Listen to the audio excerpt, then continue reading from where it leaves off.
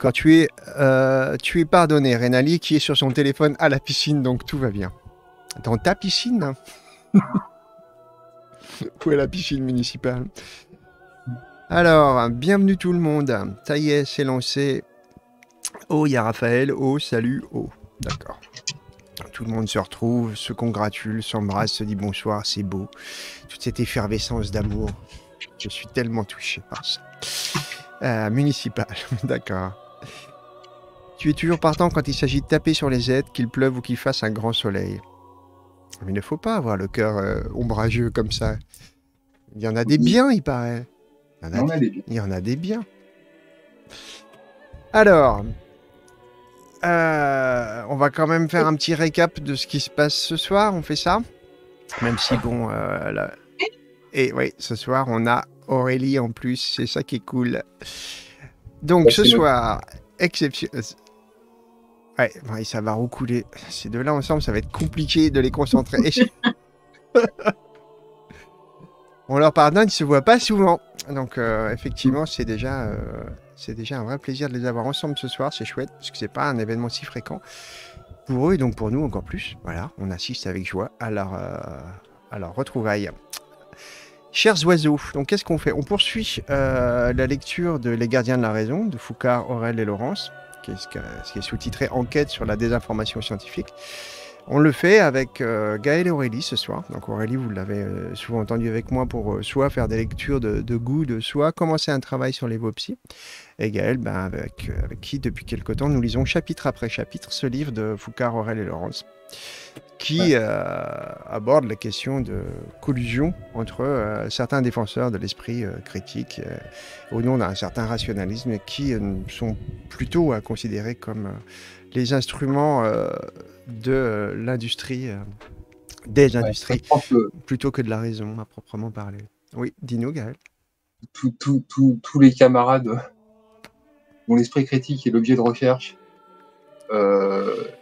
et, se retrouvent euh, immanquablement à se rapprocher de nous euh, et, auraient du mal avec l'idée que ces gens soient des défenseurs de l'esprit critique, quoi, même, euh, même ironiquement. Même ironiquement, ouais. Ouais, ah, L'intérêt du. Que dis-tu? C'est des fossoyeurs de l'esprit critique. Ouais, alors on est vraiment en train de parler, on a beaucoup parlé de la FISM, on parle de, plein de, cercles. Euh, de, lobbyistes, de, journalistes, euh, qui sont euh, plutôt les, propagateurs des paroles de l'industrie sous couvert de. Enfin, qui se présentent pour la plupart comme au service de simplement de la raison, de l'esprit critique, qui en vérité travaillent main dans la main avec les industries les plus bah, destructrices, il faut dire les choses assez platement, qu'il s'agisse du secteur de l'agroalimentaire ou d'autres c'est plutôt celui qu'on a vu le, plus, mais qu'est-ce qu'on a abordé comme secteur de l'industrie euh, Les gros dossiers, c'était euh, essentiellement les pesticides et euh, le nucléaire pour l'instant. Il y en aura sûrement d'autres.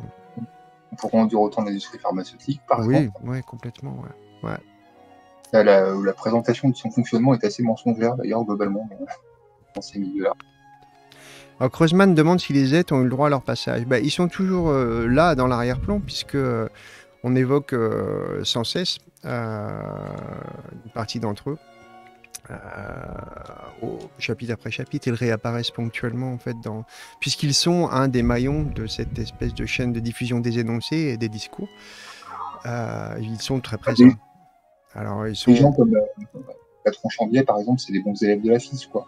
C'est ça. Ils sont renseignés, ils sont renseignés sur, euh, sur euh, ce qu'était euh, le complotisme et la lutte contre le complotisme auprès de Gerald Bronner. Quoi.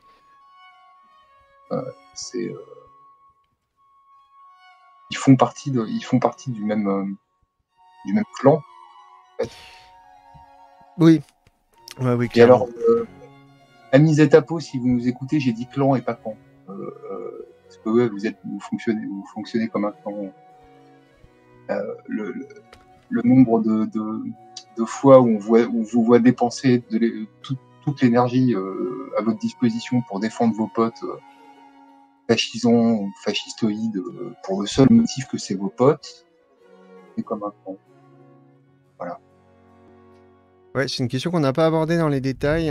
Euh, le- le- la corpo euh, euh, Z et cette façon d'agir, parce que c'est pas dans le cœur du bouquin, mais euh, c'est des choses dont on peut de temps en temps parler de façon latérale, puisque ça, constitue, ça fait partie de la construction d'un bloc un peu unifié, une certaine forme de discours euh, qui, euh, qui fait passer au nom d'intérêts euh, supérieurs, comme c'est souvent le cas, qui serait un certain esprit rationaliste, ou tout ce qui, à côté de ça, serait des, problèmes latéraux, comme si le politique, par exemple, était extérieur à ce choix, euh, alors qu'il est complètement noué. Il au cœur de ce problème. Mais ça, oui, ça nous est arrivé d'en parler, euh, Kreuzmann, de temps en temps. Je pense que ça réarrivera, forcément. Ça fait longtemps que j'ai pas mis le nez dans les dernières conneries euh, publiées par les, sceptiques en ligne, enfin, par une certaine frange des, euh, des sceptiques euh, en ligne. Donc, je sais pas, je sais pas s'il y a eu du nouveau. Je dirais que. Il y a- Il y a eu une bonne nouvelle hein, récemment à ceci. Laquelle Donc, il y a la, la- la Fides, qui est une, une fédération sceptique, s'est créée récemment, a viré euh, l'association Les Sceptiques du Québec euh, de, de la fédération pour euh, avoir en particulier diffusé de la désinformation sur la transidentité.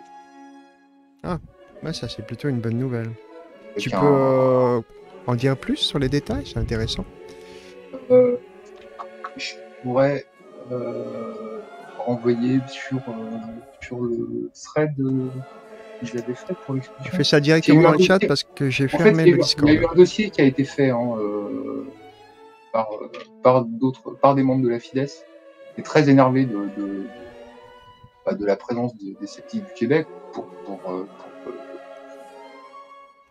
pour, euh, leur, euh, leur euh, propagation de, de, de- de fausses nouvelles et de, fausses informations sur la transidentité, pour, pour enfin, l'ensemble de l'œuvre de leur président, qui est un connard, qui est un connard fascisant. euh, On a dit quoi sur les insultes, Gaël?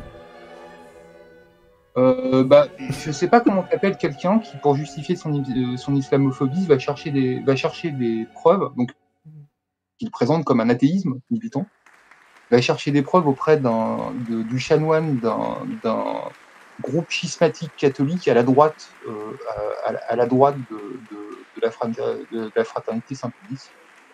Moi, j'appelle ça un connard fascisant. C'est le terme technique, c'est pas une insulte. Alors, euh, Glitch nous apporte euh, un, petit, un, un petit encart dans le chat. Événement sans précédent, les sceptiques du Québec, l'Institut, qui sont comme un très très vieux club euh, de sceptiques. Enfin, moi, j'ai connu le scepticisme par eux il y a bien bien des années. A toujours été de la merde. Hein. Il y a très longtemps de ça, vraiment, là, pour le coup. euh, ont été exclus de la nouvelle fédération sceptique, la fameuse FIDES, dont parle, euh, dont parle Gaël, hein, suite à une demande collective visant leur dernier magazine consacré à la transidentité et dysphorie de genre. Thread a déroulé pour les explications. Donc là, c'est un, un fil Twitter, donc on va pas faire ça ici. Enfin, euh, on Il y plus avoir il plus tard, peut-être, pourquoi pas. hein.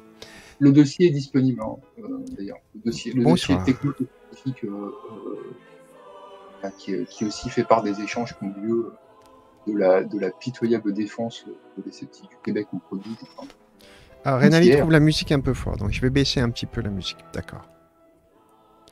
Ok, voilà, tu, tu- vous, nous- vous me direz. Faut dire que je parle un peu bas, mais c'est vrai que la musique est peut-être un peu forte. Je suis désolé. Donc j'ai baissé.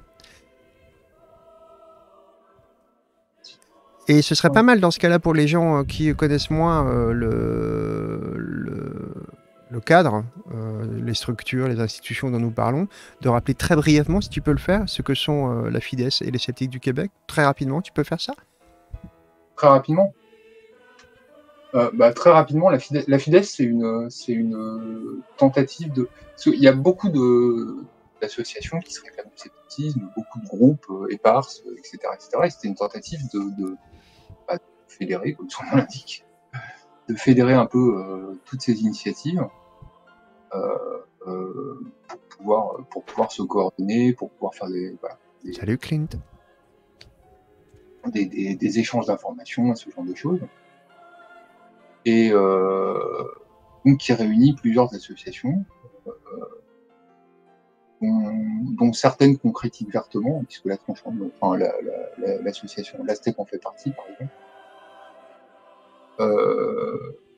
mais qui globalement est quand même une, une, une fédération qui, qui, dans ses statuts même, établit clairement que elle n'est elle est, pas apolitique, elle s'inscrit dans la tradition du scepticisme depuis ses débuts euh, à gauche. Euh, quant au sceptique du Québec, bah voilà, c'était une de ces, de ces associations qui est une association assez ancienne. Je vais regarder oui.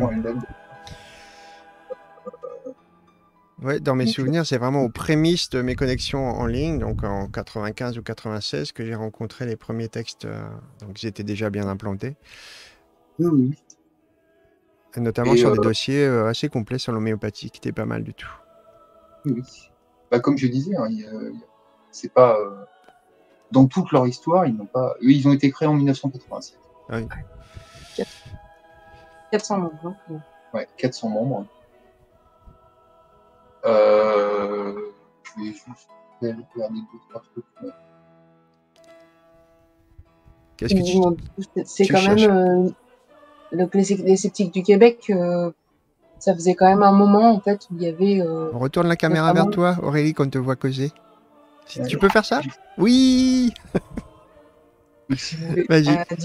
ça faisait quand même un moment en fait que du coup le président des sceptiques du Québec, Michel Bellet, c'est ça? Michel Bellet, euh, avait, euh, il faisait des, des, par exemple des, des, billets de blog en fait publiés euh, euh entre autres euh, sur le site des sceptiques du Québec. Je suis en train de mettre le lien là. Qui était réactionnaire déjà en fait qui euh, voilà qui, qui, était, qui était vraiment les trucs typiques réactionnaires anti anti écriture inclusive anti woke anti anti anti tout anti voilà anti-MeToo, voilà. Et euh, du coup, euh, ça, ça, se voyait qu'il y avait un problème quand même déjà euh, avec l'association. Ouais. Et nous, Gaël et moi, on a été exclus de leur groupe Facebook. On a été un jour répondre à un article de blog en particulier, plutôt poliment, hein, mhm. par, rapport à ce. on, on, on, espérait pouvoir donner un, une voix discordante. du coup, on n'a pas voulu se griller tout de suite. Mais en fait, euh, on nous a quand même exclus euh, très très vite. Euh, et du coup, du coup, voilà, c'est vraiment. Ah, je laisse terminer. Donc voilà, j'ai j'ai mis du coup le lien des articles sur le site des sceptiques du Québec, publié par Michel Bellet. Donc on pourra, on pourra, on pourra y voir notamment des articles pour, pour pour vanter les mérites de, du droit importuné de, ah oui des, des fonds, euh, voilà, la conduite sexuelle, euh, sexologie et, publique, et politique victimaire. Donc voilà. C'est l'inconduite sexuelle, c'est ça? L'inconduite sexuelle, par exemple, oui. Euh, publié en l'été 2020. Donc, Coran et esprit critique, donc l'article où il, où il invoque hein, où il invoque donc le chanoine de le chanoine de, de, de, voilà, d'un groupe catholique schismatique qui, qui est nettement à, à droite de ce qu'est euh, la fraternité Saint-Pédis. Euh, euh, voilà, pour, euh, donc tout ceci, euh, c'est des publications qui sont pas sur, sur le blog privé de Michel Bellet en plus, hein, c'est des publications sceptiques. C'est ce que leur président considère comme un article sceptique. J'aime beaucoup après que ce soit le même genre de, de, PNQ qui viennent nous reprocher d'être politisés. J'ai l'article devant les yeux, mais comme il est un peu long, c'est assez difficile de, de voir euh, où ça, ça, serait particulièrement prégnant. Euh. il parle de néo-moralisme sexuel, c'est souvent l'argument euh, utilisé par, par ceux qui trouvent un certain intérêt finalement à l'installation à la perduration d'un comportement de prédation sexuelle ordinaire et largement institutionnalisé. Et d'un seul coup, un monde donc, quand même un conservateur qui est plutôt connu, euh, au contraire, pour son, son rapport euh, particulièrement euh, tremblant devant la liberté sexuelle, qui d'un seul coup se, sent touché par cette question. Et c'est ceux-là même qui pourfendent les, les, années 60 et, l'abominable déliquescence sociale que représente l'horreur de 68, qui d'un seul coup se sentent pousser des ailes érotiques quand ça les arrange. C'est très très drôle. Voilà. Oui. Oui, euh, Il ne faut pour- jamais pour, euh, désemparer des droits d'art d'une façon générale. Ils sont magiques. euh, pour finir avec Michel Bellet rapidement, il était venu me dragouiller sous un article de 20 je crois, euh, qui parlait de qui parlait de l'affaire Socal, euh, euh, en prouvant qu'il ne sait pas lire, puisque il, euh, il nous parlait comme euh, comme si l'article était pro Socal. Euh, euh, et euh, il s'indignait donc avec nous de de, de, euh, de toute cette euh, fange là, de tout cette de toute cette lie euh, euh, euh, relativiste postmoderne, euh, en invoquant, euh, en invoquant comme source un article de, de- dans, dans le point de, de, de euh, mince, comment s'appelle cette euh, si sympathique euh, Euh, voilà euh, Peggy Sastre voilà Peggy Sastre Ah. voilà comme Ah. source extrêmement carrée mais bon en même temps euh, euh, elle a elle a un crédential en, ma- en matière de en matière de scepticisme parce qu'elle a été euh, elle a été euh, secrétaire de la FIS jusqu'en 2009 donc euh, donc, tout ça, c'est sarcastique, hein, je précise quand même. Ouais. Non, elle a vraiment été sérieuse. Le reste est sarcastique, mais elle a vraiment été sérieuse de la FIS.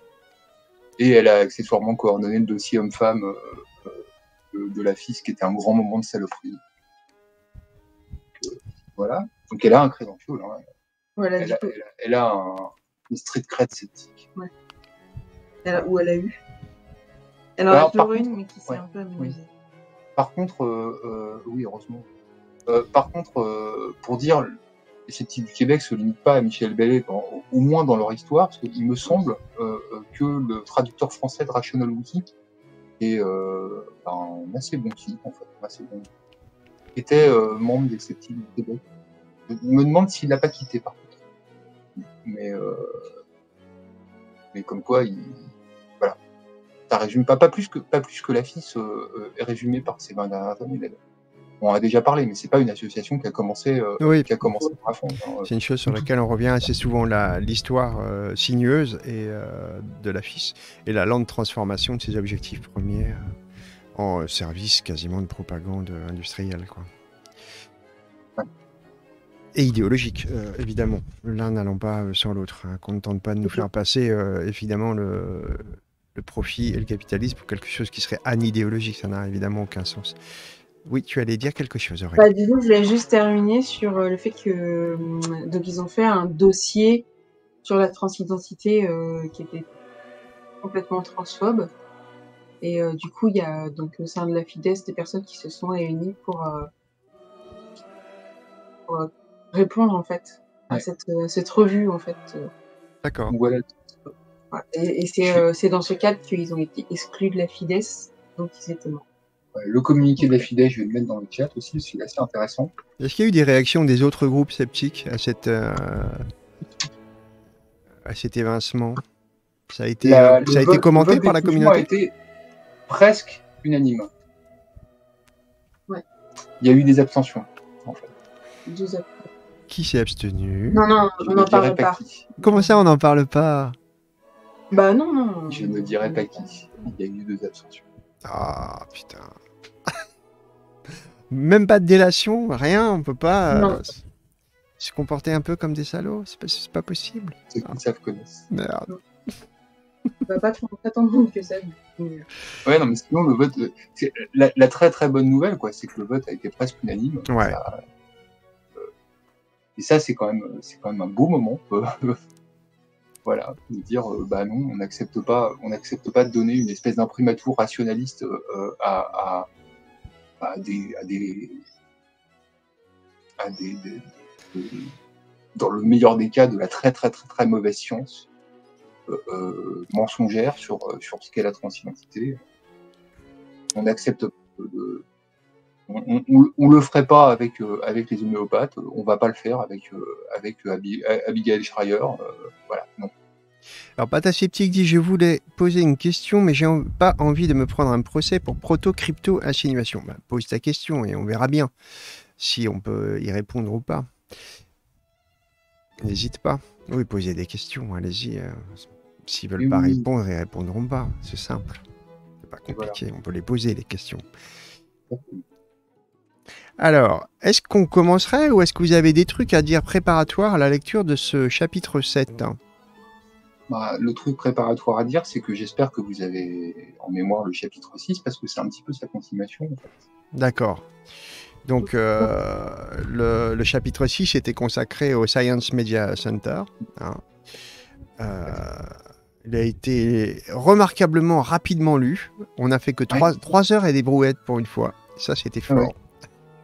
Bah, tu, tu avais dit que tu devais te coucher tôt. Euh... Bah oui, je partais pour le Luxembourg euh, le lendemain assez tôt, donc. Euh, Là, par contre, il y a des gens qui vont être déçus. Genre, il y a Blanc qui, qui, qui, qui, nous a dit sur Twitter que, que lui, il venait pour les digressions d'avant le début de la lecture.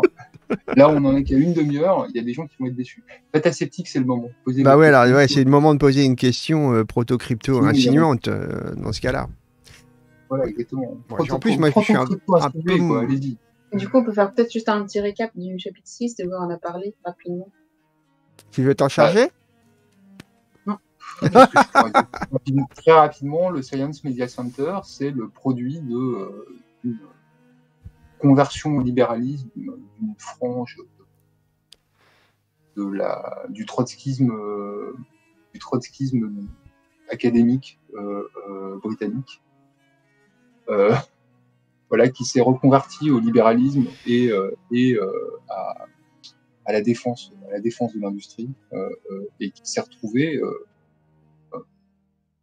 initiative d'un groupe, à la base d'anciens membres d'un groupe trotskiste dont le nom m'échappe présentement, il est vraiment partout et je vais pas tarder à trouver. Le Révolutionary Communist Party, donc pas, pas faire plus générique comme nom, euh, euh, il a été institutionnalisé et il est devenu une espèce de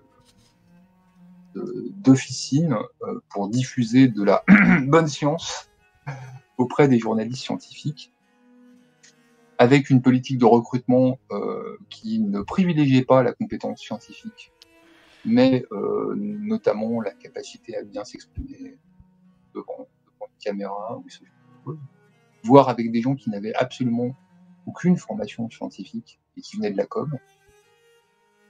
C'est ça, on a, euh, on a, bien vu comment le, le Science Media Center s'insinuait dans une tendance contemporaine qu'on connaît tous, hein, qui vise lentement par une espèce de, comment on pourrait dire ça, de régime général communicationnel appliqué euh, à tous les énoncés publics, une espèce de doux rêve qui tente de, pouvoir réduire toute forme d'énoncé euh, social en trois lignes, en petits mots, un slogan, un goût pour les petites phrases, pour ce qu'on appelle les éléments de langage, profitant de cette tendance des plateaux de journalistes, une espèce à la fois de paresse généralisée et aussi euh, à cause euh, des, on va dire, d'une construction économique sévère, une restriction euh, assez drastique des compétences sur les, les, plateaux des médias et dans les journaux écrits également. Profiter de tout ça pour bah, créer une espèce d'officine qui fournit un prêt à, un prêt à causer euh, de la science pour euh, toutes les revues possibles et imaginables, tous les plateaux de télé. Donc c'était vraiment la grosse activité euh, de ce Science Media Center, et c'est toujours hein, son activité.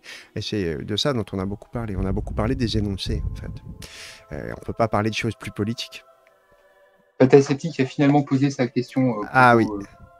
C'est les sceptiques du Québec n'avaient pas publié un article chelou sur l'islam. Euh, chelou bah, est peut-être un euphémisme. On en parlait justement. Euh, euh, on en parlait justement. oui, bah voilà. Quand j'évoquais Michel Bellet, leur, leur, président, et les articles de Michel Bellet sur le site des sceptiques du Québec, j'insiste parce que c'est pas son avis personnel qu'il a publié ailleurs, c'est vraiment, c'est posté avec l'imprimature sceptique. Ouais. il, a, il, avait donc publié un article dans lequel il, il, il, nous entretenait de, de, de l'impossibilité de, de réconcilier islam et, science, sur la base d'une introduction qui reprenait, euh, prenait pour seule référence de ce qu'est une science, qui d'autre que Karl Popper, évidemment, et continuait avec, euh, euh, avec la discussion de l'intérêt d'un texte sur l'islam écrit par le chanoine d'une association, d'un groupe religieux catholique schismatique, donc à la droite de, la fraternité Saint-Pédis. Euh, donc, puisque voilà, quoi, quand on est athée, euh, on est contre toutes les religions, euh, sauf les catholiques schismatiques à la droite de la fraternité Saint-Pédis. Bien sûr, ça coule de source. Euh, pour te répondre, glitch, le bruit que tu entends régulièrement qui vient faire un petit parasite dans le micro, je pense que vous l'entendez euh, tous et toutes, c'est celui d'un ventilateur. Ça répond à ta question. Oui, j'ai eu si chaud que j'ai dû interrompre ma session de dessin euh, ce matin en live euh, parce que je collais à mon papier. voilà, ça devenait un peu pénible de coller à mon papier. Et je pense que ouais, beaucoup d'entre nous en sont là. La chaleur est assez accablante, effectivement, aujourd'hui. Elle l'est encore à cette heure-ci, 22h, et euh, mon ventilateur est à peine suffisant. Mais j'ai prévu 2 oui. litres d'eau. Oh, pauvre Laurent. En plus, tu vas, tu vas te faire appeler breton dans trois secondes. C'est dur pour vous, les bretons. C'est tellement dur pour nous. Bah, comme chacun sait, c'est un climat tropical, la Bretagne. hein. eh, Ça a toujours été comme ça. eh, eh. Ouais, mais quand je pense que moi au Sénégal, je me privais de ventilateur pour pas pourrir le son de ton Twitch. Ouais. Le Sénégal, monsieur. Alors, alors, alors, je, je vois qu'on locharde mollement et sinueusement, qu'on essaye désespérément de digresser, mais qu'on est rendu tellement mou par la chaleur qu'on n'arrive même pas à digresser. C'est lamentable. Ouais, c'est ce qui est vraiment symptomatique. quoi. Complètement. Alors, qu'est-ce qu'on fait? On commence ou quoi? Si vous êtes sceptique, si, si vous voulez l'article, euh, euh, vous pouvez remonter dans le chat et revenir à, à- à un message où je postais le, le lien vers les articles de Michel Bellet. Ouais. Euh, il est dedans, il n'y en a pas beaucoup. Euh, les autres euh, parlent notamment de, de pourquoi euh, Catherine Deneuve a raison de, de réclamer le droit à être importunée. Ce genre de, petites choses délicieuses. Elle n'est pas la seule. hein. J'ai euh, assisté il n'y a pas longtemps à un sketch de Florence Foresti où elle réclame le droit d'être harcelée, où elle se plaint de ne pas l'être. Elle dit pourquoi on harcèle tout le monde et pas moi? Voilà, voilà. Pourtant, elle, elle essayait d'être plus trop drôle, cette femme. Et là, sur ce coup-là, c'était saumâtre, je dois dire. Ouais. Ouais. Grosse déception, putain. Ouais. Alors, euh, On l'a connu plus pertinente quand même. ouais, c'était dur. hein. C'était vraiment un sale moment. Comme Ouais, Blanche. Gardin, non pas comme Blanche Gardin, Barbure, je crois pas. Je continue à penser que Blanche Gardin est une femme assez subtile. Et, Ouais. euh, même sur ces questions où elle joue euh, des jeux souvent dangereux, elle n'est pas du tout euh, mono- monolithique et euh, je trouve que elle Ça oblige à penser des trucs. J'ai vu sa Ça série. Tu as vu sa série en 8 épisodes là Euh, la- Le meilleur portrait de moi-même? Non. Je crois que ça vaut le détour et ça, ça répond bien à tout ça. À ce dont on. Je crois pas qu'il faille la mettre dans euh, ce panier du tout? Vraiment pas. Mais bon. D'accord. Bah, moi, je ne serais pas quand même surprise si à un moment elle foutait les pieds dans la mare euh, et que. euh, C'est enfin, pas une... C'est pas une attaque de sa subtilité, quoi. Non, Mais non. sa défense de, de Louis euh, euh, savoir ce qui est subtil ou pas, c'est pas tellement la question. Euh, C'était c'était c'était euh, très glauque aussi. Ouais, et puis il y a des trucs sur lesquels. Enfin, c'est- Moi, je. Je, je, je l'aime, j'aime bien globalement, mais euh, j'aurais pas euh, une surprise euh, énorme à la voir euh, vraiment. Voilà. C'est ça, Claire. C'est la meilleure version de moi-même. Ouais.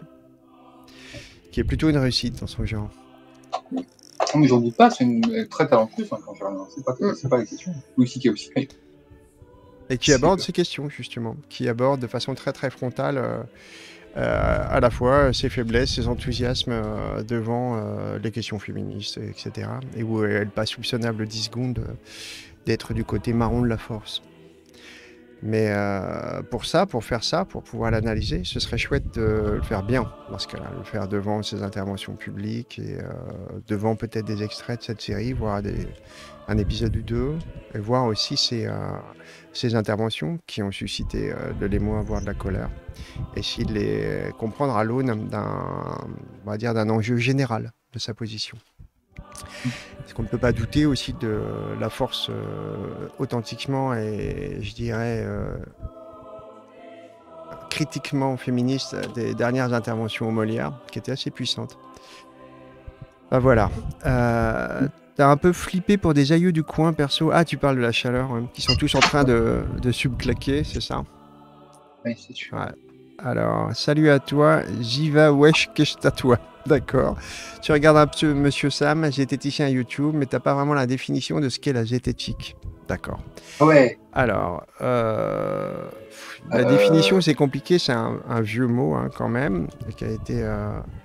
Réamorcé dans l'histoire, qui a, ouais, qui a changé vraiment de position depuis son, depuis usage grec. hein. Euh, on peut le lire assez euh, rapidement. Euh, la, la zététique, à la base, c'est la mise au service de questions qui jusque-là n'appartenaient pas aux interrogations des sciences.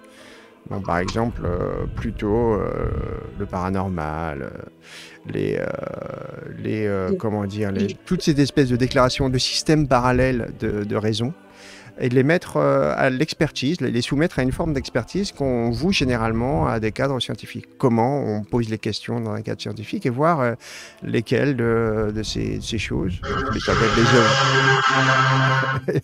ovnis, ça pouvait être les ovnis, ça pouvait être plein de choses. Et avec euh, des, emprunts à certaines formes de méthodes et de protocoles qui appartiennent plutôt au champ des sciences, voir comment eh ben, ces objets-là, la télékinésie, ré- résistaient. Donc là, on parle des années 70, hein, on parle de Uri Geller, des choses ça. Peu à peu, les zététiciens sont approchés euh, d'autres champs, euh, des médecines euh, dites médecine douce ou médecine parallèle, notamment parce qu'elles fleurissaient dans les années 60-70. Il y avait un grand renouveau.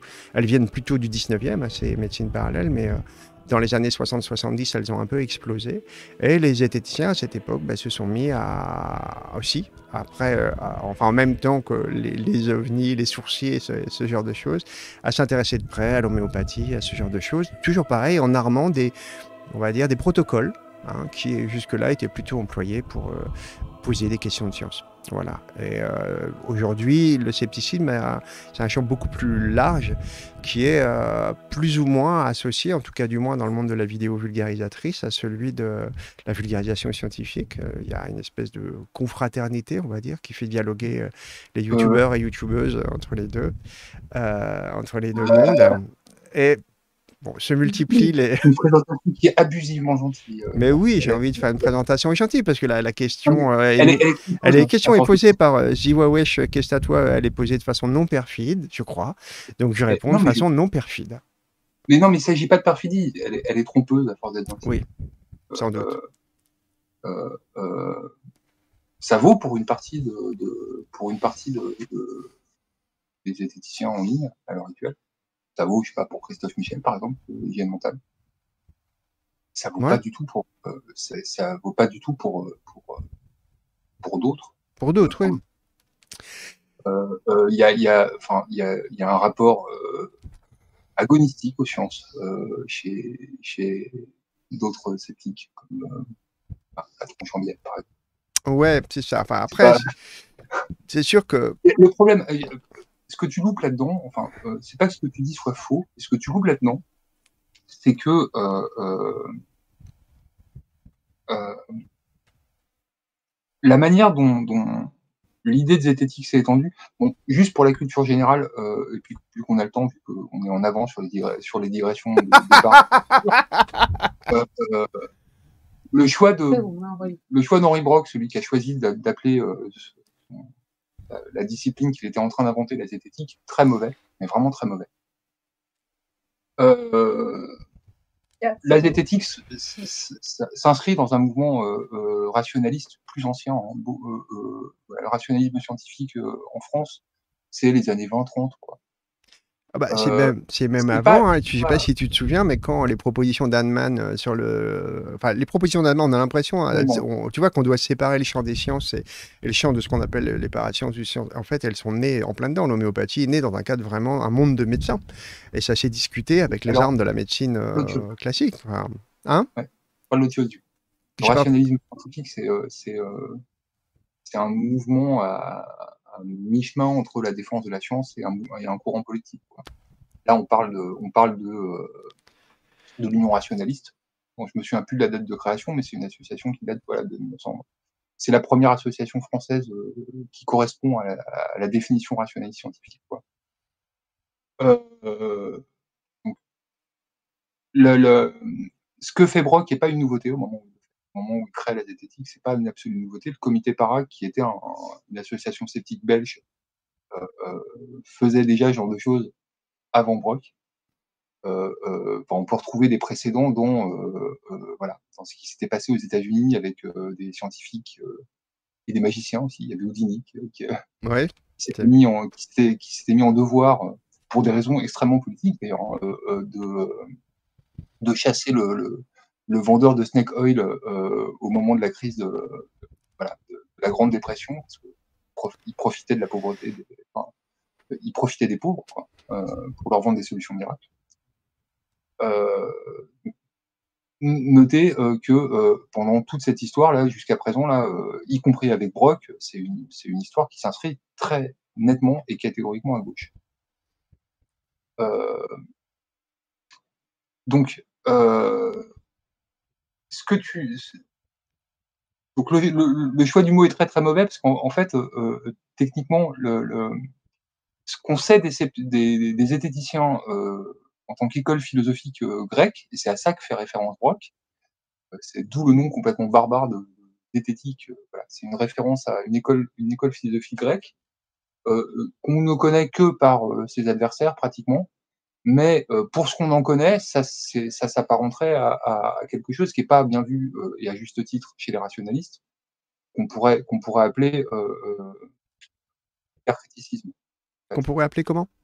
L'hypercriticisme. Mmh. le type de raisonnement qu'on va retrouver notamment chez les négationnistes. Voilà.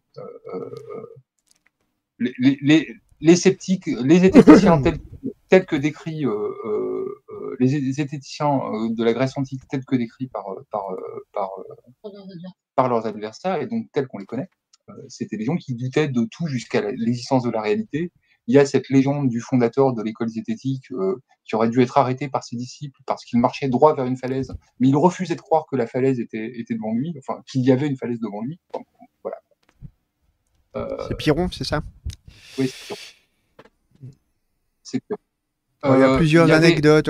Il y a aussi celle du mec qui se noyait. Enfin, elles sont. Il y a une espèce de profusion d'anecdotes devant l'indécidabilité, le refus de décider. Il y, a, le tout petit précédent de, cet usage de zététique euh, euh, particulier dans la zététique, dans, le rationalisme américain, à l'époque de, où le Skeptic Inquirer était dirigé par Marcelo Truzzi pendant, je crois, quatre ans, euh, il avait sous-titré le, journal euh, de zététique.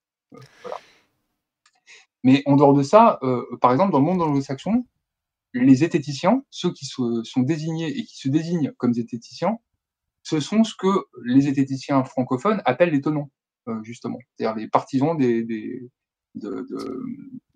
l'occultisme, du paranormal, etc. C'est eux qui se désignent les zététiciens le, les premiers platistes euh, euh, se sont très vite désignés comme zététiciens. Bon, ça c'était juste pour la culture générale. Donc ce que nous Laurent avec ça, c'est que euh, au fur et à mesure que le champ s'est étendu, la définition est devenue de plus en plus vague. et à la fin, on se retrouve avec avec euh, l'idée que la zététique ne serait rien d'autre que la méthode scientifique. Oui, bien sûr. Non, mais je ne le loupe pas, je ne voulais pas l'y impliquer. Tu noteras, tu noteras, que j'ai fui comme la peste l'expression méthode scientifique. Hein. Je ne l'ai pas employée une fois. C'est une citation, ça, euh, d'ailleurs, du Cortex, hélas. Globalement, globalement, a fait beaucoup de bonnes choses, hein, le Cortex. Hein, déjà, à un moment où le où euh, le scepticisme a commencé à se faire un petit peu envahir par la droite euh, parce que ça leur donnait des armes pour, euh, pour, pour faire taire les faquins qui osaient, qui osaient consulter l'ordre d'autorité. c'était c'était parmi, parmi ceux qui, tenaient une position critique, en ce politique du terme. mais voilà, ils ont participé à cette idée que la zététique ne sera rien d'autre que la méthode scientifique, ce hmm. qui fait, contient au moins deux erreurs, que ce soit la définition de la zététique, que la, que la zététique ait quoi que ce soit à faire avec la, avec, avec, euh, la méthode scientifique en général, euh, euh, alors que c'est bah, une série de méthodologies créées pour répondre à des objets très particuliers, qui sont les affirmations extraordinaires, pas uniquement le paranormal, mais les affirmations mmh. extraordinaires. et la deuxième, c'est l'existence de la méthode scientifique. C'est ça le problème vraiment. Euh, voilà. Donc ça répond à ta dernière question quand tu dis quelle est la différence avec la méthode scientifique? Bah, euh, à partir du moment où c'est une proposition fabuleuse qui parle d'une chose fabuleuse, il n'y a pas de différence. Voilà, pour dire les choses avec, avant tout perfidement. Exactement. Euh, Il y avait une question qui n'a rien à voir, mais comme elle est euh, vraiment hors sujet par Chocosinoc, tu peux peut-être y répondre rapidement. Avez-vous un conseil pour développer une moustache vraiment conséquente et est-ce que ça demande un entretien particulier? Question non perfide mais non pertinente de Chocosinoc. Bah, écoutez, euh, la rose de Roundup tous les matins. Euh, je je, je m'en occupe pas et quand elle commence à m'énerver, je la taille. Voilà. Voilà. C'est une réponse. Voilà comment. C'est vrai, j'ai tout vu, je confirme. Ouais. Voilà. C'est devenu très compliqué de répondre à ta question, euh, euh, Ziva Wesh, qu'est-ce que toi?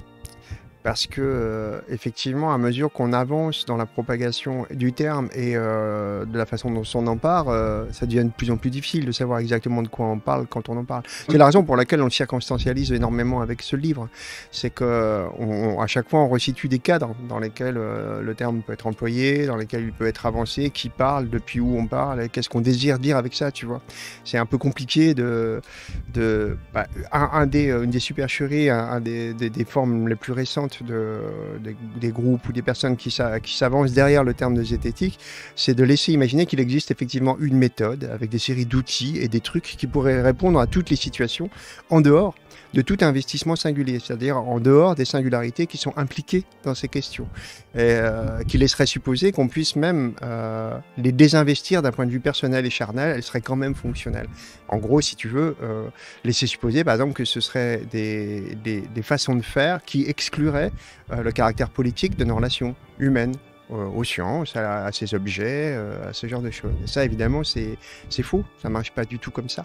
Évidemment, le deuxième euh, truc, c'est que pour que ça apparaisse comme rationnel, cette façon de faire, il faut laisser dans l'ombre un grand nombre d'activités intellectuelles humaines qui euh, ont aussi nom de sciences, qui ont d'autres façons de procéder que euh, les sciences physiques, euh, les mathématiques ou d'autres, qui sont les sciences humaines et sociales, et qui encombrent tellement nos, euh, certains, certains zététiciens euh, contemporains que le seul moyen euh, de, de maintenir fermement euh, les cadres de leurs affirmations, bah, c'est de discréditer ces sciences sociales. C'est tout. Ouais. Oui, Aurélie. Je- Là, sur ça, je voulais dire qu'on a la. C'est une croyance que c'est la division sciences humaines et sociales et autres sciences. Mais euh, si je prends la biologie, en fait, euh, toute la biologie, elle est construite sur du, sur, sur, sur, euh, sur du descriptif d'espèces, par exemple, descriptif d'organes, anatomie, biologie cellulaire. en fait, on fait énormément de descriptifs. Et du coup, euh, c'est- c'est ça reste du, des méthodes qualitatives. On commence à l'oublier, mais c'est les fondements en fait de la biologie. Et euh, du coup, euh, c'est même pas une division sciences humaines et sociales versus autres sciences. Quoi. Ouais, même chose. tout, en fait. Même chose pour la physique, hein. euh, même chose pour les mathématiques. euh, là, il y a, il y a- la- la- la- quand la zététique a commencé à avoir ses prétentions euh, épistémologiques, elle s'est construite vraiment de briques et de broc. Euh, euh, sans jeu de mots pour broc, d'ailleurs, j'y avais pas pensé. De Bricmont et de Broc alors? non, ouais, bah, ouais, bah ouais, ouais. En même temps. euh, non, mais broc, c'est de sa faute. Construit de Bricmont et de Broc, c'est très drôle. Je crois, qu'on va la garder. J'ai pas envie de- Mais surtout Ah oui, Brock, hein, euh, la, là. la, la zététique brockienne, c'était, c'était, c'est- mais la présence de Bricmont, c'est de sa faute. Donc, euh, du coup, effectivement, ouais. c'était un pote à lui. C'est lui qui a présenté euh, euh, euh, À Richard Monvoisin, et c'est comme ça que euh, s'est retrouvé sur, dans, le jury de thèse de Richard. Euh, que j'aime beaucoup par ailleurs, Richard. C'est juste pour dire que, euh, du coup, euh, un, un, un- une, saloperie stupide et mensongère comme Bricmont se retrouve, voilà, grand-père de grand-père de, de- du scepticisme là maintenant. Bref, ouais, c'est ça s'est construit de briquet de broc. Alors, euh, euh, euh, Je vais pouvoir le dire sans y penser, pardon. Ouais. Euh, et ça a amalgamé. Alors, une très très mauvaise lecture de Popper, qui est déjà vraiment, était un, un- un- un philosophe des sciences qui était déjà dépassé dans les années 60, quoi, et euh, sur lequel il y a énormément de choses de mal à dire. Euh, euh, la première étant, pour ce qui concerne les sciences, que euh, son modèle, euh, le falsificationnisme popperien, est, est complètement démenti par toute l'histoire des sciences. Voilà. Il n'y a rien qui fonctionne, à part très localement. Mais si on regarde, euh, euh, si on regarde euh, le fonctionnement de n'importe quelle science, euh, euh, euh, ça marche pas comme le décrit. Euh, euh, et, euh, et des éléments de méthodologie épars, par exemple la pyramide des preuves, qui sont empruntés euh, bah, à, à, à l'épidémiologie et qui-. À la santé publique, ouais, et qui était, euh, qui est un outil qui est maintenant considéré comme relativement dé- dépassé en santé publique, mais qui en tout cas est plus ou moins adapté à la santé publique parce qu'il a été construit pour ça, mais qui euh, devient complètement, euh, complètement aberrant quand on essaie de l'appliquer, par exemple, à l'histoire. Euh, un témoignage n'est pas une preuve. pour un historien, c'est un, un, non-sens absolu. Là, absolument aucun sens. Euh, euh, donc, euh, et ce- cette espèce de bricolage là, euh, euh, plus ou moins sérieux, euh, plutôt moins, plutôt moins que plus, c'est ce qui a petit à petit éloigné la zététique du truc qui avait toute ma sympathie et tout mon intérêt aussi. Qu'est-ce que j'ai pu relire sur les cryptides, sur les, ou sur, ou sur les ovnis, ça me passionnait quoi quand j'étais et ça me passionnera encore si les zététiciens s'occupaient pas à parler de choses. Souvent, ils ignorent le premier terme. Quoi. Il y a beaucoup de sujets, Ouais. euh, enfin, des, des passionnés Ouais. des sciences au départ, et euh, Sur- pour, pour, pour, pour, pour, euh, terminer mon brick et mon euh, euh, euh, Mais- sur, le, sur le complotisme, sur le complotisme par exemple, euh, bah, ils ont euh, ils ont intégré les apports de, de, de la psychosociale, science passionnante, et puis c'est tout. Et le problème, c'est que la psychosociale, bah, elle, a, une perspective qui pourrait être intér- intéressante, est incomplète. Euh, et euh, euh, quand on la laisse toute seule, extrêmement dépolitisante. On en vient à, se demander pourquoi les gens pensent mal, quoi. Au lieu de se demander, comment, on en arrive là, comment on en arrive à- avec des gens qui sont ni plus ni, plus ni moins bêtes que les autres, etc., etc. Adhérer à des choses qui nous semblent complètement qui, nous semblent complètement farfelues euh, euh, on, se demande pourquoi les gens pensent mal, parce que ça doit, ça doit être du fonctionnement dans la tête, hein.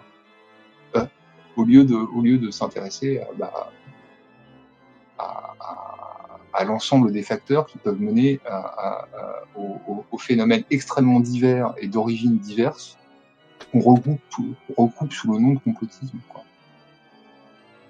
Et euh, encore une fois, euh, bric et broc, euh, on prend ce qui passe. euh, voilà.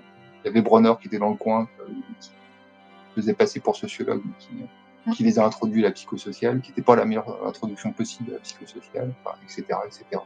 Et là-dessus, je laisse la parole à Henri. Et la caméra. Et la caméra, du coup, je voulais juste te dire que non, mais c'est vrai que du coup, euh, souvent, euh, il y a. Est-ce que ça va se stabiliser? Ah Tout. Voilà. Euh, du coup, il y a souvent, euh, comment dire, euh, il y a un truc qu'on dit peut-être pas assez, c'est que en fait, c'est effectivement, nous, à la base, on est surtout des, des personnes qui s'intéressent aux sciences, à ce qui nous entoure, curieux de les choses, de la manière dont les choses fonctionnent, soit la matière vivante, la matière non vivante, etc. Et en fait, on aimerait bien passer du temps sur ces sujets, mais ça devient hyper difficile en fait de le faire quand euh, il y a le café va être assez euh. Euh, ça devient difficile de le faire quand en fait euh, il y a autant d'enjeux politiques à, gérer d'abord. je veux dire, à un moment donné, c'est une question aussi de si vraiment on n'a pas le temps de traiter ces sujets qui à la base nous intéressent et sur lesquels tous les deux hein, on a passé beaucoup de temps, je pense, dans nos vies, les comprendre, les étudier, etc. C'est vraiment parce qu'on on considère qu'il y a des enjeux politiques qui nous obligent en fait à nous focaliser sur, euh, sur les argumentations où on mobilise les connaissances qu'on a acquises, mais euh, pour répondre, euh, bah voilà, à des gens qui prétendent ne pas avoir d'idéologie, mais en fait font bien de la politique, euh, sûr, c'est science. Oui, tu vois, le truc, euh, Mziva Wesh, euh, toi, un des problèmes fondamentaux enfin, qui sont posés quand c'est posé en ces termes, c'est supposer qu'on puisse être des sujets séparés. Mais les sujets ne sont pas des sujets séparés. Ça veut dire que dès l'instant où tu as un caractère descriptif à une observation, euh, quel que soit son champ, tu as un point de vue, bah, évidemment, qui est situé, qui est motivé par ton désir de savoir quelque chose plutôt qu'autre chose, l'orientation de ton regard, euh, euh, ton propre système d'acculturation, toute ta construction historique, sociale, etc. Et qui que tu sois, tu dois toujours en être conscient. Enfin, quand tu, quand tu travailles, tu sais ça. Et ton objet aussi, comme le disait Gaël en parlant de l'histoire, il va aussi définir euh, plein de. Enfin, il, a, il emporte avec lui des impératifs propres à, à ce champ pour pouvoir être correctement euh, ausculté. Donc, euh, tu sois euh, historien d'art ou que euh, tu sois physicien nucléaire, tu as tout un champ, tout un paradigme de la recherche qui, fait que déjà, tu peux pas appliquer à tel champ les principes, les process, comme, comme s'ils étaient transportables, tu vois, d'un endroit à un autre de, la connaissance. Ça peut pas fonctionner comme ça. Donc c'est quelque chose qu'on doit avoir aussi en tête. C'est pas des limites. Il ne faut pas prendre ça pour des limites de notre connaissance. Au contraire, c'est ce qui nous permet de connaître, c'est d'être clair sur ces questions et de savoir aussi qu'on n'est pas séparés. Donc ça veut dire aussi que le sujet politique que, que nous sommes, bah, il n'est pas un autre sujet. C'est pas comme si on, abritait une centaine de sujets différents qui se laissent la place selon l'activité qu'est la nôtre euh, le jour on fait ceci ou cela. Évidemment pas. C'est un nouage complexe euh, et ça s'appelle un sujet humain et ça voilà. C'est important d'avoir ça en tête. euh. Alors Alors, tu- cette loi, pour répondre, pour répondre, répondre à votre, votre dernière remarque, un anormal, est-ce que j'y vois un lien entre le avec le socialisme scientifique et la dialectique matérialiste?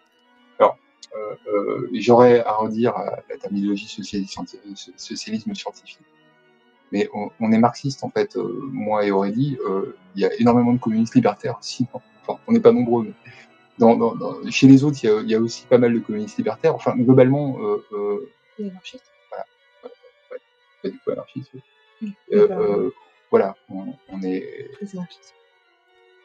on est d'extrême gauche, hein, minimum. Euh, ça, c'est sûr. Voilà, nous avons ceci en partage.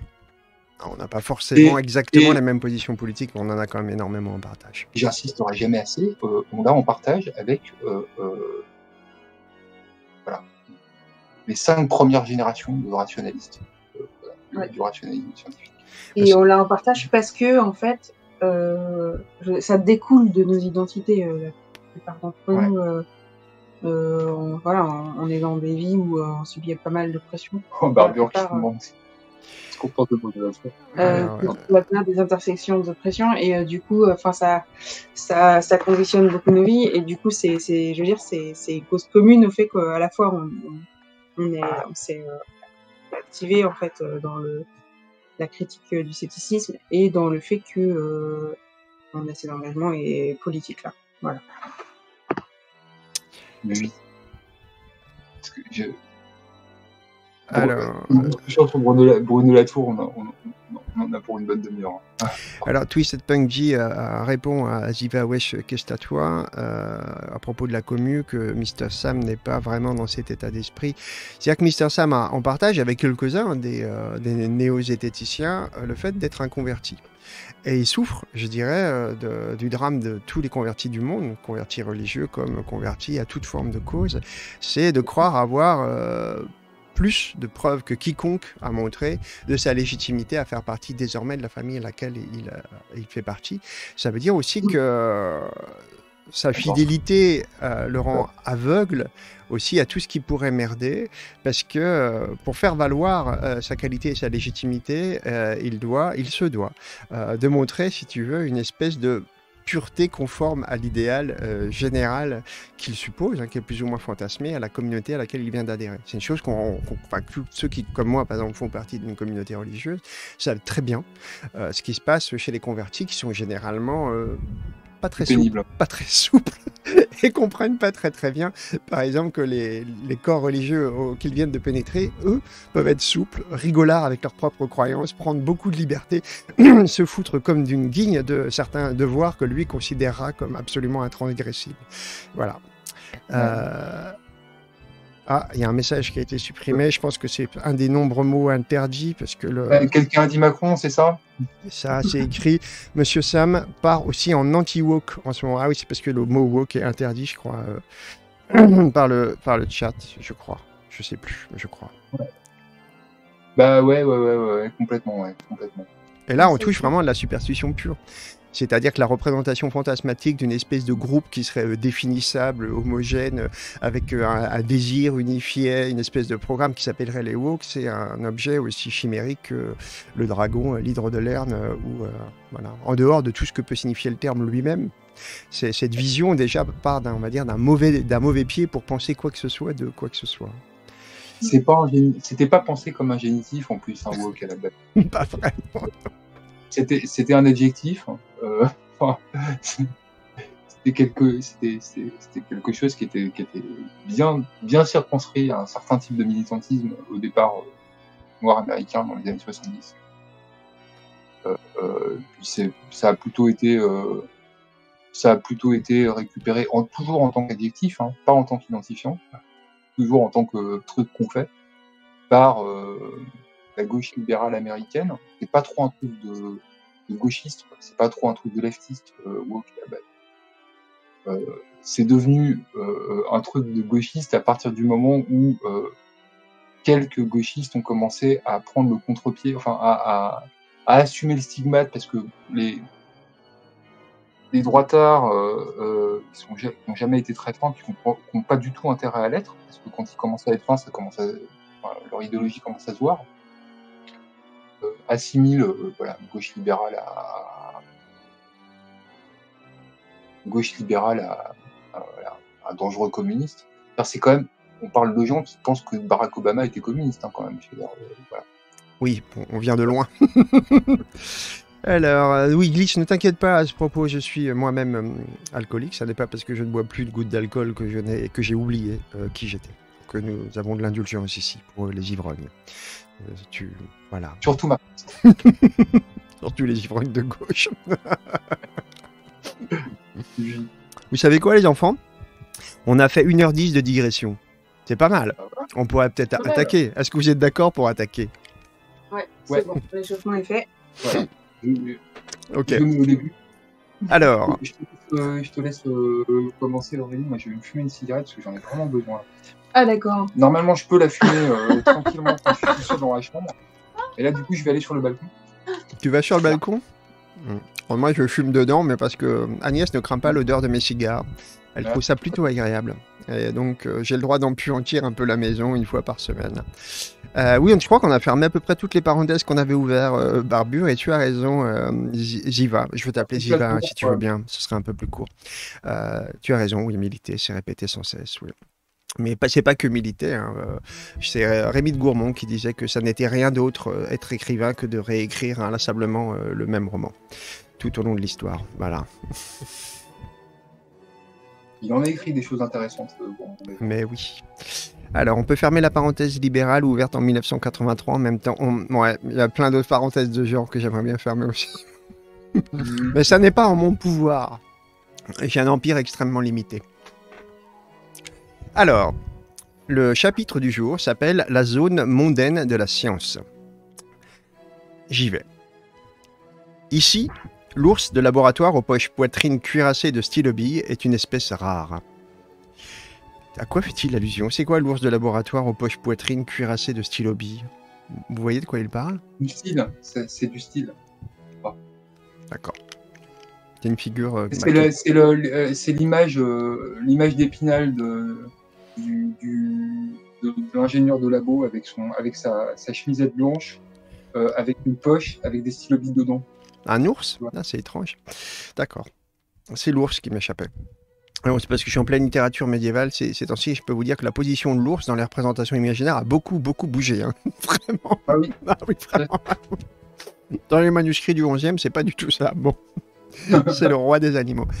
Alors, c'est l'animal royal, quoi. Bah, Arthur, Dans ces cercles où euh, costumes et tailleurs virevoltent de flagornerie en amuse-bouche, on tient colloque sur les bonnes pratiques du chercheur et la meilleure manière de programmer ou piloter la recherche. Ces savants ont déserté la paillasse il y a longtemps. Alors pour ceux qui ne le savent pas, la paillasse, c'est euh, l'espèce de, table de, de laboratoire sur laquelle on pratique euh, des expériences. Ces savants ont déserté la paillasse il y a longtemps pour rejoindre cette frange du monde académique qui envisage et administre la recherche de loin.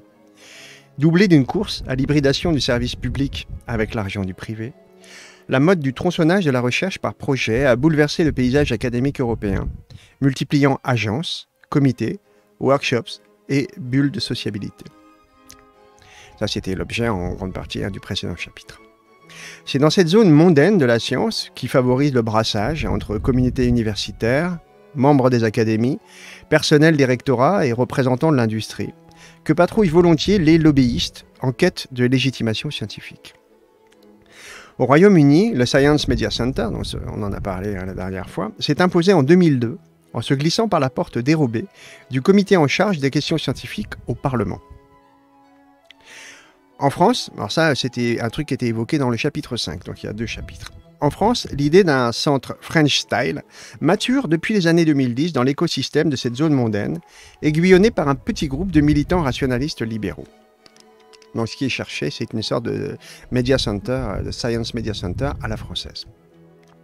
Avril 2013, Fiona Fox, dont on a déjà parlé, hein, la directrice du Science Media Center en personne, se rend à Paris pour présenter son organisme dans le cadre très officiel de l'ambassade britannique à des représentants du Centre national de la recherche scientifique, le CNRS, de l'Institut national de la santé et de la recherche médicale, l'INSERM, de l'Assemblée nationale et du Sénat. Chercheurs et journalistes scientifiques sont ainsi conviés à écouter l'ancienne militante du Revolutionary Communist Party, le RCP, dont on a beaucoup parlé la dernière fois, vanter les mérites de la méta-agence de presse. Officiellement, L'événement est organisé dans le but de comprendre comment les journalistes français réagissent à l'actualité scientifique et en rendent compte, et pour discuter de la manière dont les enseignements tirés du Science Media Center pourraient être utiles en France. ça, c'était entre guillemets. Interrogé par les responsables de la communication de l'ambassade, Fiona Fox conclut ainsi J'espère que cette visite a été utile pour expliquer le modèle du Science Media Center et donner matière à réflexion sur la manière dont un SMC ou un système similaire pourrait fonctionner en France. Le Science Media Center... Comment? Elle parle vachement bien français, dis-moi. J'ai pas entendu. Elle parle français. Oui. C'est malin, en douille. Le Science Media Center est un organisme indépendant qui fonctionne depuis 10 ans au Royaume-Uni. Il propose une gamme de services aux médias, comme des briefs pour les journalistes, et réagit rapidement aux dernières nouvelles scientifiques. Merci pour ton follow, Ziva. Pour les journalistes, il réagit rapidement aux dernières nouvelles scientifiques en s'assurant que les meilleures voix du monde scientifique soient entendues le plus vite possible. Tu dois aller au lit Bah écoute, à très bientôt, tu verras tout ça en replay. À très bientôt, Ziva, et bienvenue à bord. Cette première tentative d'importation du Science Media Center ne soulève alors que peu d'enthousiasme. Dans un contexte où le journalisme scientifique est déjà très précarisé en France, plus de 25% des hommes et 46% des femmes exercent en indépendant. Une externalisation du travail de préparation des articles par une instance supérieure n'enthousiasme guère. De plus, certains invités s'alarment, à l'issue de, de, la présentation de Fiona Fox, de l'absence totale de contrôle des conflits d'intérêts dans le dispositif. D'autres s'étonnent de l'absence d'expertise relevant des sciences sociales, notamment en économie. Certains, enfin, font état de polémiques dans les autres pays, où des SMC ont été créés, comme par exemple en Nouvelle-Zélande. En 2014, la secrétaire d'État à l'enseignement supérieur et à la recherche, Geneviève Fioraso, évoque bien l'expérience britannique dans un discours, mais le projet d'un SMC français semble abandonné pour un temps. Euh, Ouais, bien sûr. c'est marrant que dans les critiques, il n'y ait pas euh, un truc assez évident, en fait, quand même, c'est... Euh, on a un problème principale, qui est une crise de confiance dans les institutions, euh, qui va avec le rejet euh, des médias comme étant euh, contrôlés de manière homogène. Et la première critique qui me vient, c'est indépendamment du...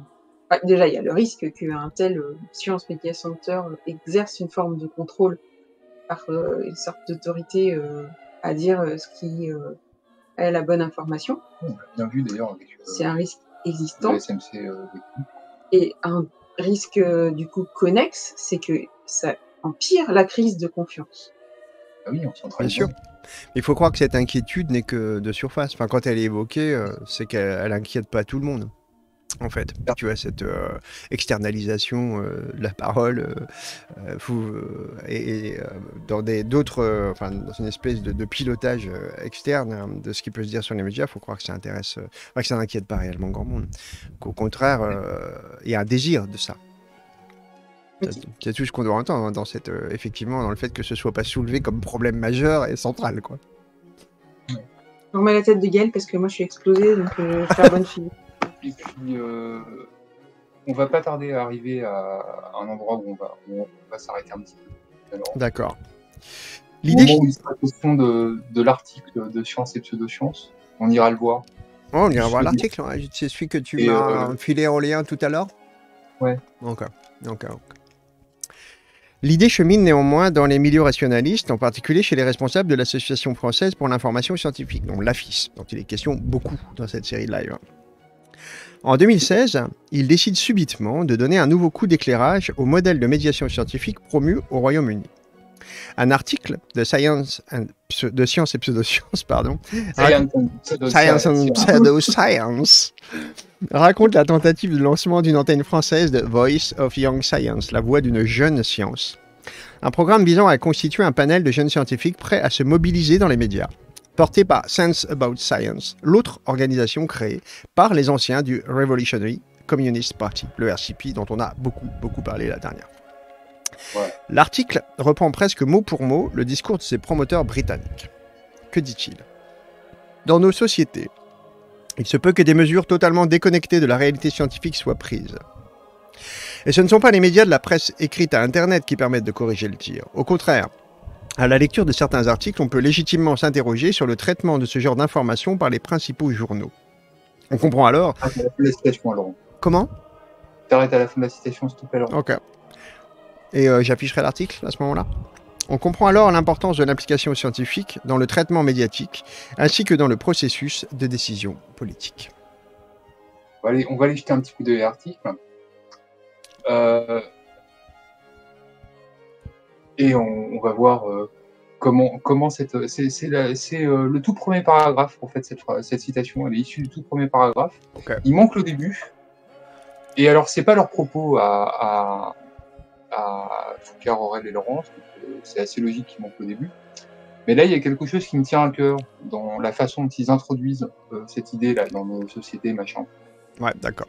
Donc je lis le début, c'est ça? C'est-à-dire, On va, on va lire, on va lire euh, les phrases qui précèdent, si tu peux bien. Euh, À savoir et, la après, et après, et après, je, je, je pourrais consommer mon cadeau d'anniversaire, lâcher un, un chapelet d'insultes sur la personne qui est. Ah, alors aujourd'hui, exceptionnellement, on va accorder à Gaël le droit de balancer un chapelet d'insultes, ce qui est très rare. hein. Il a été sévèrement tensé pour ça jusqu'ici. Donc je lis quoi? Je lis Ah, le, je lis la le premier chapitre et la. Est-ce que je lis l'incipit, le- l'envoi de Carl Sagan ou pas? On s'en fout D'accord. Alors on s'en fout.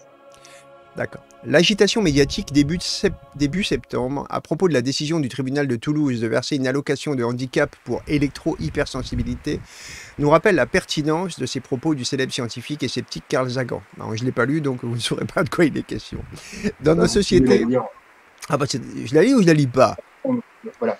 Bon bah je vous Alors. la lis. Allez, je vous la lis. Vous la lis. Je la lis ou je la lis pas un jour, euh, Il veut on pas. non, vraiment, on. Il veut pas, il veut râler d'abord. Non, non, c'est, je vais pas râler, je vais gueuler. Théo Mathurin, si un jour, sombre merde que vous êtes, vous avez l'occasion d'écouter euh, ce live, je peux pas vous dire à quel point je vous méprise pour ça. Alors on va la reprendre tranquillement. L'agitation euh, médiatique début septembre à propos de la décision, de- tra- décision du tribunal de Toulouse de verser une allocation de handicap pour l'électro-hypersensibilité, blablabla. Bla, bla, bla, bla. Oui. À votre avis, Théo Mathurin, sombre merde, pourquoi est-ce qu'on verse une allocation de handicap? On verse pas une allocation de handicap pour une maladie. On verse une allocation de handicap pour un handicap. C'est-à-dire que si quelque chose handicap votre existence dans la société, la rend plus compliquée, l'association, euh, la- l'allocation est là pour y pourvoir. Donc maintenant, les gens qui, euh, les gens qui pensent avoir un syndrome d'hyper- euh, d'hypersensibilité électrique, je, je- vous prie de croire que ça modifie et ça complique grandement leur vie à l'intérieur de cette société. On se tape de savoir si ça vient de, de- une vraie, euh, euh, d'un vrai processus phy- physiologique par rapport euh, euh, aux, aux- aux- aux- aux- aux- aux ma- aux machines euh, électroniques qui nous entourent, en fait. Ce qui est intéressant pour savoir si on doit verser un- un- un- une allocation handicapée, c'est de savoir si ça les handicape. Ça les handicape. Maintenant, ça vous défrise, et ben je vous emmerde, sombre merde. Maintenant, je suis pas étonné que vous fassiez ce genre de, saloperie, parce que vous êtes coutumier du fait. Théo Mathurin, c'est le type qui a créé le blog euh, Science Pop. Blog Science Pop, euh, où euh, euh, on défend le compteur Linky à, base de, à, base de, trois contre-vérités et, et, deux, et deux demi-vérités. je, je m'énerve tellement que j'arrive plus à parler. Quoi. Oui, je vois ça. voilà. Mais Gaël, t'as tout ton temps, prends ton temps. Mais ouais. Souffle, respire, prends ton temps. T'as as le droit ton chapelet d'insultes de toute façon, donc on va pas te le sucrer. T'as le droit. Les inquiétudes sur la santé et la vie privée sont-elles fondées Alors les, risques pour la santé, on va passer dessus parce qu'il y a cas prendre le contrat, pas. Hein.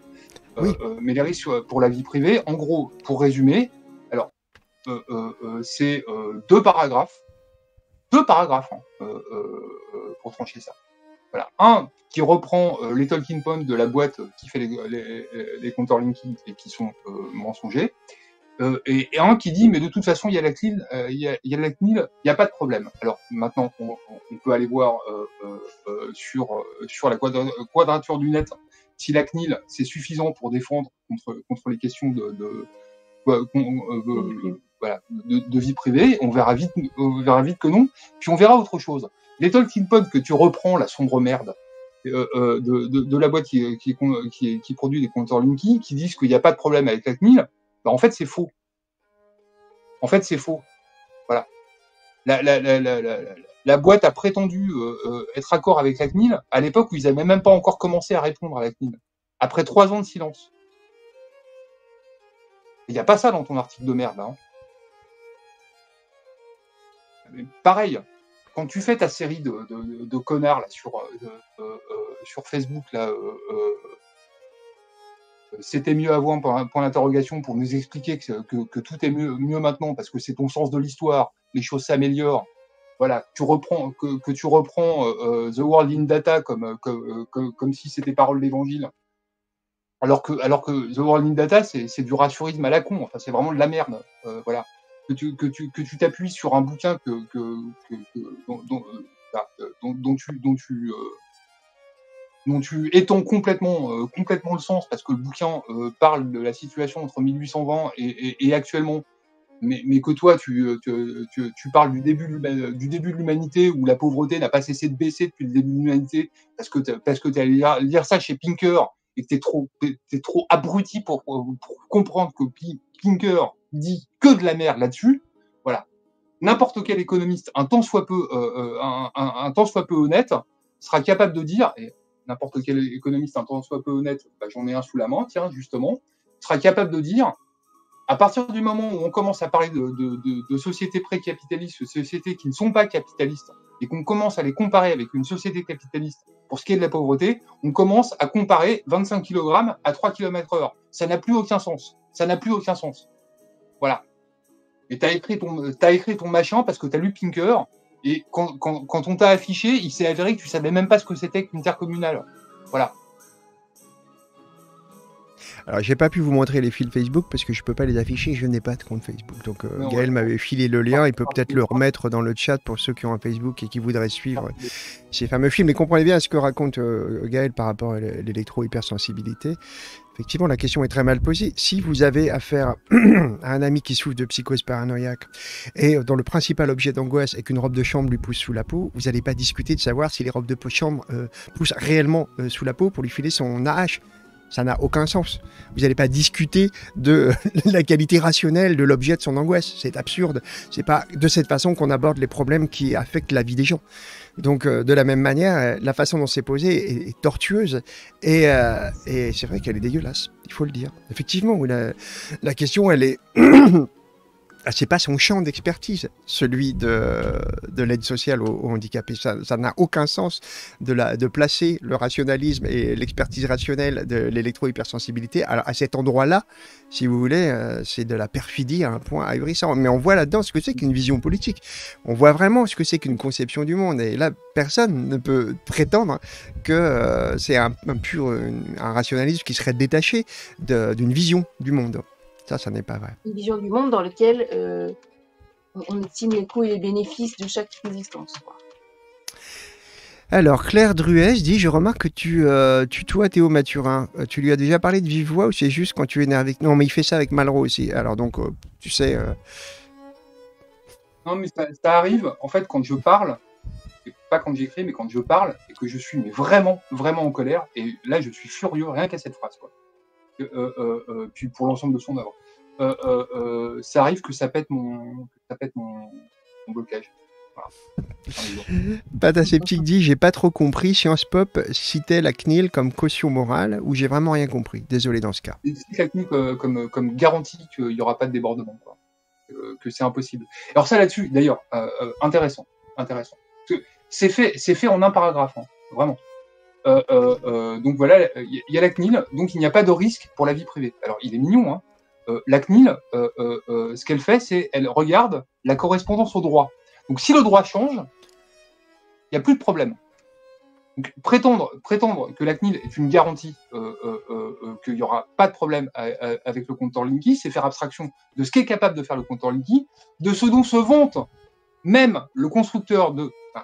Allons, voir, allons voir sur la quadrature, euh, quadrature du net ce qu'il en est, parce que c'est quand même un petit peu plus honnête que Science Pop.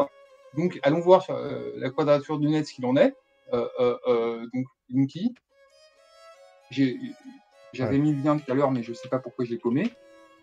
Euh, euh, Alors, Voilà. quadrature du net, j'y suis, mais j'ai rien. Attends, hop, là, je suis juste sur le truc général. Compteur intelligent co- communiqué de- de- de- de- d'un membre fondateur de la Quadrature du Net euh, euh, à l'Assemblée nationale. Euh, Ah mince, non, il n'en parle pas trop là-dedans. Ah bah là, je, je sais pas s'ils ont un moteur. Pourquoi s'opposer un Qu'est-ce que c'est un Même intéressant, je vais le mettre pour, pour information. Tu l'as? Ouais, je l'ai mis, dans le chat, mais c'est pas ce que j'avais vu. Mais c'est euh, c'était peut-être pas sur le site de la Quadrature du Net. Ouais. C'était c'était Ouais, par contre, si je. je- grand, mais c'était pas sur la chose internet. Euh, euh, mais bon, voilà. Le truc, en fait, c'est. Euh, euh, euh, le, le. Ah, mais je dois l'avoir ailleurs. Il y avait un article de reporter où j'avais le même lien. C'est ça. Euh. Ok. Les compteurs intelligents ou débilitants.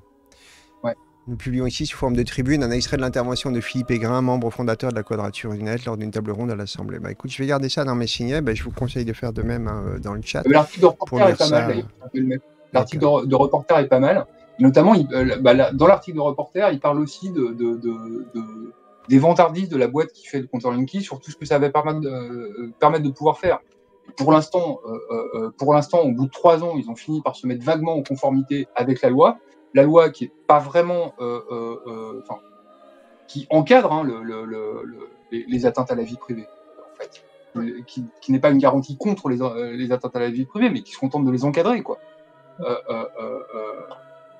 Mais à l'intérieur de, la technologie compteur Linky, puisque Puis il y a déjà eu des cas où la CNIL, la CNIL euh, a pas été hyper, hyper rigolo. Enfin, ouais, bon, euh, il y, a, il y a une certaine euh, Oui. euh, flotter- comment on va dire, peut-être flottabilité, j'en sais rien, mais euh, même, même par rapport à ce qui est légal ou pas légal, il y a des moments où il y a des, surprenantes, des décisions de la CNIL qui sont très surprenantes, qui, oui, sont- pour le moins. ouais. qui mettent en, vraiment en danger la vie privée. On se dit, mais euh, ça, normalement, c'est pas légal. Donc, euh, des fois, c'est. euh, Pour le moins, bah, là encore. et, et en plus, il y a ce qu'elle dit et ce qui est appliqué derrière. Enfin, il y a plein d'étapes. quoi. un, un exemple de ce que dit Aurélie sur la quadrature du net, encore. Euh, euh, voilà, à propos de, de- Oui, il y avait ça. de la loi sécurité Les fichiers, globale. les fichiers de la police, c'était un exemple. Voilà. C'était un exemple très très marquant, ça. La CNIL au secours de l'État policier, je crois que Ouais. le titre est assez parlant. Donc, euh, prétendre que la CNIL est une garantie, il y, a- il y a tellement de mensonges dedans. Quoi. Prétendre que la CNIL est une garantie. Prétendre que la CNIL, c'est- la garantie qui est offerte, c'est la garantie qu'il n'y ait pas d'atteinte à la liberté publique, alors que la CNIL, encore une fois, son rôle, c'est de, vérifier la conformité à la loi. Comme s'il n'y avait, pas d'affaire où la CNIL n'avait même pas fait ça. Euh, euh, euh, il y a tellement de mensonges différents en un seul, en deux paragraphes, voilà, qui, qui prétendent répondre aux inquiétudes euh, euh, face au compteur Linky. quoi. Je sais pas si c'est Euh, du mensonge euh, ou de la prétendre- euh, Hmm. il y a, y y un truc qui est hyper drôle, mais c'est pas la première fois. euh, on- retrouve ça souvent aussi chez la fille d'ailleurs. il y a un truc qui est hyper drôle, c'est que la CNIL a, a, a, a taclé euh, une boîte pour des manquements graves. Euh, euh, c'est présenté, euh, euh, c'est- invoqué dans l'article de Science Pop comme preuve que, que tout va bien, puisque la CNIL a, fait son truc. Et le plus drôle, c'est qu'ils présentent ça comme, même pas comme des manquements, graves, euh, plusieurs manquements graves qu'avait relevé la CNIL, mais comme ils n'étaient pas clairs euh, sur ce qu'ils demandaient à leur, euh, à leur, euh, à, leur, à leur, à leurs clients. Voilà. J'ai pas de mots là, j'ai plus de mots. C'est arriver à autant de mensonges en, en- en- en- en seulement deux paragraphes. Euh, euh, euh, normalement, on voit ça, on voit ça que dans Science et Pseudosciences, quoi. Enfin, euh, Ah, pour les drops, je suis désolé. euh, au passage, au passage, au, au passage euh, euh, euh, si, si euh, tu mets pas la version longue en ligne euh, de ce qui avait été coupé à cause de ma crise, Ah oui, il faudra qu'on re- reparle pour la postérité de l'article de Nicolas Govrit où il passe ses deux premiers paragraphes à vanter les mérites d'un livre qui est basé sur, pratiquement exclusivement sur euh, une science euh, nazie, en fait. Voilà. Euh, en, en mentant sur le contenu, en mentant sur la nature des réactions euh, euh, euh, ou dit contenu, en mentant sur la profession d'un des deux auteurs, parce que ça se voyait trop, hein, il est politologue. euh, Ouais, ça fait une grosse hésitation. ouais. Mais bon, bref. Ouais, mais euh, si tu veux, si on n'est pas trop tard et qu'on arrive à finir l'article à peu près dans les temps, et pour ça, ça, hein, il y a on pourra des- reprendre. voilà, on pourra tout à fait reprendre ça, oui, oui. Euh, là, j'ai une fois de plus euh, pas eu le temps de m'en charger. J'étais sur les routes depuis 10 jours. Là, je viens à peine de rentrer. Enfin bref, j'arrête pas de repousser parce que c'est chiant. Et c'est peut-être plus simple d'en reparler. Euh, pour les drops, c'est normal euh, à cause de ma faible bande passante. Quand on essaie d'accéder à des liens extérieurs, euh, souvent ça paralyse, euh, ça paralyse la bande pendant euh, quelques petits moments. Et donc oui, forcément, ça lag de votre côté. Euh, voilà, je suis désolé. Voilà. Le, le truc, c'est on sortait avec avec ces, ces premières phrases, on sortait du propos de, du livre de, de Foucault Aurel Laurence. Ouais. Mais je pouvais pas, je pouvais pas laisser passer ça, quoi. Voilà. Euh, c'est important pour moi. Un truc pareil, je pouvais pas laisser passer, quoi. Ah oui, je comprends bien. Euh, ouais. Ça aura été l'occasion de donner notre avis sur Science Pop, parce que c'est vrai que ça fait euh, longtemps qu'on surveille aussi et euh, on n'a pas eu encore l'occasion d'en parler. Mais euh, ouais, vraiment euh, fatigue quoi. Alors, je- on reprend ou pas? Oui. Oui. L'article est accompagné du portrait de Chelsea Snell, une jeune biologiste stagiaire chez Sense About Science et responsable de la branche anglaise de Voice of Young Scientist. Son travail porte sur les OGM et elle a publié certains de ses résultats avec Marcel Kunz, le référent sur Un la, ami, hein. le référent sur la question des biotechnologies à la FIS. C'est un vieil ami, c'est celui qui traite les gens que- qui osent lui demander ses- ses- sa déclaration d'intérêt de petit Lacombe Lucien. Donc on en a déjà parlé. Ouais, on en a parlé. La doctorante anglaise s'émerveille à l'idée de la multiplication des antennes de Sense About Science dans d'autres pays européens. Qu'est-ce qu'elle dit? Ce serait fantastique d'établir une communauté mondiale de jeunes chercheurs qui pourraient travailler ensemble afin de faire entendre leur voix dans les débats publics sur des sujets scientifiques. Avec davantage de voix, nous pourrions avoir un impact plus important et informer plus de gens pour un monde plus instruit sur le plan scientifique. Nous avons déjà des réseaux actifs aux États-Unis et au Royaume-Uni. Ce serait super d'étendre le réseau euh, à la France. Alors, instruit, là, on, on comprend, ça veut dire calibré. hein. Dans les faits, l'antenne française ne décolle pas.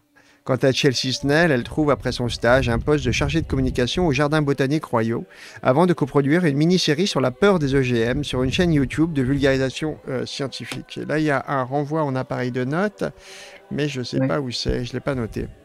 Euh, si quelqu'un, si tu as euh, les gardiens de la raison Oui. de ton côté, tu vas pouvoir voir quelle est cette chaîne YouTube. Euh, je suppose que c'est ça qui a renvoyé.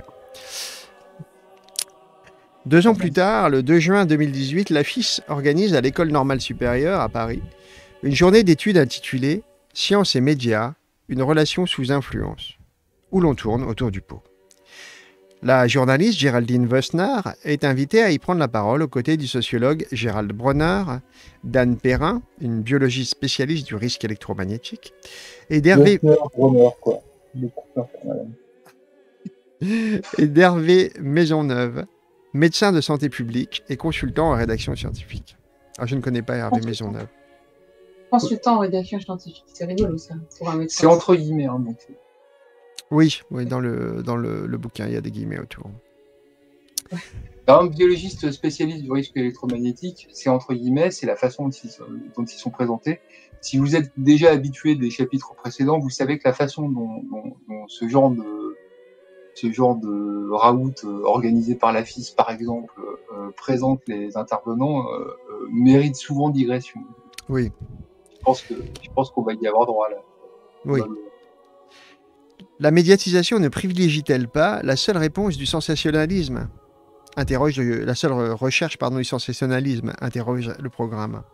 Les médias spécialisés ou généralistes sont le moyen quasi exclusif par lequel le public accède à la connaissance scientifique. Pourrait-il en être autrement?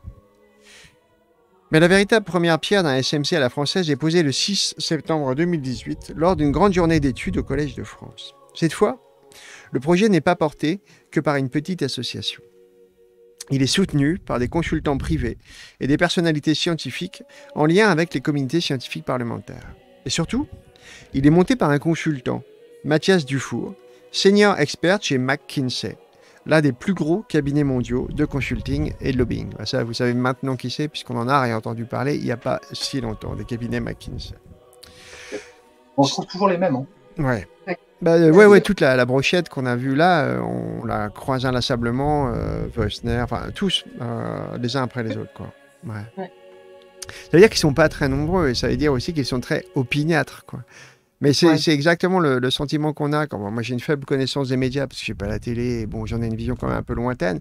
Mais, mais le sentiment qu'il existe une poignée d'experts euh, en, en à peu près tout, qui, qui tournent sur tous les plateaux, toujours les mêmes, ça fait vraiment tourner la tête. Quoi. C'est-à-dire que Dès que tu as un sujet quelconque, Mm. tu as pratiquement que deux oiseaux et c'est les mêmes qui tournent sur tous les plateaux. Et c'est assez effrayant. Euh, ouais.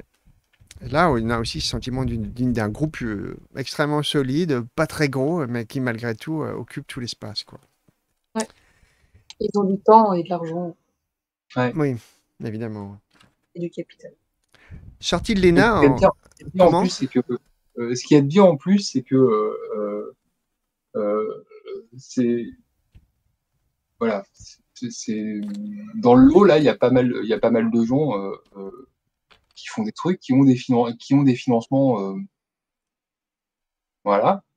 Mais quand on le relève, euh, ils peuvent crier au complotisme. Parce que, quand on relève qu'il y a des conflits d'intérêts, le complotisme. voilà, le, com- le co- le complotisme, c'est quand on relève qu'il y a des conflits d'intérêts. C'est ça. Voilà. Donc, ce qui permet de traiter Foucard, euh, Aurel et Laurence de complotistes, hein, Du moment qu'ils disent qu'il y a des conflits d'intérêts. un mot à peine masqué, voire pas.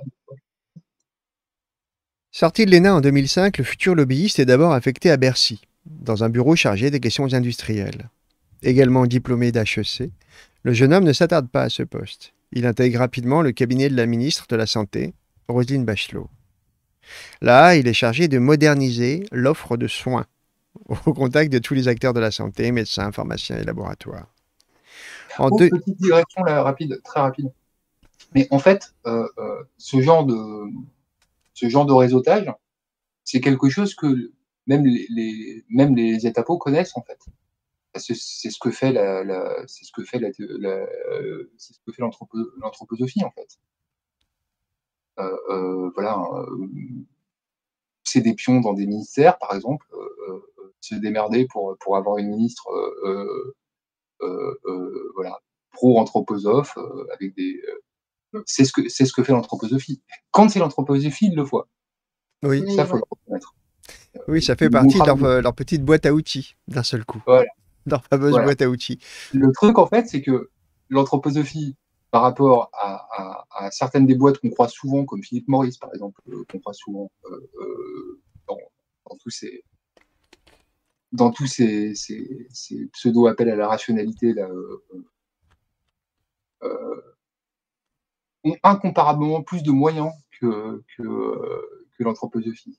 Je ne sais pas par quelle naïveté euh, euh, ils s'imaginent que, le plus gros problème, l'anthroposophie est un problème, hein, on est bien d'accord, mais que le plus gros problème que rencontre le monde à l'heure actuelle, c'est l'anthroposophie, quoi. C'est certainement pas le plus puissant. Euh, ouais, ils font des écoles, etc. Donc c'est vrai qu'il y a ramifications qui sont. Ah, mais euh, là, là, ils intègrent carrément l'école publique euh, avec les programmes Ouais. euh, de défense Oui. de, de l'esprit critique. En 2011, fort de ces deux expériences et après seulement quelques années, il quitte l'administration centrale et part pantoufler chez McKinsey. Euh, si ses clients sont tenus secrets, il a monté en 2017 un think tank ouvert sur la société civile pour mieux défendre leurs intérêts. Son nom Hashtag le plus important. Son utilité Convaincre les pouvoirs publics de l'utilité sociale de ses clients. Uber et d'autres plateformes du numérique s'inquiètent de l'évolution du droit du travail français qui peine à intégrer les effets de la désintermédiation dans le secteur des taxis et des coursiers. Hop Hashtag le plus important produit une série d'amendements législatifs en lien avec les syndicats pour que les réformes aillent dans leur sens. Là, on est dans l'actualité brûlante avec Ouais. Uber. Ce type de montage entre un cabinet de consulting et un think tank agitateur d'idées, entre guillemets, c'est l'expression utilisée, présente de nombreux avantages, en particulier l'allongement de la chaîne d'intermédiaires qui crée un écran commode entre les clients et leurs opérations de lobbying. Mieux encore, à l'aide d'un think tank, on peut partir en chasse dans la zone mondaine de la science. Début septembre 2018, donc, le think tank, hashtag le plus important, se toque de diffusion de la culture scientifique et organise cette grande journée d'études au Collège de France. Ce colloque se propose d'aboutir à des solutions concertées, concrètes et directement applicables pour mieux engager les chercheurs dans la diffusion de la culture scientifique, technique et industrielle. L'objectif est de permettre ainsi au plus grand nombre de citoyens une rencontre vivante avec la science en train de se faire. Une médiation. Ouais, bien sûr. Pour une vidéo que je vais mettre dans le chat, parce qu'il est beaucoup question de think, de think tank, euh, là, euh, dans, dans ce qu'on disait. Ouais. Beaucoup de questions, il en est souvent question dans le livre. Il y a, euh, pour les anglophones, le youtubeur Tom Nicholas qui avait fait un petit historique de ce que sont les think tanks, comment ils sont apparus, qu'est-ce que c'est, qu'est-ce que ça fait, Ah, c'est cool. à quoi ça sert, et c'est c'est assez édifiant. Voilà, je vous conseille cette vidéo je viens de mettre, que je viens de mettre dans le chat. Il y a un sous-titre français?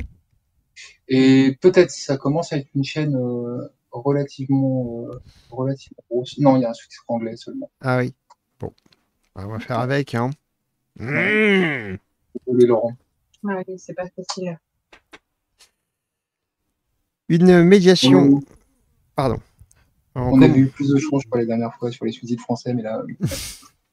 Euh, Allez, vas-y, une médiation. On continue ouais, sur cette description de cette journée d'études dans la noble institution du Collège de France. Une médiation active entre les institutions politiques, les institutions scientifiques et les citoyens nourrira par ailleurs l'implémentation d'une recherche et d'une innovation responsable. Alain Prochians, administrateur du Collège de France, j'espère que je prononce bien son nom, mais je ne sais pas si on dit Kians ou Chians, est invité à prendre la parole juste avant l'intervention vidéo de la ministre de l'Enseignement supérieur, de la Recherche et de l'Innovation, Frédéric Vidal. Oh, Frédéric Vidal. Parmi les invités de marque ont été conviés Cédric Villani, en tant que vice-président de l'Office parlementaire d'évaluation des choix scientifiques et technologiques, ou encore Antoine Petit, le président du CNRS. Intégralement organisé par hashtag le plus important, l'événement met en valeur une liste impressionnante de partenaires. La plaquette de présentation distingue les instituts, l'INRE, l'INSERM, le CNRS, les acteurs universitaires comme Sciences Po et la conférence des présidents d'université, et les acteurs de terrain qui sont la FIS, bien sûr, mais aussi le Café des Sciences ou la Main à la Pâte, une fondation créée par l'Académie des Sciences. Parmi ces associations de défense de la science figure aussi un plus gros calibre, le Cercle Fondation Schlumberger pour l'éducation et la recherche, ou appelé aussi Cercle FSER. Que dit Pata Sceptique? Pause, À l'époque, pause, Laurent. à l'époque, je, je me demande si le Café des Sciences, euh, je sais pas qui était le président du Café des Sciences à ce moment-là. J'ai pas Mais, entendu euh, ce que tu as dit, euh, Aurélie. Qui était le président de- du Café des Sciences euh, à ce moment-là, mais euh, du coup, ça change dans le temps. Oui. Donc, euh, je suis assez euh, confiante que si c'était maintenant, euh, Ouais. ouais, ce serait pas le cas. J'espère qu'il sera plus prudent. Oui, pareil. Et la main à la pâte, je sais pas trop. Ouais, bah, la main à- oui. Bah, si quelqu'un peut chercher euh, dans, dans le, dans le chat euh, en ligne là, en ce moment ce que c'est que la main à la pâte comme assaut, ce serait intéressant de Ah, savoir un peu plus. Je connais la main à la pâte, mais je sais pas trop du coup quel, quel était le risque. D'accord. Euh, c'est une asso très, très, très, très, très euh, étendue la main à la pâte qui intervient dans toutes les fêtes des sciences, mais euh, aussi dans des, dans des établissements publics, etc., qui fait faire des petites expériences scientifiques aux enfants. Ça. Ah, oui, Ouais. d'accord. Et euh, du coup, euh, qui ont vraiment beaucoup d'ateliers dans leur répertoire euh, sur plein de trucs. Non, mais il y a aussi, il y a aussi cette, euh, cette habitude très courante. On le voit d'ailleurs au sein de, de- de la publication de la FIS, Sciences, Sciences et Biosciences, d'abuser de la naïveté euh, euh, euh, généreuse Mm. d'acteurs qui sont pas des qui sont pas des qui sont pas des mauvais acteurs. Quoi. Oui, ça. Donc euh, euh, euh, c'est pour ça qu'on trouve de très bons articles dans la revue de la FIS, quoi. Voilà, à côté de à côté d'articles euh, qui sont de la désinformation pure et simple, on peut trouver des articles excellents. Ouais, et puis bon, euh, du coup, c'est des, des, oui, il y a des personnes. Les cafés des sciences, c'est des personnes, il y a un certain turnover euh, qui sont Ouais. en général plutôt jeunes, euh, Mm. voilà, qui, qui, souvent passionnés. enfin, ouais, c'est ça. Jeunes parce que du coup, une fois que tu as des, des enfants, t'as plus trop de temps, je pense. Voilà, du café des sciences. Mais euh, voilà, et euh, enfin, peut-être qu'il y en a eu, hein, mais, mais c'est ouais. des, des, des, des victimes et des cibles idéales pour, euh, pour, pour ce genre de stratégie parce que euh, Ouais. c'est prestigieux, euh, ça, ça fait cool Voilà, d'être invité à ce genre de truc, et puis euh, en fait, sans te rendre compte, te donne une caution en fait à truc. Et euh, par exemple, si on prend Antoine Petit, le directeur du CNRS, qui c'était juste au-dessus, c'est le même euh, qui, euh, qui aime bien dire que euh, la recherche doit être darwinienne, oui, favoriser la, compétition lui, absolument, ouais. que c'est comme ça que la recherche etc. qui n'est pas du tout biologie de l'évolution en plus. Hein, Ah, non, non. Non, ils prennent vraiment la compétition de la recherche, et je pense qu'absolument euh, la majorité des, même des sceptiques, euh, En fait, de darwinien, euh, c'est son optique, elle était complètement euh, darwinisme social, quoi. C'était c'était du spencerisme. Hein, Ah bah, euh, c'est toujours, parce qu'il est toujours président du CNRS. Mais du coup, euh, Oui.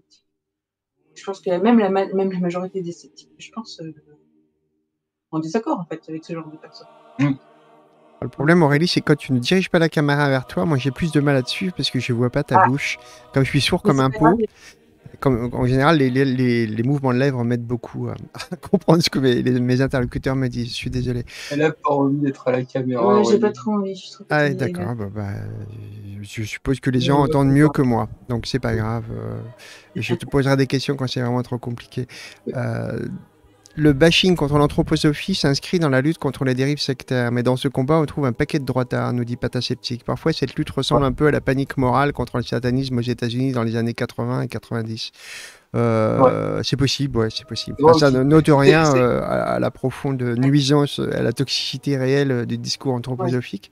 Voilà, tout ça est vrai, quoi. Mais Euh, du euh, coup, c'est qu'il y a les l'anthroposophie, l'anthroposophie est une nuisance, et souvent la lutte contre l'anthroposophie aussi, parce que derrière la lutte contre l'anthroposophie, en fait, euh, il y a la défense de valeurs qui sont elles-mêmes euh, euh, des nuisances.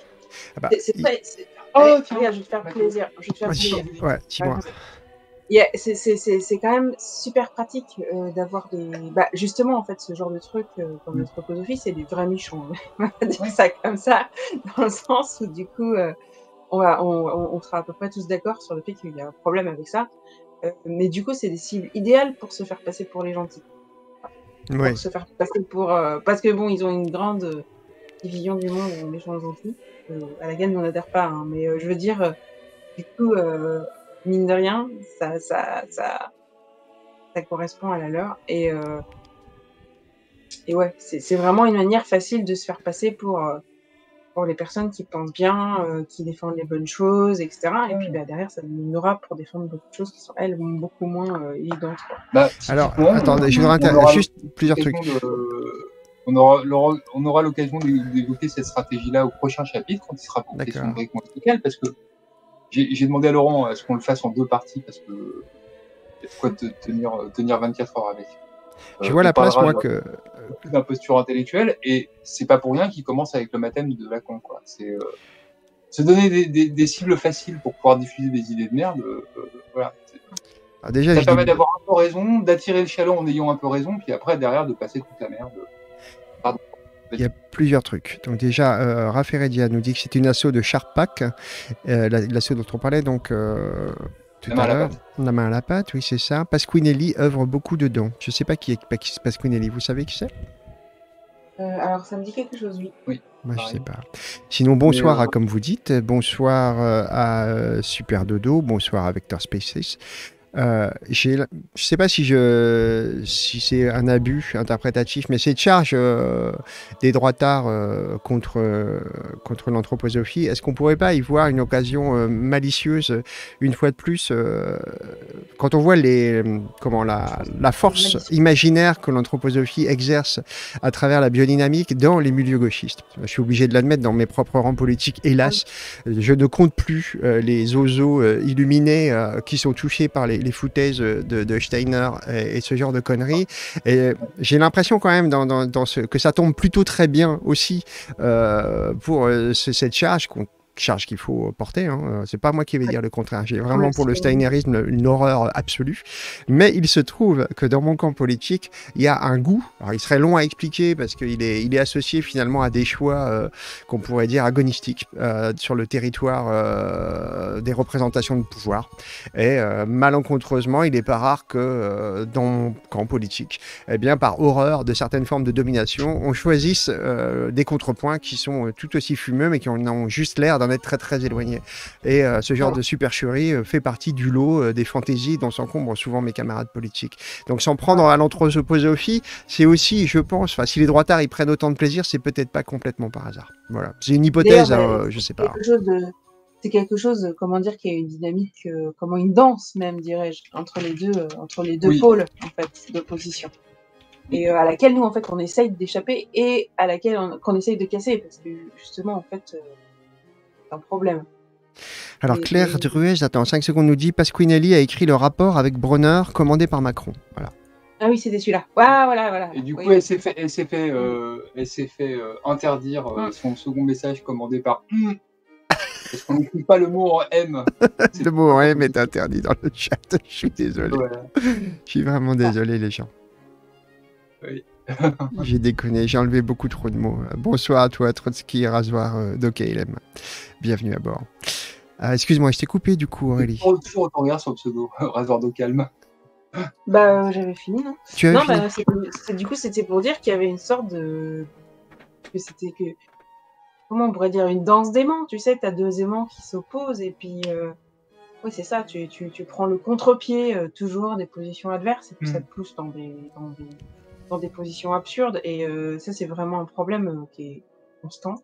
Ouais. Euh, c'est vraiment là, pour le coup, lié à la vision du monde en eux et nous, quoi. Et. Euh, c'est ce qu'on doit casser en fait. C'est vraiment un, un- vraiment ça. C'est-à-dire qu'on ne peut pas construire notre vision politique et avec pour boussole le, de faire le contraire de ce que font nos opposants.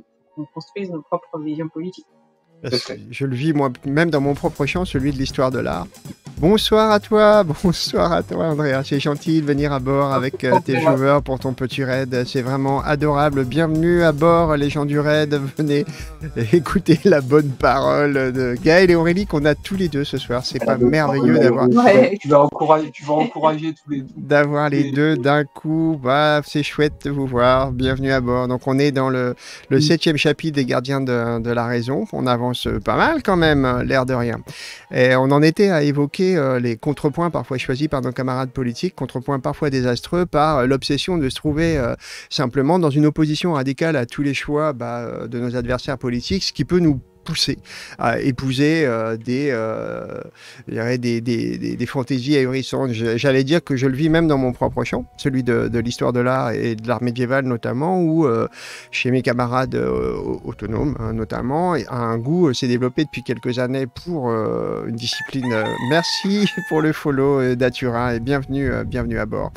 Euh, et euh, il a fallu, euh, comment dire, il a fallu redresser un petit peu le, discours et faire comprendre à, mes camarades quand on était en train de discuter d'histoire médiévale avec nos amis que c'était pas l'occasion de construire un, avant merveilleux qui était le Moyen Âge, que la, bonne raison de s'intéresser au Moyen Âge, c'était pas juste de, de devenir, en- en- de, de devenir, de, trouver là l'occasion de s'opposer fermement au présent, que c'était plutôt une occasion peut-être de le féconder euh, par des voies euh, de traverse, parce qu'on commençait à avoir un fétichisme du Moyen Âge assez dangereux se développer chez nos camarades. Ça devenait un peu, un peu angoissant de commencer à voir euh, fleurir sur les, les poutres de nos maisons, sur nos charpentes, des, des petits modillons façon Moyen Âge, enfin, tout un imaginaire un peu concon. Et franchement, si s'intéresser au Moyen Âge, c'est pour en venir à, à ce genre de, de sanctification du passé, c'était vraiment un coup pour rien. Il fallait pas faire ça, quoi.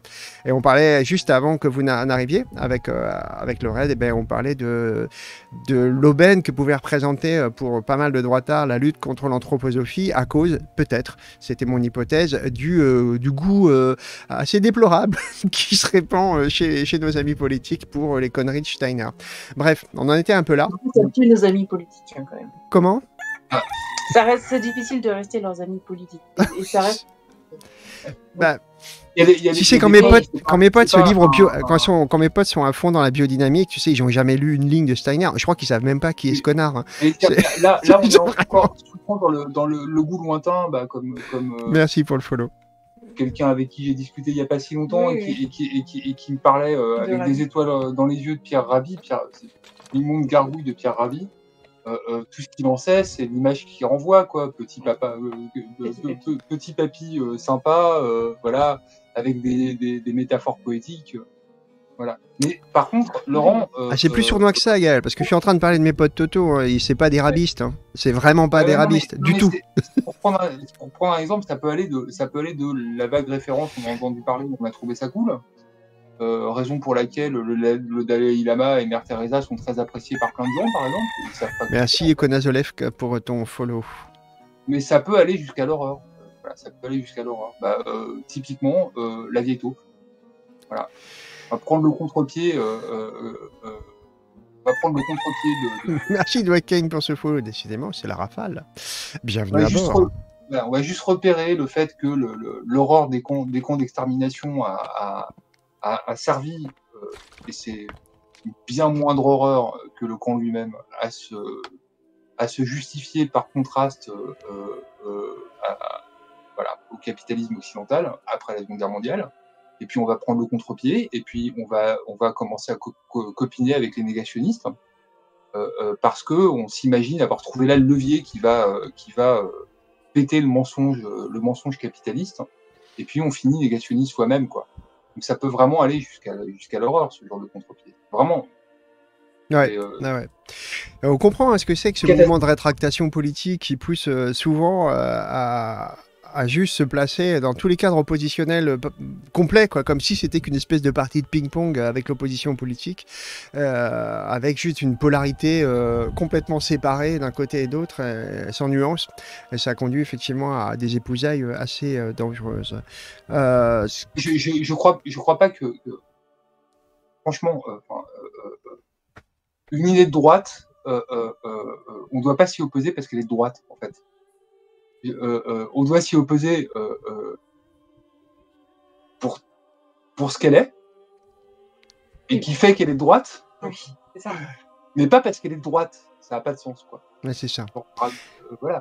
Il faut être à même, euh, à même de, un- mettre non. le doigt sur, sur ceux qui, en elle, posent problème comme idée. Exactement. Et- mais ça, pour ça, faut- pour, pouvoir dire ça, il faut comprendre euh, qu'est-ce qui fait qu'une idée va être de- qualifiée comme de droite, qui Ouais. n'est pas juste le fait qu'elle n'est pas de gauche. Mm. C'est- Et faire c'est compliqué, ça, ça sera un autre détour.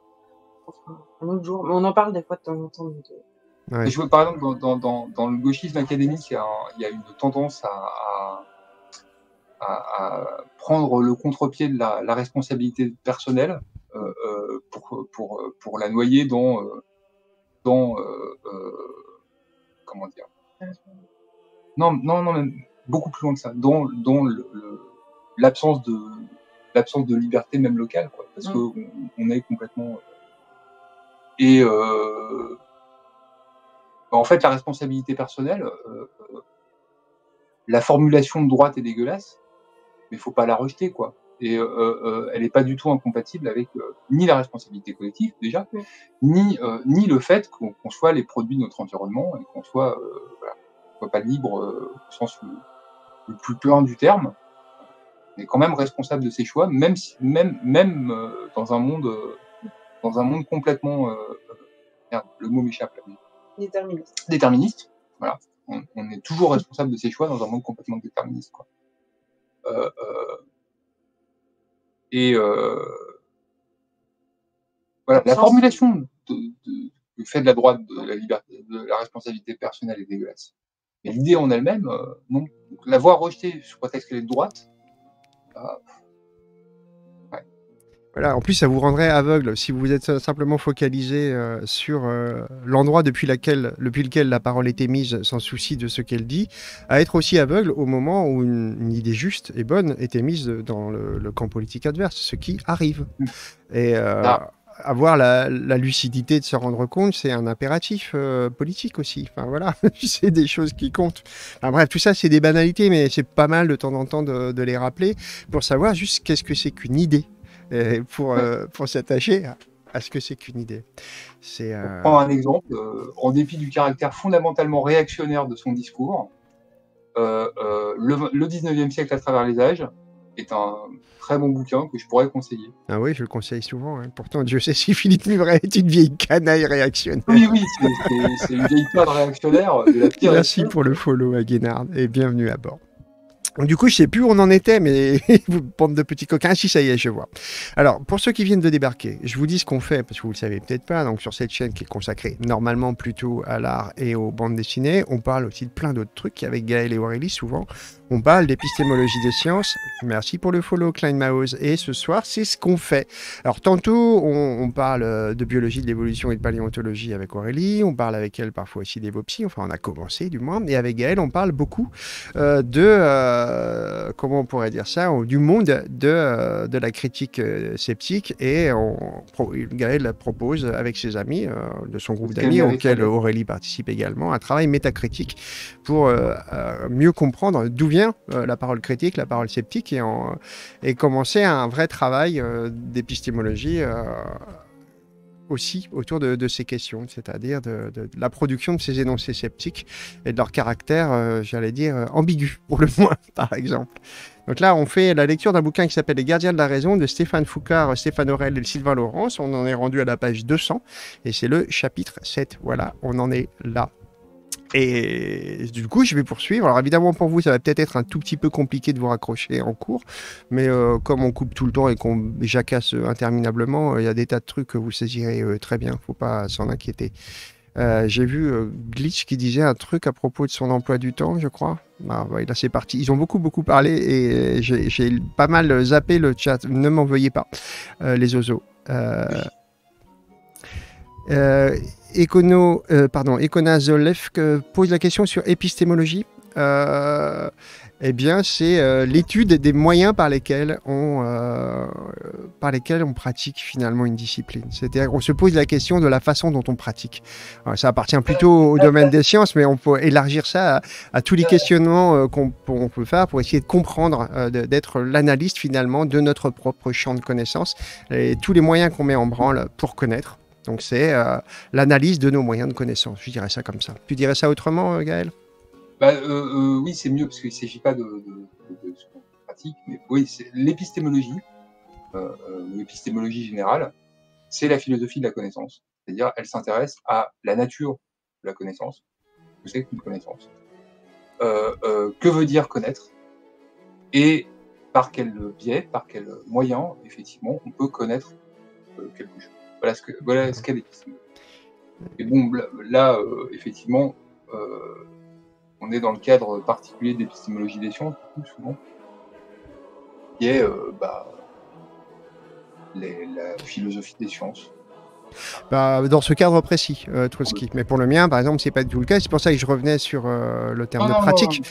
dans mon champ, euh, la connaissance est indissociable de la pratique. Dans le champ artistique, connaître, c'est pratiquer. C'est-à-dire que les, les modalités de la connaissance dans le champ des arts, ce sont, euh, elles sont expérimentées dans la pratique des arts elles-mêmes. du coup, ça rend un peu plus complexe l'analyse de nos moyens de connaître, parce qu'effectivement, il y a un regard un peu particulier sur, sur notre champ. C'est pas premier. C'est un, truc important, c'est que quand on dit. Alors, il y a, y a, un usage du vocabulaire un petit peu différent parfois en philosophie des sciences, en, dans la philosophie française, où on va dire euh, euh, philosophie, des sciences, euh, philosophie de la connaissance pour, pour épistémologie, et épistémologie pour épistémologie des sciences. Mais euh, le, la, comment dire, la terminologie anglo-saxonne est beaucoup plus précise et beaucoup plus rigoureuse. C'est épistémologie, philosophie de la connaissance, pas philosophie des sciences. Et ensuite, quand on parle de, de philosophie des sciences, on précise épistémologie of science. Voilà, mais vous pouvez imaginer que dans toutes les disciplines, il y a un cadre épistémique, puisque toutes les disciplines euh, ont une histoire.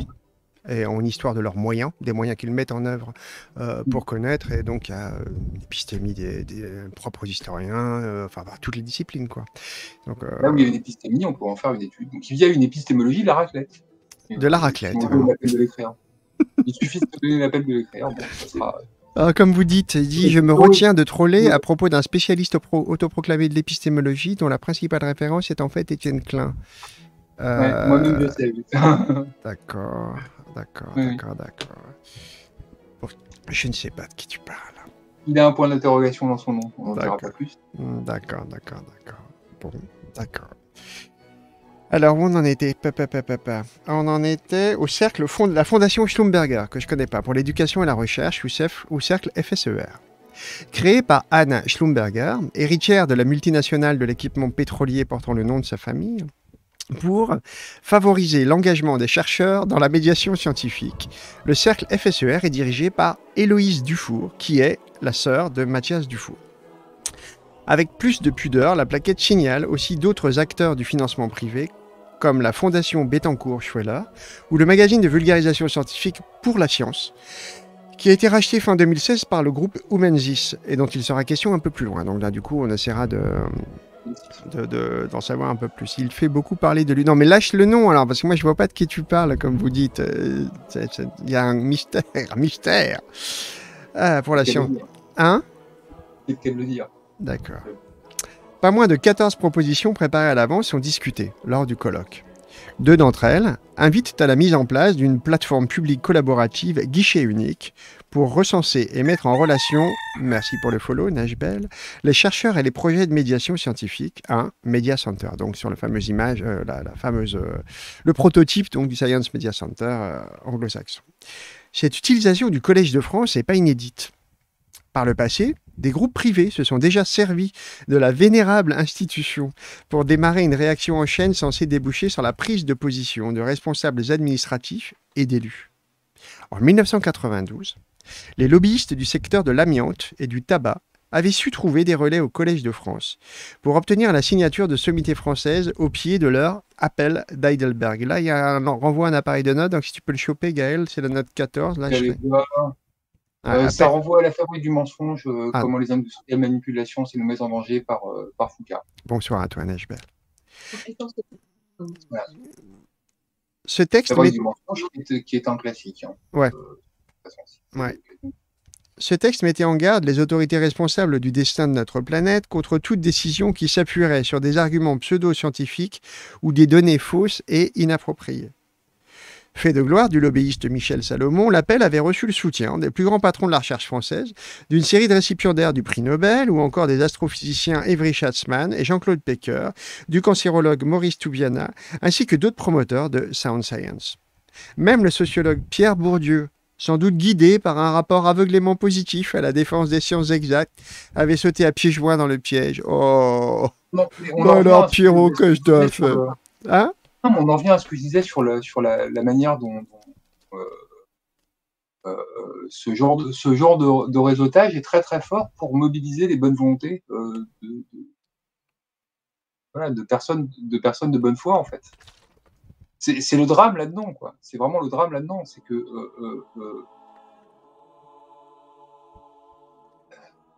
Si c'était fait que par des connards et relayé que par des connards, les choses seraient incomparablement plus simples. Ce serait simple. Ce serait encore mieux s'il y euh, avait des, des, grandes dents ou des chapeaux spéciaux qu'on les voit venir de loin, comme dans les dessins animés. Un vocabulaire hyper positif, enfin, pour la science, qui serait contre? Enfin, vraiment, enfin, faudrait vraiment être. Euh, voilà, le fait d'utiliser en permanence des, un vocabulaire hyper positif. Là. Il y a encore une association candidate à devenir la nouvelle AFIS qui s'est créée il n'y a, pas, il y a pas très longtemps qui s'appelait euh, Citizen for Science. Il y a tout là. C'est des citoyens, c'est du grassroots. Euh, c'est des citoyens qui, sont qui, se, qui, se, qui se lèvent de, pour faire entendre leur petite voix qu'on n'entend jamais, parce que c'est que des citoyens. Hein. euh, pour défendre la, la pauvre science qu'on abîme, etc. Et alors, évidemment, c'est que de la merde. Là, ils ont pas mis longtemps à convaincre tout le monde que c'était de la merde. Ouais. Même les sceptiques les plus. euh, Les plus acharnés, je sais pas, faudrait voir ce que Ouais. pense DDE, à mon les avis. Euh, bah, s'il suit pas, il se fait exclure, je pense, parce que du coup, même les autres ont Ouais. une partie qui avait. Dès 1986 et pendant plusieurs années, le Collège de France a hébergé une association nommée Naturalia et Biologia, dont l'un des objectifs était de recevoir de l'argent de Philippe Maurice pour financer, bah oui, pour financer secrètement les travaux du, du tabacologue Robert Molimar. Je savais même pas que ça existait un tabacologue, dites donc les gens. Euh, Oh. Dwayne, mais on parle de Thinkerview là? Ah, Je sais pas. Non, je crois pas. Non? Pour l'instant, non, mais ça. non. Pas encore. Euh, bienvenue à bord, Edouard Kane. Mais non, je crois pas. Euh, au- auguste institution créée par François Ier en 1530, le Collège de France rassemble la pointe avancée du savoir dans tous les domaines. Bon, enfin, ça, c'est pour la fiche Wikipédia. De près, la réalité est un peu moins flamboyante. Son autonomie est sujette à discussion depuis que des groupes comme Total et L'Oréal financent la chaire, développement durable, environnement, société et énergie. C'est trop, excusez-moi, c'est trop drôle.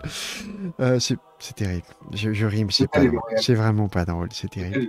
Échelle annuelle baptisée In-. Innovation technologique Liliane Bettencourt. L'héritière du groupe de cosmétiques, Liliane Bettencourt. Donc, certains professeurs, du Collège de France s'émeuvent de voir figurer les logos de ces entreprises dans les vidéos de certaines conférences. De même, l'instrumentalisation récurrente du prestige de l'institution pour des opérations du type de celles menées autour du Science Media, Cen- du Science Media Center soulève quand même de nombreuses interrogations. Bah oui, quand même. De plus, elle donne le sentiment que le Collège de France, dans son ensemble, cautionnerait ce type de dispositif. Bah, de la même manière, si on présente les choses de façon si favorable ou si mensongère ou trompeuse à Bourdieu, qui peut dire oui à un truc complètement fumeux, euh, le pauvre devient euh, tout à fait l'étendard potentiel auprès de gens qui ont une confiance intellectuelle et morale en Bourdieu pour des foutaises. Enfin, Ouais. oui, vous allez dire des trucs. Deux Ouais. petites voix. Petit, petit spoiler sur, euh, sur, sur, sur quelque chose qui aura lieu sur cette chaîne. J'espère que j'y serai invité parce que j'ai pas décoléré depuis que je l'ai vu cette conférence. Et c'est au Collège de France que, que, que Ducrot, aucun lien avec Emmanuel, est venu faire sa conférence, euh, la, musi- euh, voilà, euh, la, la tonalité après. Ça aura lieu. Voilà, ça aura lieu, ouais. Tu seras bienvenu. Euh, Twisted Punk, tu vois, pour une fois, l'oracle est extrêmement précis et te répond bien. Twisted Punk demande est-ce qu'il faudrait que j'aille me coucher? Et l'oracle dit trop tard. Ouais. Il ne pouvait pas être plus à propos. Alors, on va parler de Virginie. On va parler. Je suis très content d'avoir installé ce truc. Ça sert rigoureusement à rien, mais ça me fait bien marrer pour l'instant. Je crois que je vais ajouter des milliers de sert centaines. ça sert à faire rester Twisted Punk. C'est vrai, ça sert à faire rester Twisted Punk. Alors, qui est cette Virginie Tournay dont on va parler euh, le texte Directrice de euh, recherche au CNRS et conseillère à l'OPEXT, Virginie Tournay. Alors, c'est quoi l'OPEX déjà? On l'a vu tout à l'heure et j'ai oublié. Ben, Il y a beaucoup, beaucoup hein, d'acronymes. Je suis un peu paumé dans ces conneries. Et l'OPEX, eh ben, je sais plus ce que c'est, les enfants. Bah, tant pis. Virginie Tournay est membre du comité d'organisation du colloque, du colloque au collège. En plus d'être une experte volontiers sollicitée par le think tank, euh, hashtag le plus important. Merci pour les follow, Jolch, et bienvenue à bord. Dieu bénisse ta petite amie mortelle, comme le dit euh, le, petit, euh, le petit logo. Après un DEA de biologie et un doctorat de sciences politiques, elle est recrutée au CNRS en 2006 et rejoint aussitôt le centre de recherche politique de Sciences Po, qui s'appelle le CEVIPOF. C'est mignon. hein. Pas vraiment spécialisé dans les questions scientifiques, ce laboratoire a suscité la consternation en 2013 pour avoir recruté le physicien climato-sceptique Serge Galam. Je sais pas qui c'est. Bah, Tu sais toi? Un Voilà. climato-sceptique, du coup. Un climato-sceptique. Ah bon, d'accord. La, la note renvoie à un article publié dans Le Monde par euh, Serge Galam en 2007. Pas de certitude scientifique pour le climat. D'accord. Puis, euh, et, et également euh, à un livre euh, qu'il a écrit qui s'appelle Les scientifiques ont perdu le Nord en 2010, livre climato-sceptique, et évidemment une recension complaisante par la FIS, puisque la FIS s'était fait profession pendant des années et des années de euh, euh, faire des recensions complaisantes de tout ce qui peut être pire en matière de climato-scepticisme. voilà, on, a, on avait vu l'article de la, la recension par, euh, par Fabrice Nou, qui était le président de la FIS à l'époque, du torche. Bonne nuit, Besoin. Bonne nuit. euh, bah, bah, bonne nuit, Twisted Punk.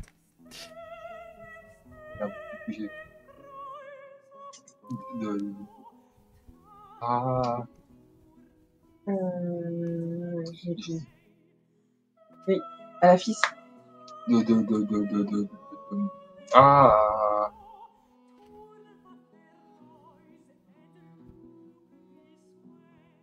Euh, ouais. Bon. On Bon. va continuer, on va, on va, il va se souvenir quand ça D'accord. revient. Ok, on poursuit. Ok, pas important, c'est pas grave. Euh, donc, ah oui, je sais plus où j'en étais. Bref, j'en étais sur le descriptif de cette Virginie Tournay, euh, qui est une experte volontiers sollicitée par les tanks at le plus important. Après un DEA de biologie, dans ma merde, j'ai lu ça, j'étais au CEVIPOF. Elle, est donc euh, hop, hop, hop, consternation, Serge Galam, le climato-sceptique. J'ai du mal à raccrocher les wagons. Exerçant des fonctions d'expertise au sein du comité opérationnel d'éthique du CNRS, le COPE, et du comité scientifique du Haut Conseil des biotechnologies, le HCB, Virginie Tournay est une hôte régulière de la zone mondaine de la science. Début 2018, la, la politologue excusez-moi, rédige une tribune intitulée La culture scientifique est à reconquérir. Un texte qui de loin semble défendre l'éducation populaire à la science, mais qui, de près, constitue un plaidoyer pour les biotechnologies et une attaque en règle du populisme précautionniste. Donc on en revient à, à ces terminologies euh, agressives de discrédit. La formule est de qui? Elle est du sociologue Gérald Bronner. La précaution et son principe inscrit dans la Constitution serait une résistance au changement. Bon, un grand classique, hein. voilà ce qu'elle écrit. Or, ôter de façon systématique les vaccins, les produits pharmaceutiques, les micro-ondes, les compteurs électriques, la viande rouge, les fertilisants, le gluten, les satellites météorologiques et les outils de télécommunication à l'humanité aurait certainement des effets plus négatifs que positifs et constituerait dès lors une grave atteinte à l'esprit de la Constitution. Alors là, on voit un, gros package qui, euh, réunit euh, un, un ensemble de choses parfaitement hétérogènes, mais personne ne demande la disparition de toutes ces choses. Enfin, là, c'est vraiment la création d'un opposant plus que fantasque, où on voit cohabiter des choses euh, qui n'ont absolument rien à voir avec rien. Donc on a le vaccin, les produits pharmaceutiques, les micro-ondes, les satellites météo, enfin ça n'a vraiment aucun sens. La tribune appelle de ses voeux la création d'une structure de médiation qui assisterait les médias sur des sujets controversés. En d'autres termes, un Science Media Center, évidemment. Parmi les 30 premiers signataires, on a qui? On a Dominique Régnier, qui est un politiste responsable du think tank libéral Fondation pour l'innovation politique, Fondapol. Jean de Kervadoué, un économiste de la santé à la retraite, auteur de livres comme La peur est au-dessus de nos moyens. Pour en finir avec les principes de précaution, ça, le titre suffit, je crois qu'on voit très bien où, où il va. hein.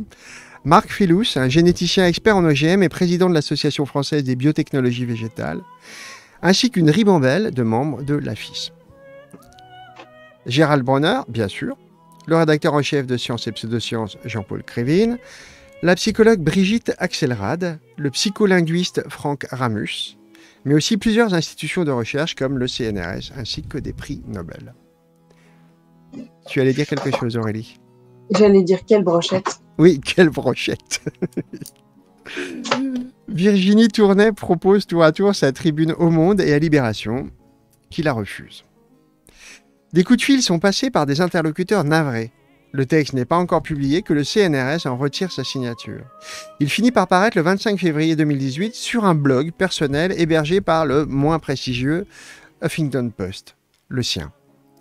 Euh, Pourrait-on avoir le lien de l'article? De quel article? Ah, tu, tu parles de ce que je suis en train de lire C'est pas un article en fait. Un On est- chapitre de livre. Ouais, c'est ça. C'est le chapitre d'un bouquin de, de trois personnes, des journalistes scientifiques, Sté- Stéphane Foucard, Stéphane Aurel, Sylvain Laurence, euh, qui s'appelle Les gardiens de la raison, c'est ça, et que nous lisons euh, pas à pas, euh, jusqu'ici avec Gaël, mais ce soir avec Gaël et Aurélie. Euh, et nous sommes au chapitre 7 et à la page 202. Donc euh, voilà, tu ne peux pas continuer, euh, enfin on ne peut pas poursuivre la lecture tranquillou chez soi, puisque le bouquin n'est pas disponible en ligne. C'est pour ça qu'on vous le lit. Donc, il republie ça finalement, il se rabattent sur quoi? Sur le blog de Virginie euh, elle-même, qui est hébergé par le Huffington Post. Bon, c'est une sorte d'échec quand même, hein, on doit bien le dire. Pourtant, contributeur occasionnel de sciences et pseudosciences, le journaliste scientifique Sylvestre Huette fustige, sur son blog du Monde, la tribune dont il souligne l'unilatéralisme. Pas un seul exemple où la culture scientifique conduit justement à s'interroger sur l'utilité ou les risques d'une technologie, qu'elle soit ancienne ou nouvelle, écrit-il. Cette asymétrie totale ne peut que susciter le trouble, l'interrogation sur les véritables objectifs de cet appel à la raison où certains se sont peut-être fait entourlouper par d'autres. Mais Virginie, ouais Ouais. Dis-moi. Attends, il doit éteindre sa clope. Ne l'avale pas Non, mais euh, Il peut fumer. Non, mais vas-y, garde-la. je vais, je vais, je vais essayer. euh, Parce que, ce que je... Bon. Euh, ah. Ça y est. T'as le droit de fumer devant nous. hein. Là, là, euh, par, par, par exemple, on a, on a un, un exemple de, la, tragédie qui est le, sport de la fille pour moi. Euh, Tel qu'il en parle, là, s'interroger sur l'utilité ou les risques, les deux, euh, euh, c'était la base de la tradition du scepticisme scientifique. Ces deux aspects, l'utilité, les risques. Voilà. Ne pas, ne, ne pas traiter la technologie en ennemi, ne pas la traiter en, ne ennemi, mais ne pas, la glorifier. Euh, essayer d'avoir un regard critique sur la place des technologies et, des- sciences dans la société. Euh, euh, donc voilà, le drame, c'est que bah, petit à petit, les, contributeurs de, la FIS qui étaient sur ces positions euh, euh, ont, ont fini de lasse par se barrer, ou, quelquefois aussi malheureusement euh, par, par s'aligner. Quoi. Voilà, donc, j'ai un peu de mal à, à retrouver ma, mon, mon, élocution, quoi, mais c'est- vraiment tragique. Quoi. Tu es parfaitement audible, Gaël. Tout va bien, ne t'inquiète pas. Mais Virginie Tournay semble tenir à cette tribune, ferme, hein, elle veut pas en rester là. Elle crée un mini-site uniquement consacré au texte et à sa version anglaise. Là, j'ai plus aucun de vous deux hein, dans la caméra. Vous êtes au courant que j'ai votre, votre mur du fond, là. Bon, il est très beau. hein, C'est un très très beau mur du fond. C'est le plus beau mur du fond. Donc la, la petite mère Virginie Tournay crée un mini, un mini juste pour sa foutue tribune. La liste des signataires s'enrichit des noms de Laurent Alexandre, chirurgien et entrepreneur. Bon, d'accord. De Mathias Dufour et de sa sœur Héloïse. De Thomas Laurent, Sédu. Ale- Laurent Alexandre, Laurent Alexandre euh, pour, le, pour leur cadrer, c'est euh, le créateur du site Doctissimo. C'est le côté entrepreneur. C'est une blague. Et, et c'est un. euh, non, Non non, non, il est proctologue. euh, et c'est un trou du cul, accessoirement. Ah bah oui. Euh, euh, voilà. Réactionnaire. climato-sceptique. Euh, c'est à lui qu'on doit la, la, la, la, la popularisation de la carte mondiale des QI de, de scientifiques euh, euh, nazis. Euh, euh, mince, comment est-ce qu'il s'appelle les gars? Euh, Murray. euh, Non. Le euh, Baker. Non. Non, son, son, sa source principale à Murray. Euh, euh, merde. Ah, euh, oui. Euh, Miss. Non. Ah, zut. Euh, Coforio dit il est urologue, il n'est pas proctologue. prologue, oui. Attends, Il a dit ça Ça parce que c'est un, trou du cul, c'est pour ça qu'il a dit ça. ça, pas que ce soit un trou du cul. je veux dire, Mais- bravo. Merci pour le follow, euh, Kofori. Euh, Lynn propose euh, euh, ça pourrait ah, pas Alors, ah, ah, On va retrouver. ouais, ouais, on non, trouve, ouais. Mais. Bon, bref. C'est pas grave, ce sera le soir où on retrouve pas les noms. Il y a des tas de soirs euh, comme ça où on n'y arrive euh, pas. Non, mais tout à l'heure, c'était pas ça. C'était que, que- Donc que bonsoir à Danae, 13 31. Par contre, oui, c'était pas, c'était pas, c'était pas. euh, je me suis trompé de prénom pour. euh, Richard Lynn, c'est pas ça? Richard Lynn. Ouais. Bah voilà, Voilà. oui, oui, c'est ce que proposait Raph depuis bien. tout à l'heure. C'est Richard Lynn. Alors, il faut écouter Raph. Il sait. Voilà. Avec un Y par contre, Raph. Euh, Ouais, Euh, euh, mais oui, c'est bien lui dont je parle. Et donc, c'est c'est grâce à Laurent Alexandre, en fait, que, que ça a été diffusé en France, cette merde. Enfin, il y a en tout cas beaucoup contribué. Enfin, à part ça, c'est un tautologue. Euh, il il- il, euh, s'exprime surtout avec toujours la même bêtise. Mais il est, euh, ça l'empêche pas d'être invité, bah, notamment, notamment dans Tin- Tinkerview, puisqu'on en parlait tout à l'heure. Euh, euh, euh, il a dit énormément de conneries. Ça fait, ça fait qu'il a au moins une qualité qui est la constance. C'est la quoi? La constance dans la, La constance, d'accord. Alors, Chef Kamax nous dit Monsieur Sam avait mis en avant un article de Laurent Alexandre. Comment on va nous demande 1331. Ben, euh, on va plutôt pas. Oui, ça fait partie des, des, des, icônes qu'on a pu voir euh, Mm. dans le milieu sceptique sans aucune, euh, recul aucun recul critique. Oh, pas si longtemps, ce, ceci, ceci dit, ça a jamais Ouais. été une, une grosse référence. de- Par contre, c'est une référence pour les pour les pour les followers d'Emmanuel Ducrot. euh, là, euh, comme elle, elle le retweet beaucoup, euh, donc euh, voilà. Ah, d'accord. Il y a des bons threads de Sève RL sur ça, Mm. nous dit Raph. C'est pour ça qu'il connaît le nom. Et je ne sais Ouais. pas. D'accord.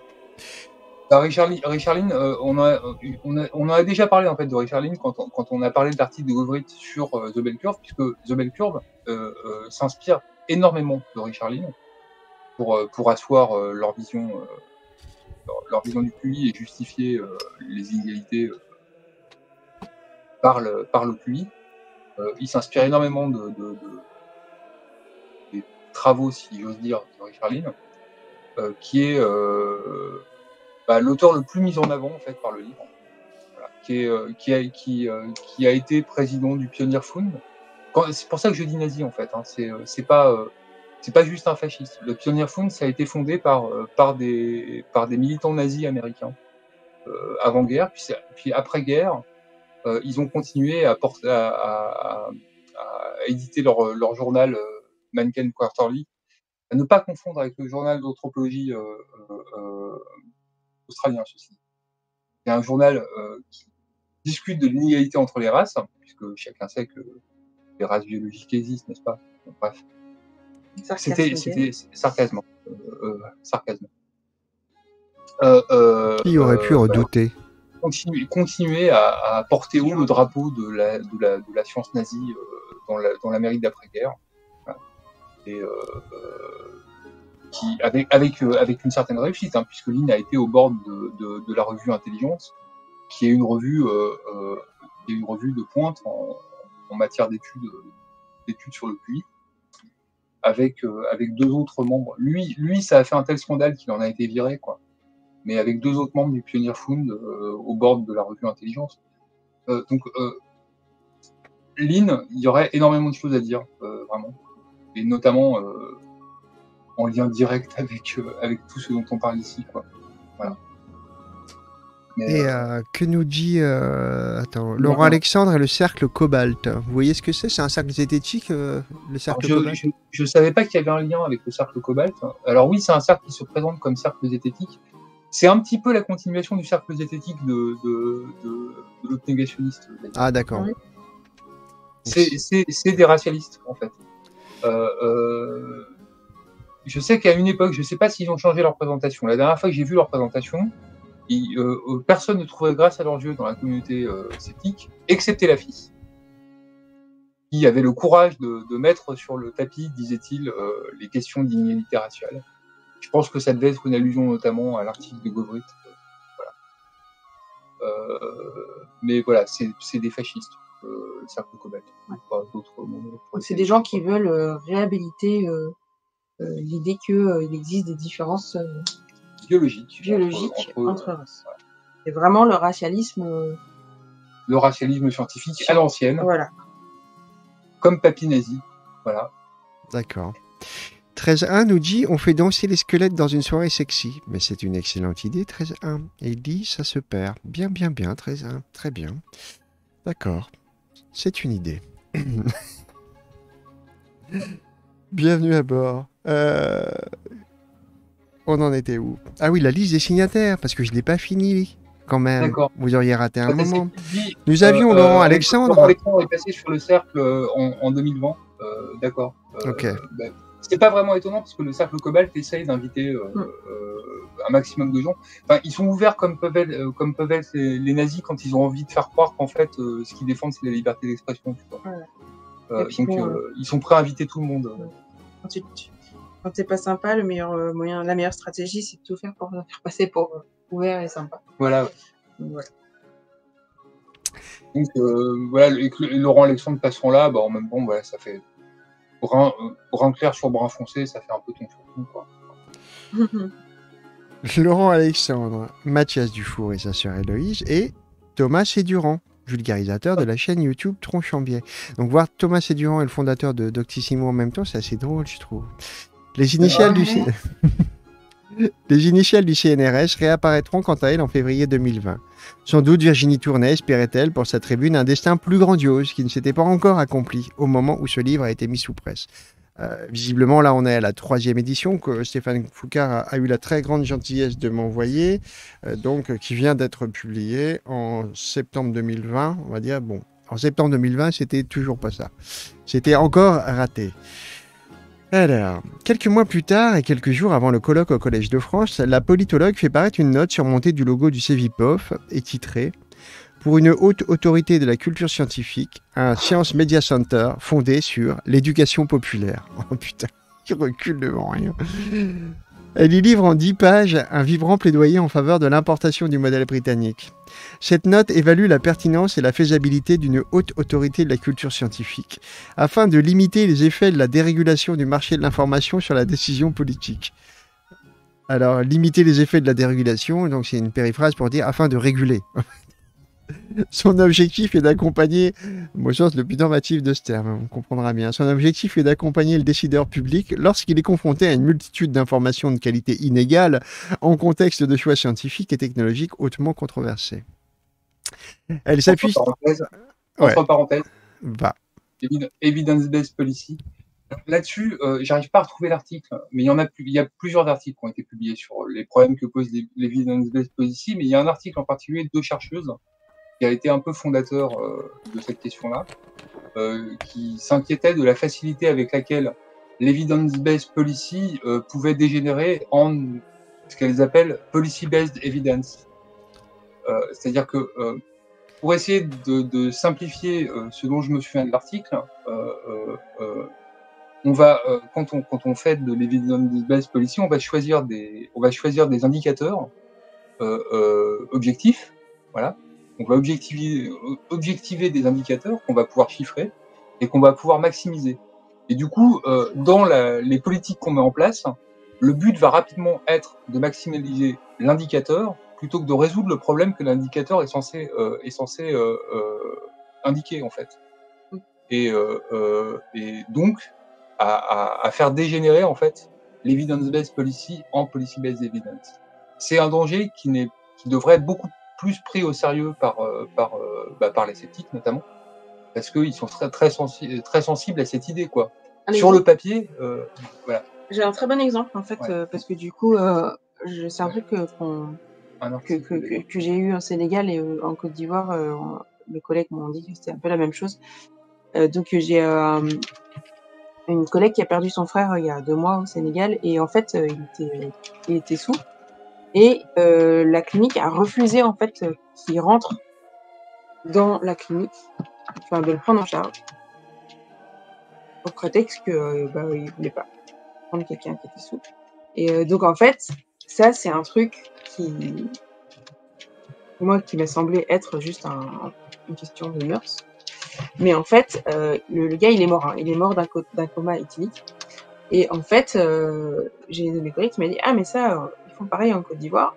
Ils refusent les patients qui sont trop à risque de mourir pour pas fausser leurs statistiques de mortalité dans les cliniques. Donc, à la base, ils ont un indicateur qui est les statistiques de mortalité dans, les cliniques. Il y a un objectif que bah, la mortalité euh, dans les cliniques ne soit pas trop grande. Donc, euh, il y a comment dire, les, cliniques, elles, bah, les gens ils vont évaluer ça en fait en fonction de la qualité des cliniques, en fonction des mortalités. Donc, elles ne veulent pas être dévaluées. Et donc, elles refusent de, faire entrer dans leur mur des gens qui, à l'évidence, vont, mourir ou un, un risque trop important, un prognostic trop engagé. Et donc, ils vont mourir pas pris en charge, mais pas dans la clinique. Ouais. Alors, pour répondre à Kofori00, qui dit Je suis là par curiosité, j'ai entendu parler de vous via le drama avec la TEB. Il n'y a Ah. pas de drama avec la TEB euh, sur cette chaîne, pas que je sache. Euh, je vois pas trop. En parlant du cercle cobalt et du cercle zététique, j'ai l'impression que vous êtes un peu le pendant de gauche de ces groupes. Mais comment nous pourrions être le pendant d'un groupe d'extrême droite? Je comprends pas très bien. Euh, on ressent très fort Euh, votre... Attends, mais laisse-moi finir. On ressent très fort votre biais idéologique lorsqu'on vous écoute. Alors, on va être très très clair. Ici, on n'a pas de biais idéologique. Nous savons parfaitement où nous nous trouvons. Et contrairement à ces gens, nous, nous ne feignons pas euh, d'être anidéologiques. Nous savons très très bien que dans tous les champs humains qui s'exercent, qu'il s'agisse aussi des disciplines scientifiques comme de n'importe quel champ euh, d'exercice de la pensée humaine et de la connaissance, nous sommes les sujets politiques que nous sommes. Effectivement, oui, nous sommes de gauche. Ça veut dire que nous avons une certaine vision du monde et nous savons aussi que quand nous pratiquons quelque chose, il peut s'agir d'épistémologie des sciences comme d'histoire de l'art, nous le faisons comme sujet complet, non séparé. Et effectivement, ça fait partie de nos choix. Ça fait partie, c'est pas, quelque chose qui est un biais dont nous serions ignorants. Nous sommes conscients de nos positions politiques, nous travaillons avec elles et nous faisons des choix euh, déterminants pour euh, devant euh, toutes les questions qui se proposent à nous pour y répondre. Et effectivement, ces choix, nous les faisons de façon cohérente avec ce qui nous semble adéquate à notre vision, mais nous ne sommes pas obscurcis par elle. Nous étions précisément en train de parler euh, juste auparavant de notre euh, éveil au fait que euh, l'endroit depuis lequel vient une parole, vint-elle d'une parole d'un homme ou d'une femme de droite, ça n'a pas d'importance, est moins important à nos yeux que euh, le substrat réel politique qu'elle contient, que ce qui est dit dedans. Ça veut dire qu'on n'est pas du tout euh, aveugle au fait que quelqu'un qui serait notre opposant politique puisse avoir des propositions euh, sociales, intellectuelles, poétiques, philosophiques qui nous semblent justes et on ne les rejettera pas pour autant. Il n'y a aucun biais ici, c'est pas quelque chose qui nous toucherait comme une espèce de chose qui nous échappe. Nous sommes parfaitement conscients d'être de gauche, si c'est ça la façon dont tu comprends les choses, et nous ne feindrons jamais d'être autre chose. Voilà. Et maintenant, je vais être plus cassant que Laurent, moi. Euh, euh, ne vous vantez pas. Vous n'êtes pas venu ici par curiosité, mais pour confirmer ce que vous pensiez déjà savoir sur nous. Donc, Peut-être pas. il n'est pas trop tard. Il n'est pas trop tard pour changer d'attitude. Sinon, voilà, c'est pas la peine de continuer à écrire. Ça y est, il est fâché, mon Gaël. Tu as, tu as fâché, mon Gaël. J'ai pas de temps à perdre avec ces conneries. Voilà. Sur la question de est-ce qu'il y a un biais ou pas, euh, moi je le dirais pas juste, je le dirais pas comme ça, je le dirais pas genre il n'y a pas de biais, euh, il y a une coloration politique à nos propos. Euh, la question en fait c'est, on la met en évidence, on la, on la, quand on dit qu'on l'assume, ça veut pas dire que en fait on s'en fout, ça, ça veut dire qu'en fait on analyse la manière dont les discours sont toujours ancrés dans des prémices qui sont politiques. Et par exemple, euh, il y a un exemple qu'on prend dans notre article avec Gaël, euh, qui est euh, quand on dit si quand on dit il faut pas aller toucher le soleil parce que ça brûle, c'est une affirmation qui a pas l'air politique, mais en fait, si on met en évidence la prémisse qui est si on ne veut pas mourir brûlé, il faut pas aller toucher euh, le soleil parce que ça brûle, on a mis une évidence qui est une préférence, qui fait que la conclusion est valide. Et nous, en fait, ce qu'on essaye de faire, c'est de mettre en évidence la manière dont les prémices de ce type, donc, notamment les préférences, euh, les, préférences qui sont euh, variables, hein, euh, morales ou euh, non morales, hein, euh, vont impa- impacter nos raisonnements. Et euh, en fait, ça se cache en général, et notamment euh, la plupart euh, des idéologies euh, conservatrices et euh, bénéficient en fait euh, bah, de l'état des choses tel qu'il est. Donc, euh, parce qu'en fait, il y a un lien entre l'état des choses tel qu'il est et le fait d'être de droite et de gauche, d'accord euh, pour, pour eux, c'est plus facile de cacher les prémices parce qu'elles sont plus répandues, elles sont plus admises. Par exemple, c'est normal de gagner plus d'argent quand on travaille plus. C'est quelque chose qui est assez euh, Oui, commun. et les gens qui gagnent plus d'argent. Ne euh, lui en coupe fait, pas la parole. Afro Ouais. Non, mais voilà. Mais du coup, euh, il y a beaucoup de prémices comme ça, en fait, qui sont implicites et qui imprègnent le discours centriste et de droite. Et, euh, et en fait, c'est juste invisible aux yeux de la plupart des gens, puisque c'est juste des prémices euh, qui sont euh, courantes. Et euh, ce qui fait que nos positions à nous ont l'air plus colorées, c'est que nos prémices à nous ne sont pas celles qui sont les plus courantes et que du coup, on a une remise en question des prémices courantes. Et du coup, ça colore notre raisonnement. Et oui, bien sûr, du coup, ça a l'air plus biaisé. C'est juste que, en fait, on est décentré. Et euh, euh, vraiment. oui, c'est très, très bien dit. Ouais. Si, vous, si vous imaginez que d'être d'extrême gauche, c'est la même chose en miroir que d'être d'extrême droite, allez vous faire cuire le cul. Voilà. Je peux pas le dire plus poliment. On n'en était pas là. Et je faut pas oublier un truc, euh, Kofori est, tout seul dans un chat où tout le monde est plutôt de gauche. Alors, c'est pas ça. On est d'accord là-dessus. Sur Laurent Alexandre, déjà, vous l'associez à un groupe d'extrême droite. Il passe, bah. il vient faire une conférence dans un groupe d'extrême droite. Nous ne l'associons pas. Il s'associe. Allez vous faire cuire le cul. Voilà. Tout seul. Ça, ça va ça va aller quoi. Il s'auto-associe lui-même. Il choisit. Oui, il a fait le choix tout seul quoi. Si j'ai pas un, déshonneur par association, fermez votre gueule sur les déshonneurs par association. Ça va bien maintenant. On s'en tape, on s'en tape euh, euh, tout le temps là, des, des, des, gens qui viennent nous dire oui, vous dites, vous dites que euh, voilà. Bricmont, Bricmont, Bricmont, par exemple, sous, sous, prétexte qu'il écrit des homélies funèbres à, à, à Forisson, sous prétexte qu'il milite pour l'UPR, euh, sous, prétexte que, que, maintenant il est, euh, euh, voilà, il est, il est chez, chez Vincent Lapierre, il serait fasciste. Bah oui, il est fasciste. Bah oui, il se trouve, oui. Ça, voilà, ça peut... converger. Ça n'est pas. merci pour le. Merci pour le follow. Voilà. Gaël, mon cher Lapinou adoré que j'aime d'amour.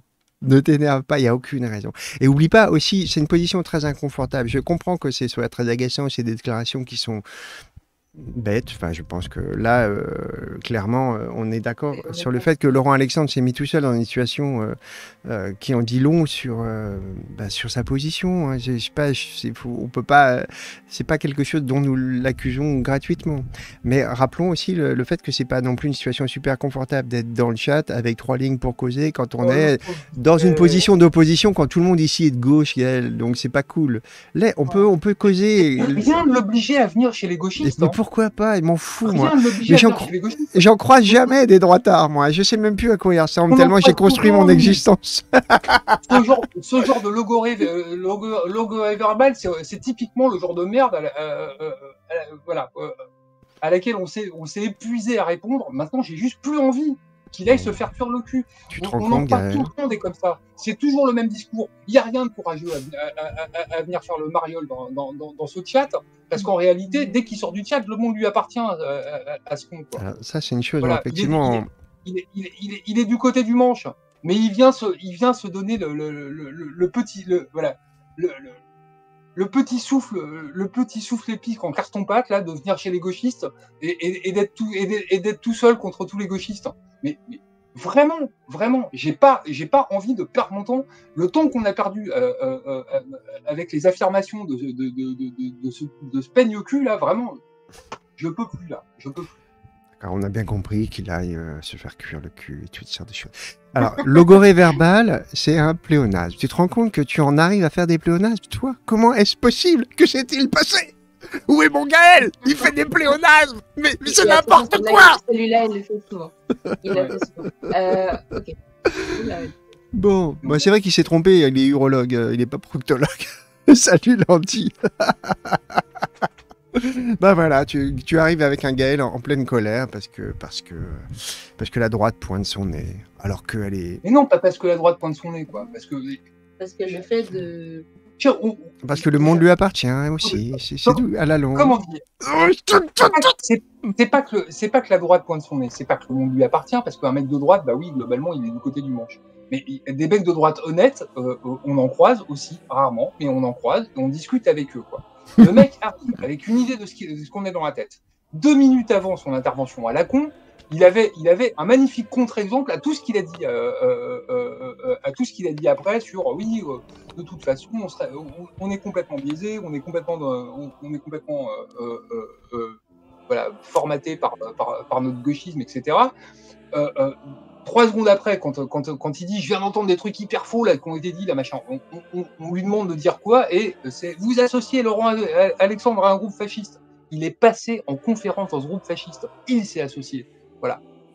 Euh, C'est pas juste un mec de droite qui vient discuter honnêtement. C'est un mec de droite qui vient faire son mariole. Voilà. Se dire, euh, euh, euh, euh, euh, voilà, il va être ravi là, il sera fait engueuler par, euh, par, euh, par Gaël Violet pour aller, pour aller chez les autres connards en disant Je suis harcelé par Gaël Violet. Voilà. voilà. Je lui ai fait sa journée. Voilà.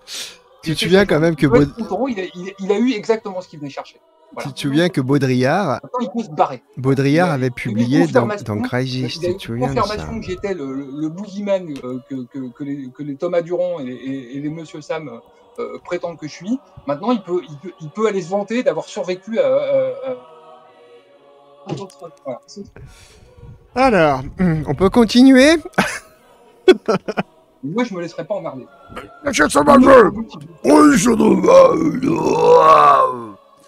Alors, bon, Gaël, est-ce qu'on peut continuer? Es-tu d'accord pour que nous continuions? Est-ce que tu veux une petite minute pour gueuler encore? Dis-moi. Non, non, c'est bon, je préfère, je préfère qu'on arrête de perdre notre temps un peu. De... Allez, fume, mon con, fume. Euh, où j'en suis, bordel? Euh, Au Collège de France, la Vipof, tatati tatata. Le plaidoyer donc de la mère Tournai.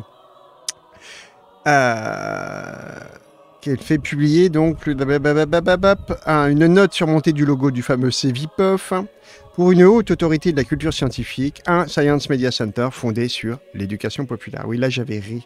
Euh, oui, c'est ça. On en est là. Elle s'appuie sur l'état des lieux de la stratégie nationale de la culture scientifique, technique et industrielle et analyse les fondements de la légitimité institutionnelle de cette structure qui pourrait reposer sur un Science Media Center, un Science Media Center à la française, alimenté par les valeurs de l'éducation populaire. Ça, c'est magique. hein. La note signale une expérience menée depuis quelques mois déjà à France Info. Gérald Brunner y aurait en effet été chargé de présider un conseil contre les fausses informations dans le domaine scientifique, qui aurait eu pour mission de trouver le bon expert sur une thématique et de proposer ainsi une certification de l'expertise. Mission qu'il semble accomplir avec efficacité. Le 26 juin 2018, la chronique de fact-checking créée conjointement par France Info et France Culture, Les idées claires, laisse au bon expert le soin de trancher la controverse sur les effets sanitaires du glyphosate. Qu'est-ce que tu dis, Gumpy Baudrillard, avant qu'il fasse Matrix? Bah oui, oui, j'avais évoqué ça, le pauvre père Baudrillard qui va publier chez ces fascistes, enfin la, fameuse nouvelle droite de Alain de Benoît dans la revue Crisis. Bah oui, ça arrive. Mais bon, c'est peut-être un peu aller vite en besogne que de comparer euh, ce pauvre Baudrillard à Laurent Alexandre. J'étais un peu fort. C'était juste pour dire une connerie, voilà. Il y a des types qui s'égarent aussi. Bon, voilà. Laurent Alexandre, j'ai pas vraiment l'impression qu'il s'égare. Il va là où il doit aller. Non, il est à sa place. Ah non. Voilà, Super Dodo va se coucher sur cette belle colère. Bonne nuit, Super dit, Dodo. euh, euh, euh, c'est pas une raison pour excuser Baudrillard. hein. Sans doute pas. En plus, c'était pas sa meilleure tribune, c'était sur l'art contemporain. Il faut dire que c'était pas très malin. Alors, produite par Nicolas Martin, animateur de la méthode scientifique. Ah non, mais je suis con, j'ai souhaité un truc, moi, excusez-moi. La note signale une expérience menée depuis quelques mois déjà à France Info. Gérald Bronner y aurait en effet été chargé de présider un conseil contre les fausses... Ah mais putain, j'arrête pas de sauter des lignes, moi, je suis con. Donc, mission qu'il semble accomplir avec efficacité. Le 26 juin 2018, la chronique du fact-checking, créée conjointement par France Info et France Culture, les idées claires, c'est le nom du truc, hein, laisse au bon expert le soin de trancher. Produite par Nicolas Martin, animateur de la méthode scientifique, l'émission propose ainsi, au lieu d'un toxicologue, d'un biologiste ou d'un épidémiologiste, un informaticien de chez IBM. Et pas n'importe lequel, il s'agit du porte-parole de l'AFIS, Hervé Lebars. En fait, de fact-checking, ces affirmations perroquettent les éléments de langage de l'industrie agrochimique, incluant plusieurs contre-vérités factuelles. Si le Centre international de recherche sur le cancer, le CIRC, a classé le glyphosate cancérogène probable, assure par exemple l'informaticien, c'est que, par exemple, il va considérer que boire un litre de glyphosate, ça peut être une situation qui peut arriver. Euh, comme on l'a vu, à aucun moment le cirque n'a envisagé euh, une euh, exposition aiguë comparable à celle-ci. Donc c'est une affirmation. Dans sa monographie, en revanche, le cirque considère que les données épidémiologiques disponibles au moment où son expertise est conduite montrent une augmentation de 30% du risque de lymphome non-hodgkinien pour les utilisateurs des glyphosates par rapport à ceux qu'on n'utilise pas. Ce conseil contre les fausses informations n'a en fait connu qu'une brève existence. des réticences au sein des rédactions de France Info et France Culture ont fini par faire capoter le projet. Quelques semaines après le colloque, tu voulais intervenir Aurélie? Ouais, non, euh, c'est juste que c'est toujours les mêmes euh, personnes qu'on retrouve. Ouais. Euh, Nicolas Martin, bon, c'est pas quelqu'un de. enfin, c'est quelqu'un avec qui on, on pouvait, on pouvait discuter, etc. Et là, les méthodes fi- scientifiques, c'est fini depuis pas longtemps. Mais par contre, une fois, on était tombé sur une émission, en fait, bah, au tout début de la polémique Raoult, où il avait interrogé un, un scientifique de l'INSERM, je crois. Et en fait, en l'écoutant, on s'est rendu compte qu'il y avait au moins une grosse connerie. Et on s'est. Au début, il y en a une qui a sauté aux yeux de Gaël, et du coup, en fait, on a tiré les ficelles, on a vérifié tout ce qu'il disait dans l'interview, et en fait, il n'y avait rien qui allait, tout était faux. Et euh, du coup, c'est assez inquiétant, en fait. Du coup, on, l'a fait que pour un épisode, ce travail qui est quand même assez ambitieux. Euh, on avait pris des notes, mais on a dû tout perdre parce que c'était Euh, dans un format euh, C'était immense. Ouais. On avait fait ça à plusieurs.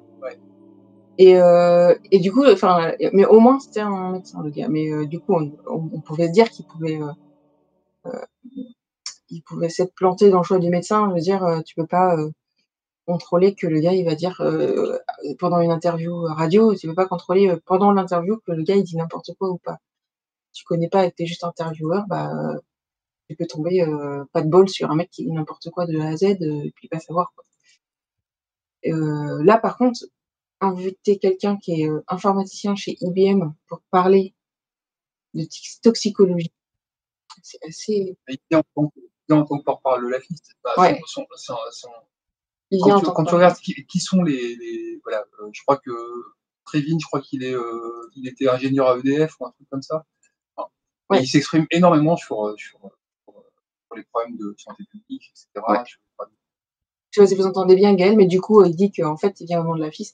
Et c'est ça, ça montre aussi à quel point, euh, en fait, du coup, adhérer à ce genre d'association comme la FIS, ça donne une aura sur des. Et, du coup, ça donne un pouvoir euh, médiatique. Ça donne la possibilité d'aller parler à des antennes radio euh, qui s'appellent la méthode scientifique sur des sujets dont on n'est pas spécialiste, d'un point de vue académique. quoi. Et, et en termes de compétences, ben, comment c'est évalué, du coup, ça, on saura pas. Voilà, c'était juste ça que je voulais Mhm. faire une petite sur ça. Sa- Sachant que les méthodes scientifiques, c'était une émission qui était quand même pas mal euh, écoutée. Donc c'est pas mal d'avoir aussi un petit point critique sur ça.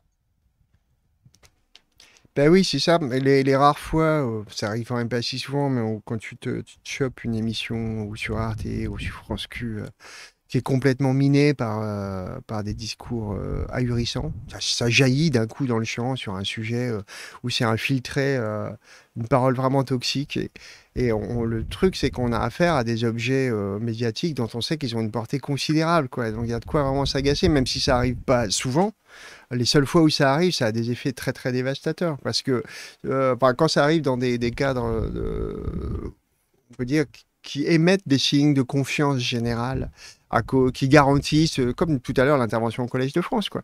Tu, tu crées un cadre dans lequel, sur lequel tu peux reposer d'une façon générale ta confiance. À partir de là, quand quelque chose s'y insinue et qui est, euh, qui est vraiment toxique, dangereux, euh, tu- là, tu peux lever les yeux au ciel. C'est un peu autre chose que quand il y a des, des- des bagarres souterraines entre groupes militants, où c'est pas du tout la, la même ampleur, où on n'est pas, on n'a pas affaire à, à la même dévastation. Là, tu peux que lever les yeux au ciel en disant putain, mais c'est pas vrai. Comment ils ont pu laisser passer un truc pareil? Ça va avoir Ouais. une portée considérable pendant des mois euh, et auprès de gens qui font une confiance totale euh, à, à tel cadre médiatique, à telle Avec institution, beaucoup d'audience. avec, avec une beaucoup d'audience. Ouais. Bah ouais, bien Et sûr. ouais. Nous, bah, qu'on peut dire face à ça on- Bah vas-y, 1331, tu peux avoir une question un peu pétée. Allez, vas-y. Mais n'énerve pas Gaël. hein. Non, mais si c'est une question, ça va. On- les questions un peu pétées, on s'en fout ici. Ça, peut être complètement en sujet. On sait faire, on est les premiers à digresser. Personne t'en voudra pour ça, tu sais. Donc euh, pose ta question tranquillement. Pendant ce temps, je poursuis. Et on va y répondre. Même si elle est un peu pétée, de ce cas-là, on y répondra de façon complètement pétée aussi. Tout ira bien. Quelques semaines après le, colloque au Collège de France, en novembre 2018, l'AFIS fête ses 50 ans au Palais de la Découverte. À la tribune, Virginie Tournay enfonce le clou. Le problème, c'est que la guerre politique n'est pas une guerre pour la vérité, elle est une guerre d'opinion. Et vous aurez beau mettre autour de la table les meilleurs scientifiques, les auditionner, produire des rapports de très grande qualité, comme l'OPEX ou ailleurs. Aujourd'hui, la décision politique n'est pas, et elle ne peut plus être, indifférente au traitement médiatique, c'est-à-dire à ce marché dérégulé de l'information. Marqué dérégulé, elle veut dire par là le marché qui, peut nous échapper. Donc, c'est un diagnostic sociologique, c'est-à-dire qu'elle veut absolument réintroduire de la politique. On est d'accord C'est ça qui est drôle. Hein, quand on écoute l'ouverture de son projet, euh, elle dit le contraire de ce qu'elle dit dans la fin de sa phrase. Elle demande du politique. Elle veut réguler euh, le marché de l'information. Donc c'est un diagnostic sociologique qu'il faut accepter, mais surtout n'y voyez aucune résignation de ma part en vous disant ça, juste un diagnostic. Alors que faut-il faire? Il faut rebattre les cartes de telle sorte que les politiques aient les moyens institutionnels de s'opposer aux pratiques d'intimidation des minorités antiprogressistes. Ah, c'est pas du tout rigolo. Pourquoi minorité antiprogressiste? Choix intéressant de mots. Ouais. Ah il y, a tout un, il y a tout un panel de propositions. C'est qu'elle demande aux politiques d'abdiquer la politique, déjà, puisque quand même, c'est-à-dire les. Euh, elle nomme d'une façon particulière le caractère agonistique et normal de la politique, c'est-à-dire d'un côté les politiques, euh, dont ne seraient pas les minorités antiprogressistes, qui ne seraient pas des politiques, cherchez à comprendre ce que ça veut dire, hein, qui seraient opposés donc à, d'autres trucs, euh, d'autres formes sournoises, les minorités antiprogressistes, bon là aussi euh, un spectre douteux. le boulot des politiques, c'est dans cette sphère-là. Hein, de, mais c'est pas du tout ça. Il faudrait que ces politiques donc abdique le travail politique pour, pour que les cartes soient battues par d'autres institutions purement scientifiques, donc pas du tout politiques, pour que euh, le dialogue sur ces questions soit vraiment euh, pas du tout entaché de cochonneries, et surtout pas par des minorités antiprogressistes. Tout ça est quand même extrêmement confus comme, euh, comme construction. Oui. Confus, oui et non, parce que antiprogressiste, on a pu le voir, notamment avec le, avec le parcours de la FIS euh, entre les années 90 et 2000, hein, on en a parlé dans la chaîne presque. Euh, euh, progressiste, ça s'est identifié peu à peu, progressivement, au seul, au seul progrès technique. Voilà. Oui, bien sûr. On a abdiqué, la partie, la partie critique qui était la tradition dans le, le rationalisme scientifique des, techniques et de, la, place de la science dans la société. Et puis, euh, euh, d'un seul coup, euh, le progrès, c'est trouvé, enfin, d'un seul coup, petit à petit, le progrès s'est trouvé confondu totalement avec une, nouvelle génération de téléphones. C'est ça. Donc on exclut complètement du progrès la question sociale. Par exemple, l'idée qu'il existe un progressisme social est exclue. On se, doute bien que ces minorités qu'elle regarde comme anti-progressistes réclament peut-être une autre forme de progrès. Si euh, ça, si ça a du sens, les minorités qu'elle vise, on peut très bien imaginer ce qu'elle vise, parce que malgré tout, il y a, il y a un horizon à son discours. On n'est pas dupe non plus de ce que ce qu'elle essaie de nous dire, cette dame. Hein. il y a une confusion, c'est-à-dire qu'il y a l'idée que du moment qu'il y a le progrès technologique, euh, le, le, progrès humain va forcément suivre. Ça, ça, fait partie des prémices qui sont implicite et que on essaye de mettre en évidence. Tout à fait. Et alors, politique. Tout à fait. Je crois en avoir déjà parlé d'ailleurs, mais ça, ça, participe d'une, conception extrêmement naïve du rapport de la technique à l'histoire, qui étrangement est partagée par les, par les, les technophobes. On va retrouver la même vision euh, euh, démurgique de la technologie face à l'histoire euh, à pièce et main d'œuvre.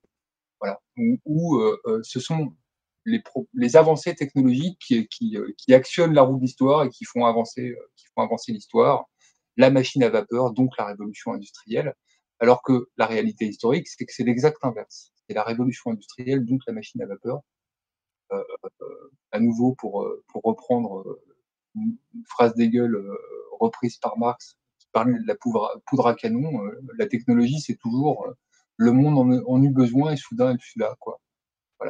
Voilà les, les, les, la, la, sensation qu'il faut euh, euh, trouver un, un, nouveau moyen de, de, faire société parce que on serait dans un village global qui serait interconnecté, c'est Marshall McLuhan dans les années 60, bien avant Internet.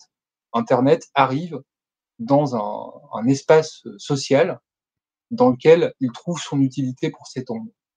Voilà. Et pareil pour la machine à vapeur qui arrive dans un espace social avec, avec de grandes manufactures dans lequel, euh, euh et voilà, avec euh, un capitalisme qui s'est déjà mis en place, où il va trouver son utilité pour s'étendre. Voilà. L'imprimerie, enfin les, les, caractères mobiles en plomb, on en avait parlé la dernière fois, arrivent dans un espace social où, bah, notamment dans les universités, le travail des libraires, c'est-à-dire des gens qui, à côté de l'université, s'occupaient de copier des livres, euh, euh, était devenu ingérable parce que la demande excédait de loin la, capacité de production, caractère mobile en plomb, euh, le monde en eut besoin et soudain, et soudain ils furent là. C'est toujours comme ça. Mais dans la vision tant de cette conception techniciste du progrès que de la, condition, la, conception anti-techniciste du progrès qu'on va retrouver chez, chez comment est-ce qu'il s'appelle déjà le, le, père de la décroissance ah oui. Oui, lui, là. Cette, mmh. Arrête euh, avec tes insultes. Ah T'as eu ton chapelet tout à l'heure pour ton anniversaire. Ah, J'oublie son petit nom, effectivement. Oui, oui, lui. Euh, euh, voilà. Bon, j'ai un trou de mémoire aussi. Euh, Aguinard, alors, pour revenir sur cette question, en fait, on, l'a évoqué plusieurs fois. C'est plutôt, comment dire, on se berce de l'illusion que ce sont les inventions techniques qui font avancer euh, les conditions de réalisation sociale, alors qu'en fait les inventions techniques viennent toujours répondre à des demandes déjà là d'organisation sociale. Dans mon propre champ, celui des arts plastiques par exemple, ce serait, ce serait une erreur de croire que euh, l'imprimerie en couleur a fait exploser une certaine façon euh, d'aborder la reproduction euh, mécanique des images et a entraîné un, pouvoir particulier de, les, organiser, de, changer le rapport éditorial. il se trouve tout simplement que les, conditions pour euh, réaliser euh, de, la couleur dans des, dispositifs d'impression ont été tentés tout au long de l'histoire sans qu'on ait cru nécessaire d'en lancer une invention technique parce qu'en fait le désir était juste pas là de ceci. on, a, on a réussi à mettre au point, comme Gauthier Dagotti par exemple en plein 19e siècle, des processus fonctionnels d'imprimerie qui valaient bien ce qu'on a pu obtenir bien des années après avec l'imprimerie en couleur, sauf que ce n'est pas un moment où ça intéressait particulièrement euh, ni les artistes, ni les, euh, ni les imprimeurs. Et c'est seulement quand le désir euh, était là que la, technique s'est mise en branle pour répondre à ce désir. C'est dans ce sens-là que les choses se font toujours. Et quand, les, quand les humains désirent un truc, lequel l'imprimerie est intéressant, même s'ils ne disposent pas des moyens techniques les plus ajustés pour le faire, d'une manière ou d'une autre, ils le produisent. Et euh, les, industriels finissent par répondre à ce désir et produire euh, cette demande, par la satisfaire. Mais s'il n'y a pas de désir, s'il n'y a pas de demande, il ne se passe rien. C'est lui qui est premier pour que les choses se construisent, pour qu'une une société, au moins dans, ses formes, dans sa production de formes, change. Euh, Jacques Ellul. Oui, c'est Jacques Ellul, oui. c'est ça. Ah je ne connais pas bien. J'ai lu juste son histoire des institutions. C'est passionnant d'ailleurs. Euh, passionnant du tout. D'accord. Donc, c'était pas une question que tu nous as posée euh, 13-1, c'est pas une vraie, euh, vraie question. Tu nous dis on va cramer. Oui, tu as dit que tu allais poser une question pété. On va cramer, c'est pas une question. Oui, on va, on va cramer, certes. Bien, mais on va pas pouvoir faire grand chose pour ça ce soir avec Aurélie Gaël. Hein. Moi, je crois que, à moins que vous ayez un assez de. Vous avez une puissance cosmique pour empêcher ça tous les deux? Moi, j'ai, moi, j'ai pas ça sous la main. Donc ce soir, on peut rester concentré sur le problème du moment. On va pas faire beaucoup mieux. Désolé. Est-ce que Diogène, est-ce que Diogène n'est pas le père de la décroissance? Je, je sais pas, je verrai pas de ça comme ça, mais bon. le, le farniente et la décroissance, c'est pas la même chose. C'est ça, oui, oui, oui. Trotsky, c'est vrai que ça, ça, ça, sonne bien, cette histoire de euh, rapport difficulté à accomplir, euh, intérêt à faire, mais en fait, euh, c'est pas tellement difficulté à accomplir, c'est plutôt utilité sociale. Typiquement, je prenais l'exemple de la machine à vapeur, je l'ai déjà développé, mais on va faire une petite piqûre de rappel, quoi. Mais je prenais l'exemple de la machine à vapeur. Héron d'Alexandrie, son héliotype n'a pas donné lieu à une euh, révolution industrielle à Rome, ne pouvait pas donner lieu à une révolution industrielle à Rome, parce que euh, euh, sa machine à vapeur n'avait pas de place dans cette société, qui était basée sur, sur un esclavage massif. il n'y avait pas d'intérêt à remplacer ces esclaves par, des, par euh, une boule qui tourne et qui bat le grain toute seule. Quoi. Euh, euh, au contraire, c'était même plutôt dangereux. Au, moment, où la machine à vapeur est réinventée en France et en Angleterre en même temps d'ailleurs, à, quelques années d'intervalle, par deux personnes différentes, elle a une utilité sociale. Elle a, elle, c'est un, multiplicateur en fait de, productivité qui permet du coup de, de, de restreindre le temps de travail nécessaire à la reproduction de la force de travail et qui va permettre d'augmenter la plus-value, ce qui n'a un intérêt que dans une société capitaliste en fait. Voilà. Et, et, euh, et euh, ce qui lui permet de faire ça, c'est de trouver déjà installées des grandes manufactures dans lesquelles elle va pouvoir, euh, dans lesquelles elle va pouvoir s'insérer. C'est Denis Donc, Papin, c'est ça. On est au début du XVIIIe siècle. hein. pour le cas français. Ouais. Euh, euh, euh, c'est euh, de la même manière, euh, euh, c'est pas un hasard si c'est au 19e siècle que euh, euh, Jon Snow, qui savait des choses finalement, euh, euh, euh, Pas le même. oui, pas le même, euh, euh, va, va trouver, euh, va remettre en question euh, l'idée de contamination par les miasmes pour, la, pour, la, pour le choléra, pour, euh, pour, euh, voilà, pour mettre en branle euh, un traitement. Alors, ça s'inscrit dans, un, dans, un, dans un mouvement qui avait déjà entrepris la médecine, euh, euh, où là encore, on pourrait, on pourrait trouver comment d'un seul coup c'est devenu une unité sociale, mais, ce qui faisait, euh, ce qui rendait le caractère urgent euh, à résoudre le problème du choléra, c'était l'urbanisme du 19e siècle, particulièrement l'urbanisme londonien du 19e siècle, où un problème qui pour le pouvoir était jugé gênant et de- de- devenait catastrophique euh, euh, dans le cadre de cet urbanisme particulier qui était celui du Londres de son époque. quoi. Donc, à chaque fois, on va trouver, euh, on va effectivement voir qu'au moment où elle arrive, la technique va continuer, va, va, va, va accélérer un mouvement, mais dont elle n'est jamais l'origine. C'est Voilà. parce que ce mouvement existe que la technique trouve à s'installer. On faisait des piles à l'époque, à l'époque de la Babylonie ancienne. Enfin, ils n'avaient pas de portable pour autant, quoi. C'est, euh, euh,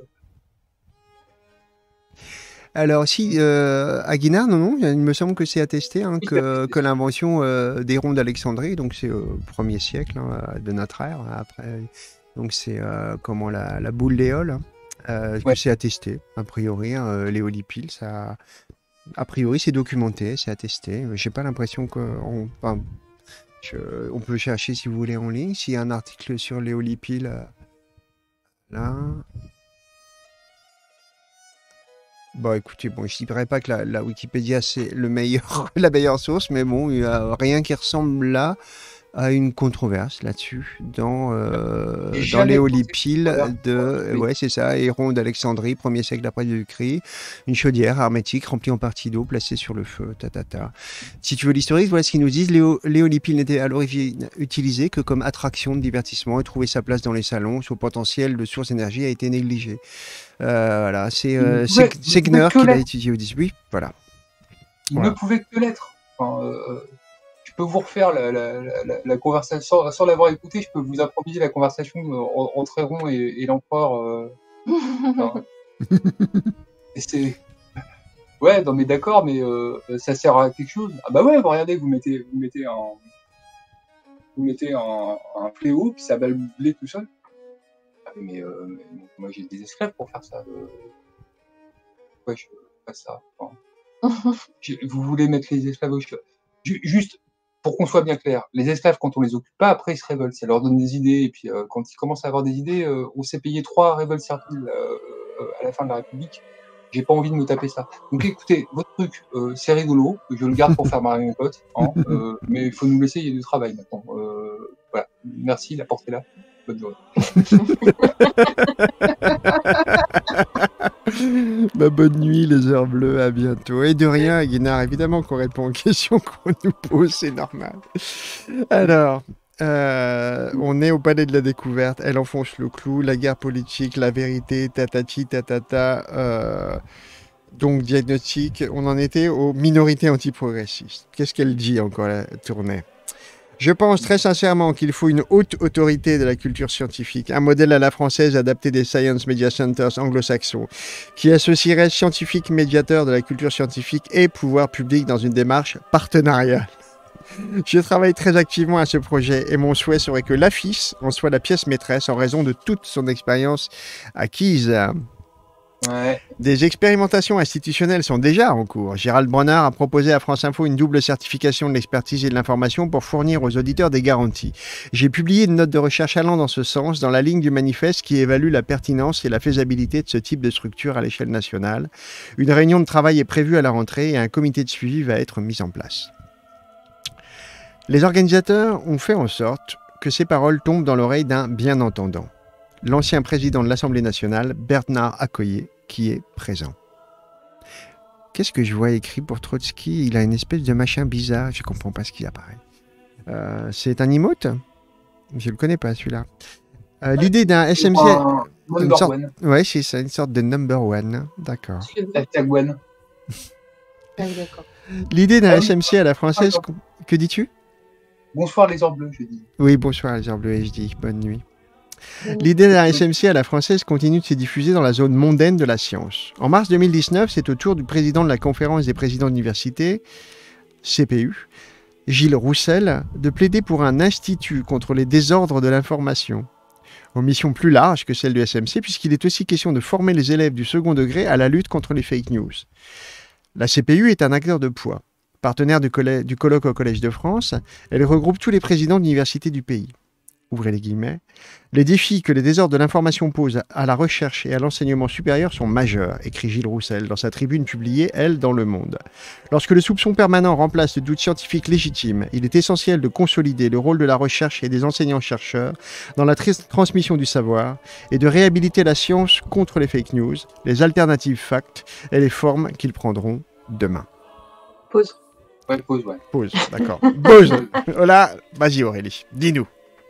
Non, mais en fait, c'est euh, c'est quand même fascinant euh, à la manière dont c'est ancré dans une dans des croyances, hein, en fait, sur la manière dont fonctionne euh, bah, le doute et la, défiance en fait vis-à-vis des savoirs, quoi. Il y a vraiment là, là ils ont une voilà une vision hyper idéaliste. Oui, bon, si, si, si les gens doutent, c'est parce qu'on les convainc pas assez, on n'est pas on n'est pas on n'a pas assez de poids et institutionnel et pas assez de, de, de moyens institutionnels. Vraiment, ils sont à côté de la plaque, quoi. Euh, ça va pas du tout. C'est pas ça les causes. Ouais. Et, et- et pire que ça, plus- il y aura de poids institutionnel et pire ce sera. Et- Bah oui, surtout, surtout dans les vu l'état des institutions. C'est- assez fou en fait de, de, de, voir là que ces gens euh, euh, euh, pensent, enfin, en tout cas disent qu'ils pensent, qu'ils vont résoudre un problème en accentuant sa cause. C'est ça. C'est quand même fascinant quoi. Ben oui. Le doute naît essentiellement de, le doute naît de l'insinuation même dans des, des organismes publics de euh, pratiques souterraines. Et c'est par des pratiques souterraines qu'ils veulent y répondre. C'est aberrant. Ouais. Ouais, tu as raison. Centralisons plus quoi. Euh, euh, voilà, les, les gens ont l'impression de perdre euh, euh, à juste titre, de perdre comment dirais-je, euh, la, la, la main sur leur propre existence parce que euh, euh, ils, sont ils sont euh, les jouets de pouvoir qui les dépassent.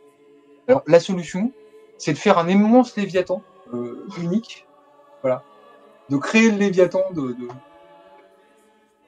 les gars, enfin. Euh, euh, Intéressé, quoi.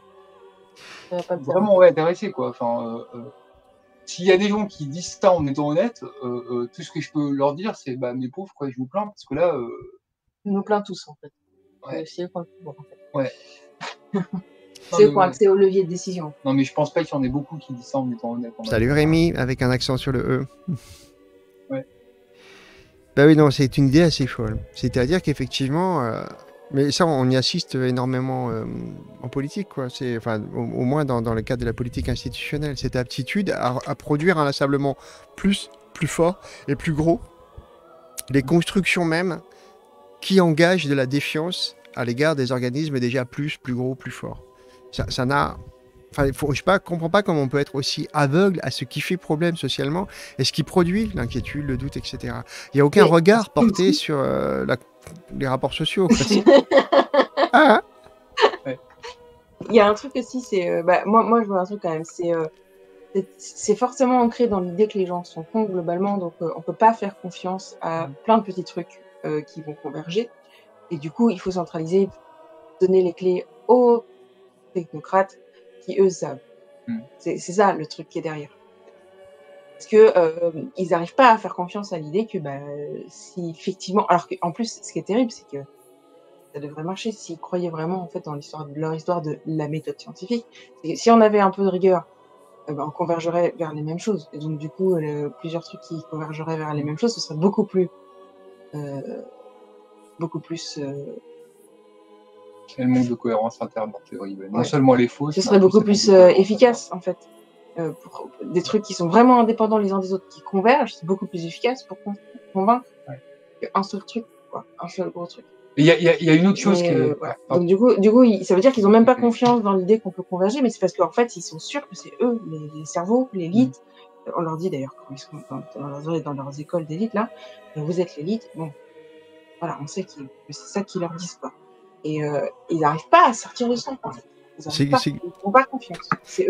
comme, quand ils répondent avec condescendance au sentiment d'humiliation vécu à cause de la condescendance. c'est vraiment ces, grands moments de politique. tout à fait ça. Alors, autre chose, alors, euh, pas du tout surprenant, mais, euh, mais qui, me, qui me fout la rate au courbouillon, c'est que à aucun moment, jamais, ces gens, tous ces gens qui tiennent ce discours n'envisagent euh, euh, le problème sous l'angle de la part légitime qu'il y a à la défense. Clairement. Ça, c'est le Voilà. point aveugle ma- maxi- ma- ma- magistral de, de toutes ces constructions. Oui, bien sûr. étrange après, après des décennies d'empoisonnement au chlordécone, et je ne lâcherai jamais l'affaire sur le chlordécone, que, euh, euh, que dans les Antilles, euh, bah, les gens se méfient en fait euh, de, de- des instances sanitaires françaises. C'est très curieux. C'est étrange, ouais, C'est très curieux. quand même. Après, après qu'ils les aient laissés se faire empoisonner des décennies, même après l'interdiction du, chlor- du chlordécone en métropole, juste parce qu'on pouvait quand même pas se passer de banane, après que du coup ils se retrouvent avec les- le, le- le- le plus fort taux de cancer de la prostate du monde, mais pourquoi sont-ils, pourquoi se méfient-ils vraiment? Enfin, euh, euh, comment se fait-il qu'après on, on- on- on- on les retrouve à être euh, anti-vax Alors qu'on est gentil. Alors qu'on a raison. Tellement. Alors qu'on a raison. Et, Alors- là- et là-dessus, d'ailleurs, je vais les rejoindre. euh, les vaccins, euh, euh, euh, euh, c'est un bon principe. euh, euh, bon, après, faut, chaque vaccin a ses propres euh, spécificités, etc. Mais les vaccins, c'est un bon principe qui marche très très bien. Mais juste, euh, euh, euh, euh, euh, oui, tu as raison là-dessus. Le truc, c'est qu'en fait, euh, tu vas pas les convaincre euh, en disant ta gueule, écoute ton médecin. Euh, euh, euh, les gens qui ont été euh, euh, malmenés par l'institution médicale, Ça va être compliqué. ça va être très très compliqué. Ouais. Au-delà du compliqué, c'est pas raisonnable. C'est pas raisonnable. Et au passage, ça veut dire que d'un seul coup, la réalité les intéresse plus quand il est question du chlordécone. On avait vu comment, comment la FIS avait traité la question du chlordécone. C'était, euh, euh, Ils ont une, co- une cohérence à leur échelle. ouais, à leur échelle, ils ont, ils une cohérence. euh, euh, euh, la réalité ne les intéresse pas. Voilà. Alors pour te répondre, Franz Huss, nous parlons de Virginie Tournet, à l'instant, qui veut créer des Science Media Center à la française. C'est la directrice de recherche, enfin c'est une directrice de recherche au CNRS, euh, et on parle essentiellement d'elle euh, dans le, toujours hein, dans les lectures des gardiens de la raison. euh, on en est là euh, en ce moment. Et là, elle fait du forcing pour essayer de convaincre plein d'institutions de l'intérêt de créer ces euh, Science Media Center, donc des organismes passage- qui fourniraient du prêt-à-parler. Que dis-tu? Au, au passage, sur les, les fake news, etc., là, euh, Ouais. les alternatives, les formes qui prendront demain, tout ça, tout ça. C'est ça. Euh, faudrait, faudrait en, en, en, en parler avec, euh, bah, par exemple, euh, euh, Gwen, Gwen Palares, dont, dont c'est le domaine de recherche. Elle est scientifique, elle. Euh, euh, euh, mais euh, enseigner l'esprit critique euh, euh, par le voilà par le biais de la méfiance vis-à-vis des fake news là, Mm. eh ben euh, ça fonctionne pas. En Bah oui. très mal. L'année... Ça- ça- on pourra en discuter si ça fonctionnait. Ouais. mais il se trouve que ça marche pas comme ça en fait. Voilà. Euh, faudra- faudra- faudrait qu'on l'invite un jour, Gabriel, si elle a le temps. Euh, Bah, euh, écoute, euh, Ah why, not? Euh. Et du coup, euh, en, en fait, euh, c'est quand même assez dramatique parce que qu'est-ce qui fait que ça va dans cette direction? C'est aussi parce qu'il y a des gens qui, ont, qui ont des qui voient là, qui voient dans ces dans ces projets des opportunités de carrière pour eux-mêmes quoi. Je vois pas d'autres. Il y en a, je suis sûre qu'ils ont, il y en a, il y en a. Qui, enfin pour moi il y a des croyances et je suis sûre qu'il y en a plein qui sont dans leur, qui ont de bonne foi. hein. Mais bon, euh, non mais bon, Pas dans ceux qui posent là. Ouais.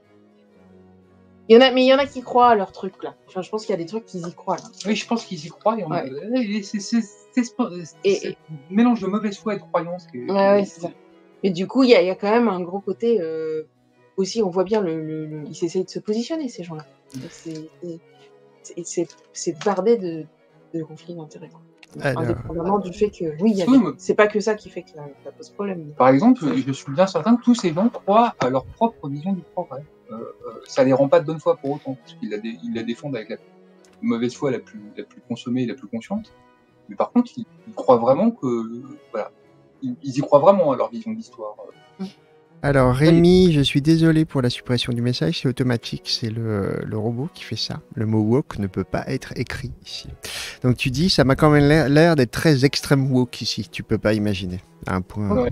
au-delà de, Euh, tout, c'est au-delà de toute c'est- c'est raison, une bouteille d'une référence. ça. j'imagine. Ah oui. Donc désolé pour Et, ça. euh, C'était euh, un, un certain, euh, un certain youtubeur euh, zététicien qui a, qui Qui a qui a parlé d'extrême euh, de, de, de, de- voilà, de tous les gauchistes euh, dans le scepticisme comme des extrêmes woke euh, devenus fous. En- Donc oui, oui. Rémi, bienvenue à bord.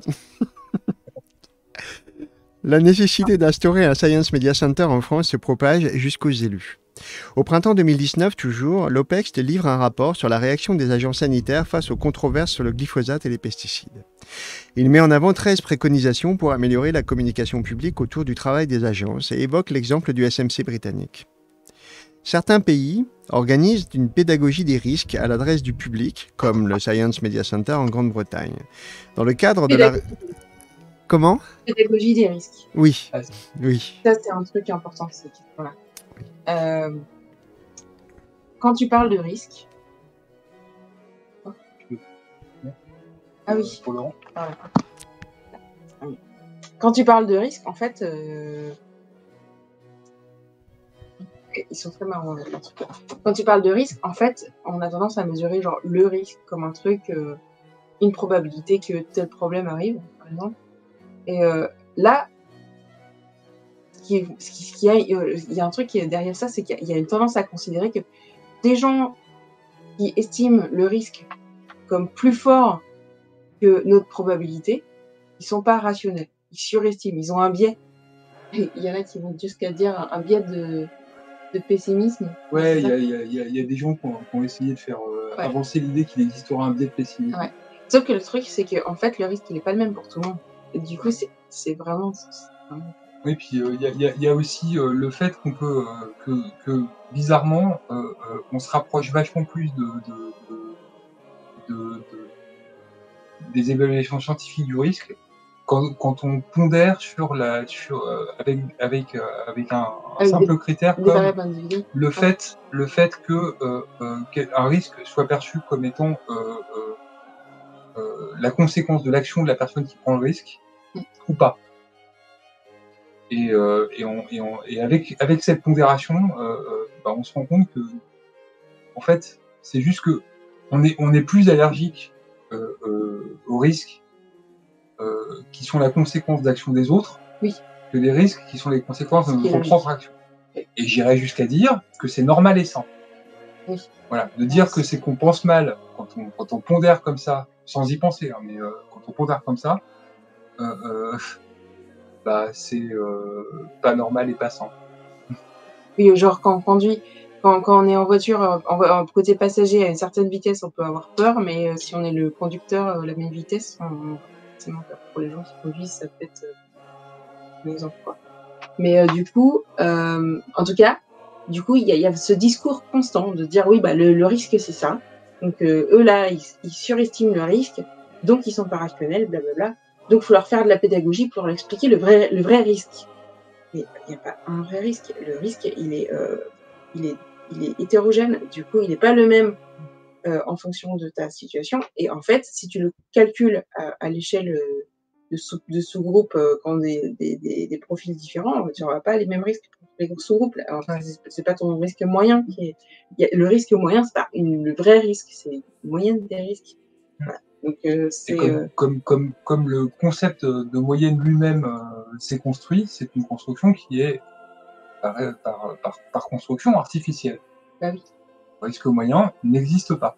Oui. C'est un, un moyen de penser quelque chose. Voilà. En fait, c'est- un outil pour penser quelque chose, mais il n'a pas de réalité en fait.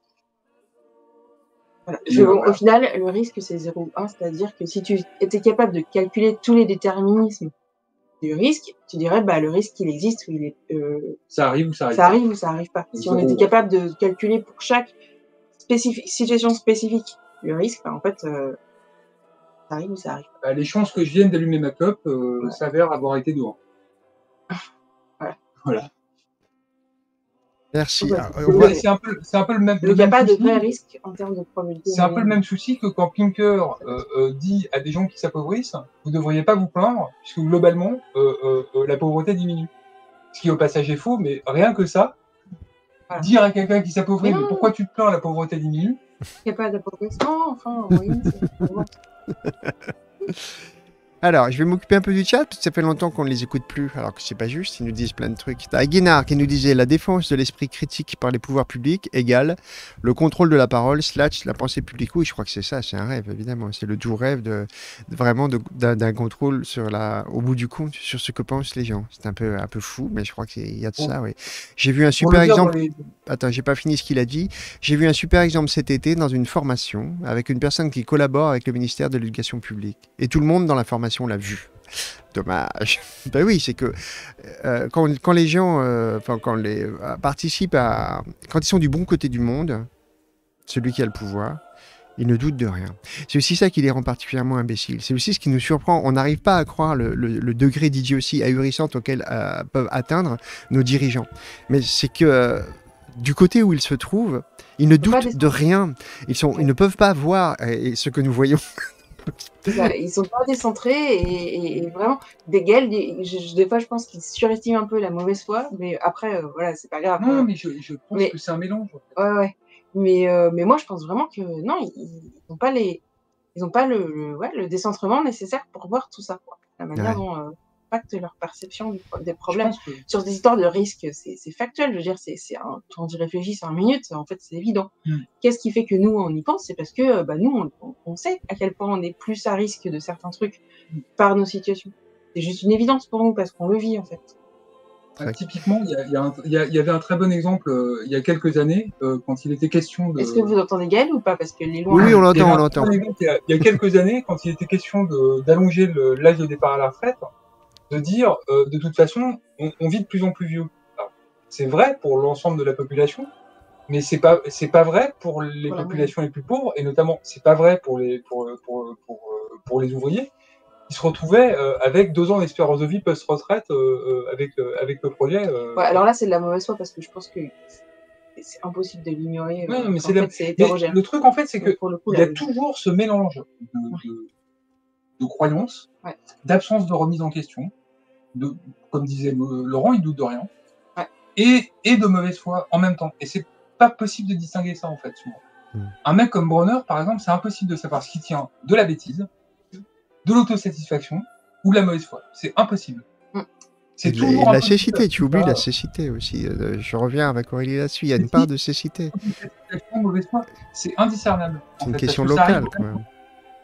il est, il est, il est. Voilà. Du coup, en tout cas, nous, euh, dans ça, on essaie de mettre en, en- en évidence ces, angles morts, on va dire ça comme ça. Je vais dire gentiment. Je poursuis pour le, le chat parce qu'on est encore à la bourre sur le chat. Donc Aguinard rajoutait qu'il y avait Bronner en figure, en figure d'intro de la formation et que ça avait grincé des dents. Lanti qui nous dit le côté wok, on peut l'écrire. Oui, le côté wok des légumes, bien sûr. Alors, Pâte Aseptique nous disait Jacques Camat avait rassemblé des collections de textes des naturiens. Elles sont en téléchargement sur Archive Autonomie. Un des textes s'intitule La science c'est le mal, texte aussi drôle et caricatural qu'un thread de Zetapo. Et je lui ai demandé quand même, Ouais.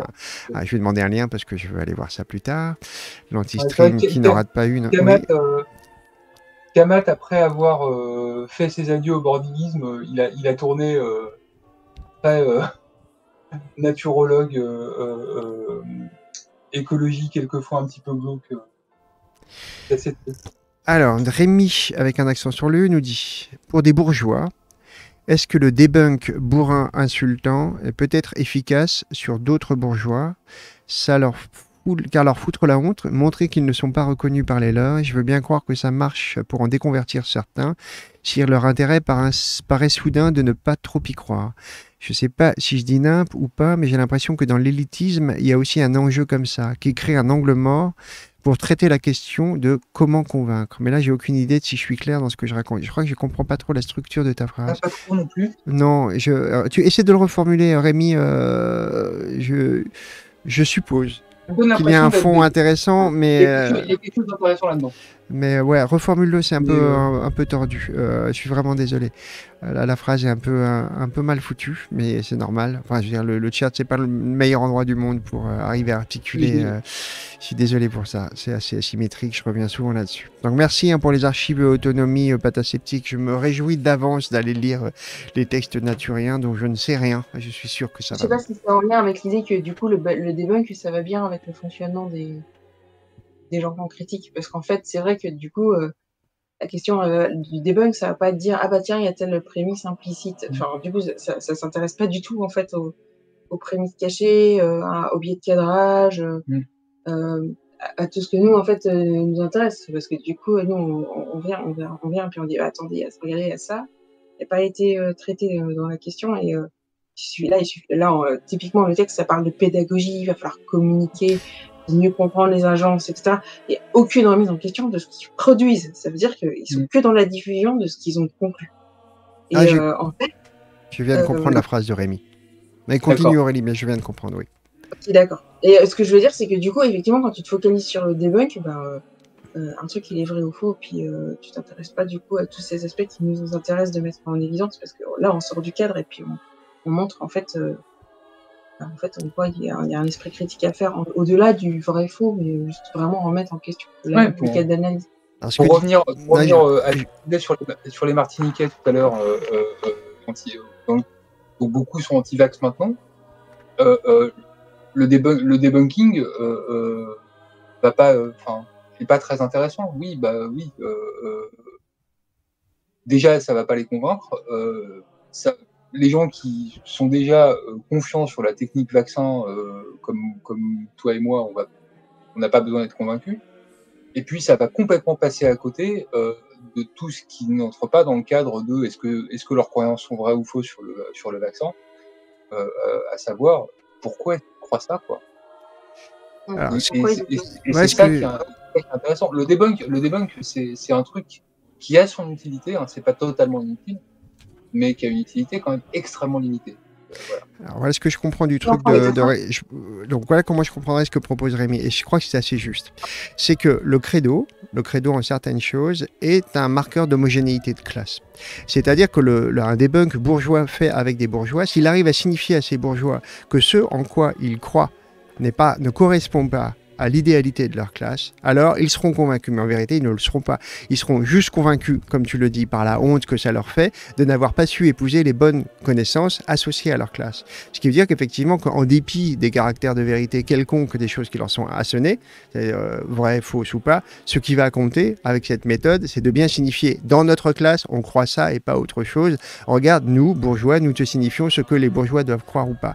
Et donc ces méthodes de brut, euh, donc le debunk bourrin euh, sans souci de l'infinie variété des causes qui conduisent à croire ou à pas croire telle ou telle chose, ça peut peut-être fonctionner effectivement dans des cadres où tel credo peut être un opérateur significatif d'une homogénéité de classe. Voilà ce que je comprends ce que tu dis. Oui, dans ce cas-là, ça me semble assez juste, mais ça explique aussi pourquoi ça ne marche jamais quand euh, c'est un autoritarisme condescendant qui vient d'une certaine classe, que ce soit de la bourgeoisie culturelle, de la bourgeoisie intellectuelle ou de la bourgeoisie euh, euh, financière, on s'en fout, et quand elle s'adresse prétendument au reste du monde. Ça ne risque pas de marcher comme ça parce que c'est effectivement une pratique d'intimidation. Et au contraire, ça ne fait que raffermir le sentiment d'offense, ne serait-ce que dans l'établissement d'une certaine qualité générale de la connaissance qui ferait comme si et pas autrement et qui serait émise par une seule, euh, un seul caractère de classe et par un autre. Donc effectivement, ça ne peut pas fonctionner, euh, sauf euh, bah, dans un désir oui, d'appartenance à, une classe. il y a cette question de nier, nier, nier le, comment dire, nier les craintes des gens. C'est le pire qu'on puisse faire en fait pour les rassurer. Mais à un point. Mais je sais pas, c'est un truc que, que, que on a dû tous vivre à un moment ou un autre, j'imagine. Mais euh, quand quelqu'un te dit, quand tu dis à quelqu'un, tu conduis trop vite, j'ai peur à côté de toi, il dit non, non, mais c'est bon, je gère, je maîtrise.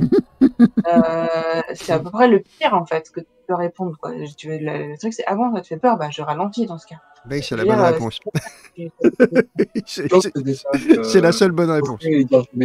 Ça me foutait dans des états. Ah oui, non, mais moi aussi, j'ai connu ça, c'est horrible. Mais du coup, euh, pareil pour les vaccins. Je veux dire, moi, euh, je vis euh, depuis 11 ans euh, au Sénégal. Euh, au Sénégal, nos, nos, nos équipements, ils, ils, tiennent pas le coup quoi. Je veux dire, ils sont pas conçus pour, pour, ils sont pas conçus pour les conditions. On se retrouve toujours avec des équipements qui morflent. Mais nos voitures, nos tout, euh, genre même les abribus ils tiennent pas. Euh, le, les, les, premières installations qui sont faites en mode copier-coller des trucs du Nord, ça casse quoi. Ça marche pas parce que c'est pas fait pour les conditions climatiques, euh, température, euh, mode de vie, il y a plein de choses qui vont pas quoi. Et du coup, euh, c'est logique et rationnel d'étendre le, le, ce sentiment que. je, fais, je fais le. ok, d'accord, continue. Tu fais la, la manique. La, ma, la, la manique, ouais, je fais la manique. Euh, c'est logique d'étendre ce sentiment que les trucs qui ne sont pas de bonne qualité euh, au vaccin. Moi, du coup, j'ai la possibilité de mesurer le décalage de confiance que j'ai dans un vaccin que je fais en Europe et dans un, un, vaccin que je fais en Afrique parce que je connais les deux conditions et je vois qu'en fait ça, ça impacte ma confiance en fonction de où je suis. Et du coup, je me suis fait vacciner en France parce que j'étais plus à l'aise, j'avais plus confiance. Et je comprends en fait que du coup, euh, bah, mes collègues ou les personnes que je connais euh, là où je vis, bah, elles n'ont pas confiance parce que c'est impacté par euh, ça, me déconcentre par, euh, bah, bah, par les conditions de vie, par nos conditions de vie. Donc, à un moment, si tu veux résoudre le problème, il va falloir dire, OK, vous n'avez pas confiance. Pourquoi? Ah, mais c'est vrai qu'il y a euh, des différences. Quand on copie-colle, ça marche pas. Euh, un truc, par exemple, pour les vaccins qui peut se produire, c'est les conditions de conversation ou de conservation. Même si on a les mêmes vaccins, bah, les, les, conditions de transport dans des conditions climatiques, les conditions de réfrigération, etc. Est-ce que c'est aussi fiable? Interrogez ça, en fait dire ok bah on va vérifier toute la chaîne et on va voir où est-ce que ça peut déconner euh, qui fait que vous avez raison de pas avoir confiance et puis gérer ouais. le problème pas partir du principe que le manque de confiance ça vient euh, le oui. problème c'est que les gens ont pas confiance c'est la solution en fait c'est le, le, premier pas vers la solution ah bah, je suis ravi de voir que je n'ai pas trahi euh, la, la, pensée et la parole visiblement de Rémi qui me dit que... Au moment, au moment où tu as commencé, euh, le premier message est arrivé et... ouais. et bah... Bon bah c'est bon, ça va, je t'ai compris Rémi. Donc c'est pas ta phrase qui était tordue, visiblement c'est moi qui ai l'esprit d'escalier qui ai mis un peu trop de temps à te comprendre, ouais. tu vois. Elle était un peu alambiquée mais, euh, mais on, on, sentait bien qu'il y avait de, de, toute façon dès le départ... Oui, complètement, voilà. Bon, c'est pour ça, faut pas... On, on prend le temps qu'il faut, mais... On était donc sur la pédagogie des risques. Euh, dans le cadre de la réforme de l'EFSA, l'autorité européenne de sécurité des aliments, proposée par la Commission européenne, le renforcement de la communication sur les risques constitue un objectif central. L'ensemble des acteurs rencontrés par vos rapporteurs insistent sur la nécessité de renforcer la communication sur les risques qui, malgré des progrès, notamment des pratiques des agences durant la dernière décennie, restent perfectibles. La communication doit ne pas se limiter à la mise à disposition d'informations, mais se traduire par un accompagnement vers une meilleure compréhension du travail des agences et de la portée de leur avis à travers notamment des communiqués et synthèses accessibles au grand public, qui est, comme on le sait, tellement con. Alors même qu'il a jeté une lumière crue sur la porosité de certaines agences européennes au lobbying des firmes, le cas du glyphosate est ici retourné comme un argument en faveur d'un SMC. Petite, pause rapide juste. Euh, sur le grand public qui est bien sûr complètement con. Euh, euh, j'ai toujours trouvé très intéressant que, les politiciens, parce que c'est plus généralisé que, les questions de. Depuis depuis Giscard et la montée de, d'une conception technocratique de l'exercice du pouvoir, euh, euh, euh, régulièrement, les politiciens, quand on n'est pas d'accord avec eux, ils invoquent le fait qu'ils n'auraient pas fait assez de pédagogie. Et alors, pédagogie, je trouve le terme extrêmement intéressant parce que la pédagogie, comme son nom l'indique, c'est le fait d'apprendre à des enfants. Donc on est vraiment pris pour des lapos de trois semaines, quoi. Ouais, c'est toujours le cas. Et en plus, nous sommes pris prenez la pro de trois semaines par de parfaits crétins, ce qui est quand même un tout petit peu insultant à la longue. C'est très pénible. humiliant de, de- de Se faire expliquer des trucs par, par Darmanin, c'est pénible. Ouais, voilà, ouais. Franchement, il y a des jours où ça vous frise un peu. C'est un peu comme Alexandre Benoît mastiquant du fromage. hein. Ça appartient à une chose pénible. Donc, si les citoyens ont paniqué, c'est parce qu'ils ont mal compris comment les agences fonctionnent. Il faut donc mieux leur expliquer. Je pense que si, si c'est pas clair à ce stade, Ah, Ouais. franchement, ouais. Une fois la communauté scientifique ralliée, en apparence du moins via le Collège de France, une fois les parlementaires sensibilisés, reste encore à attirer l'attention de la haute administration. Un Science Media Center pourrait à ce stade lui être présenté comme une solution portée par les scientifiques les plus valables, les amateurs de sciences, mais aussi par un socle de hauts fonctionnaires de l'éducation et de la recherche. Et c'est ainsi que le samedi 22 février 2020, recteurs et anciens ministres sont conviés à Lyon pour participer à une grande journée organisée par Virginie Tournay sous l'égide du Grand Orient de France, principale obédience franc-maçonne en France. Bon, il y a un encadré. Ah. Ouais, Non, un encadré, euh, juste pour. pour euh, le, L'intertitre là, du passage s'appelle Le relais franc-maçon. Donc, euh, euh, euh, Foucard, Aurel et Laurence ont eu la présence d'esprit et euh, c'est une très bonne idée de faire un encadré pour, pour expliquer une bonne fois pour toutes qu'il n'y a pas de complot maçonnique, que c'est pas de ce, ce dont ils sont en train de parler. euh, voilà, c'est la, la, la franc-maçonnerie n'est pas un complot. Pour, euh, pour, euh. Il s'agit pas de ça. Voilà. C'est juste des rapports factuels Arrêtez avec euh, avec euh, un club qui existe, Oui. voilà, qui a donc des fonctions, qui, a des, euh, qui est une institution, qui a des autorités, point. Voilà, bon, elle existe, on en tient, on en tient compte dans ce cadre, et c'est pas la peine que je vous lise l'encart, on est d'accord, on n'est pas en train de lire des gros débilos il y a d'extrême droite. euh. forcément des effets de structure informelle, parce que ça, c'est vrai, c'est important, hein, juste de dire que, en fait, quand tu as des clubs, effectivement, du coup, tu as des gens qui se connaissent dans Oui, les c'est comme clubs, le Lions qui, Club. qui ou- communiquent, Bon. qui ont des relations, que ça les pistonne, etc. C'est Mm. clair, c'est vrai dans tous les clubs. Voilà. Bah, il communique beaucoup, hein, le, le Grand Orient de France, hein, de plus en plus. hein. Enfin, il y a, ouais, il y a beaucoup de communication. hein. Alors, qu'est-ce que c'est le message? Ah bah oui, mais en russe, ça va pas être possible, fils. Je ne comprends pas le russe. Donc, tu peux écrire des choses abominables, je ne le saurai jamais. Ah Le style, euh, ils insistent aussi sur le fait dans, dans le- dans l'encadré que. Salut, Richie euh, Louis. Bah, y a, y a- dans dans l'histoire de la maçonnerie, il y y a tout un courant authentiquement progressiste pour le euh, que, que, euh, la, la franc-maçonnerie a été partie prenante de euh, de l'histoire du mouvement rationaliste depuis ses débuts, donc depuis son époque la plus saine, quoi. Donc euh, c'est pas euh, euh, c'est pas une euh, ce qui est dit sur les relais francs-maçons ne, ne, ne prétend pas faire ne prétend pas faire un horizon de ce qu'est la franc-maçonnerie.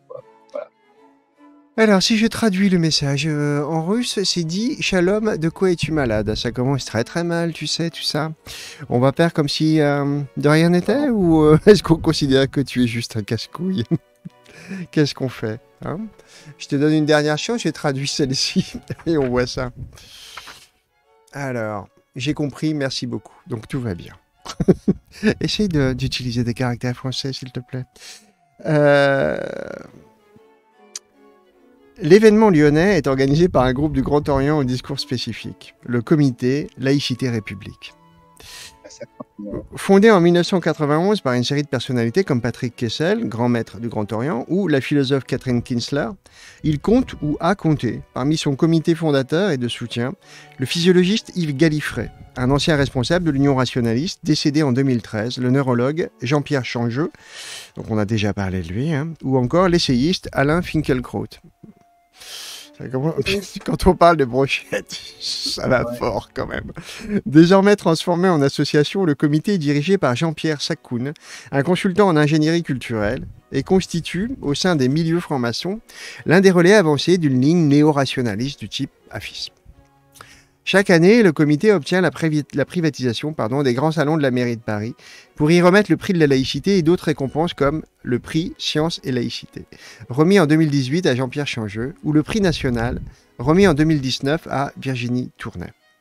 C'est pas Encore du tout elle. du tout consanguin. Pas du tout. Pas du tout. Alors, il y a Claire qui nous envoie un lien YouTube. Je ne peux pas aller le voir. Donc, si l'un d'entre vous deux peut aller, parce qu'à chaque fois, ça fait laguer le truc. Donc, ouais, je vais peut-être pas aller voir. voir. Je suppose que c'est une petite blague. Les cartons d'invitation portent le logo de la mairie et la cérémonie est traditionnellement introduite par la maire en personne.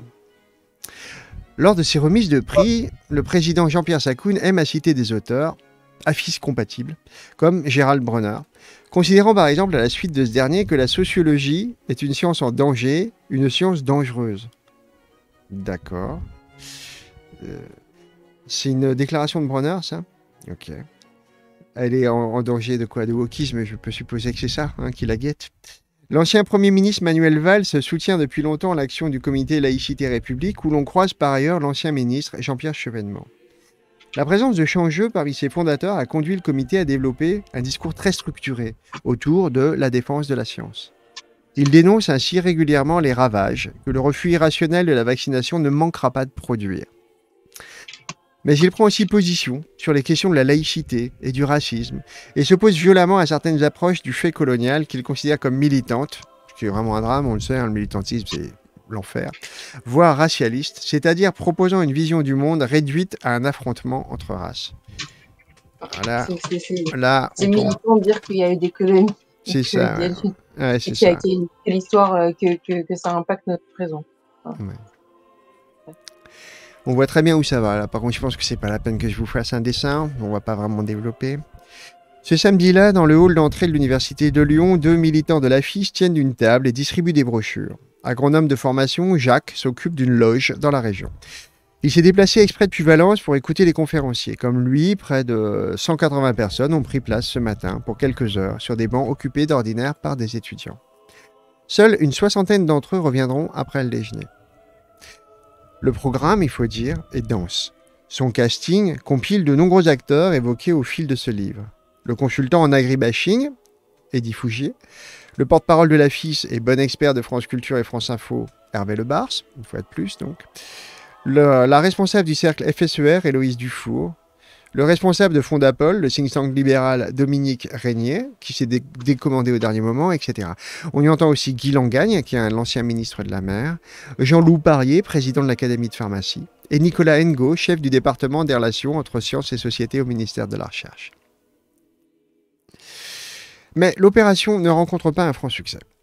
À la pause, Jacques enfile son sac à dos. Je suis assez surpris, c'est assez scientiste et dogmatique, lâche-t-il. Visiblement peu convaincu malgré une exposition prolongée à ce discours à prétention savante. Surtout intéressé par la dimension spiritualiste et réflexive de l'engagement maçon depuis le début de sa retraite, Jacques exprime sa déception.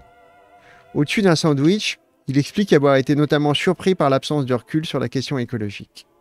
Avec d'autres frères, il prendra la parole en cours d'après-midi depuis l'amphithéâtre et lors de la traditionnelle séance de questions pour s'étonner de l'absence de certains sujets.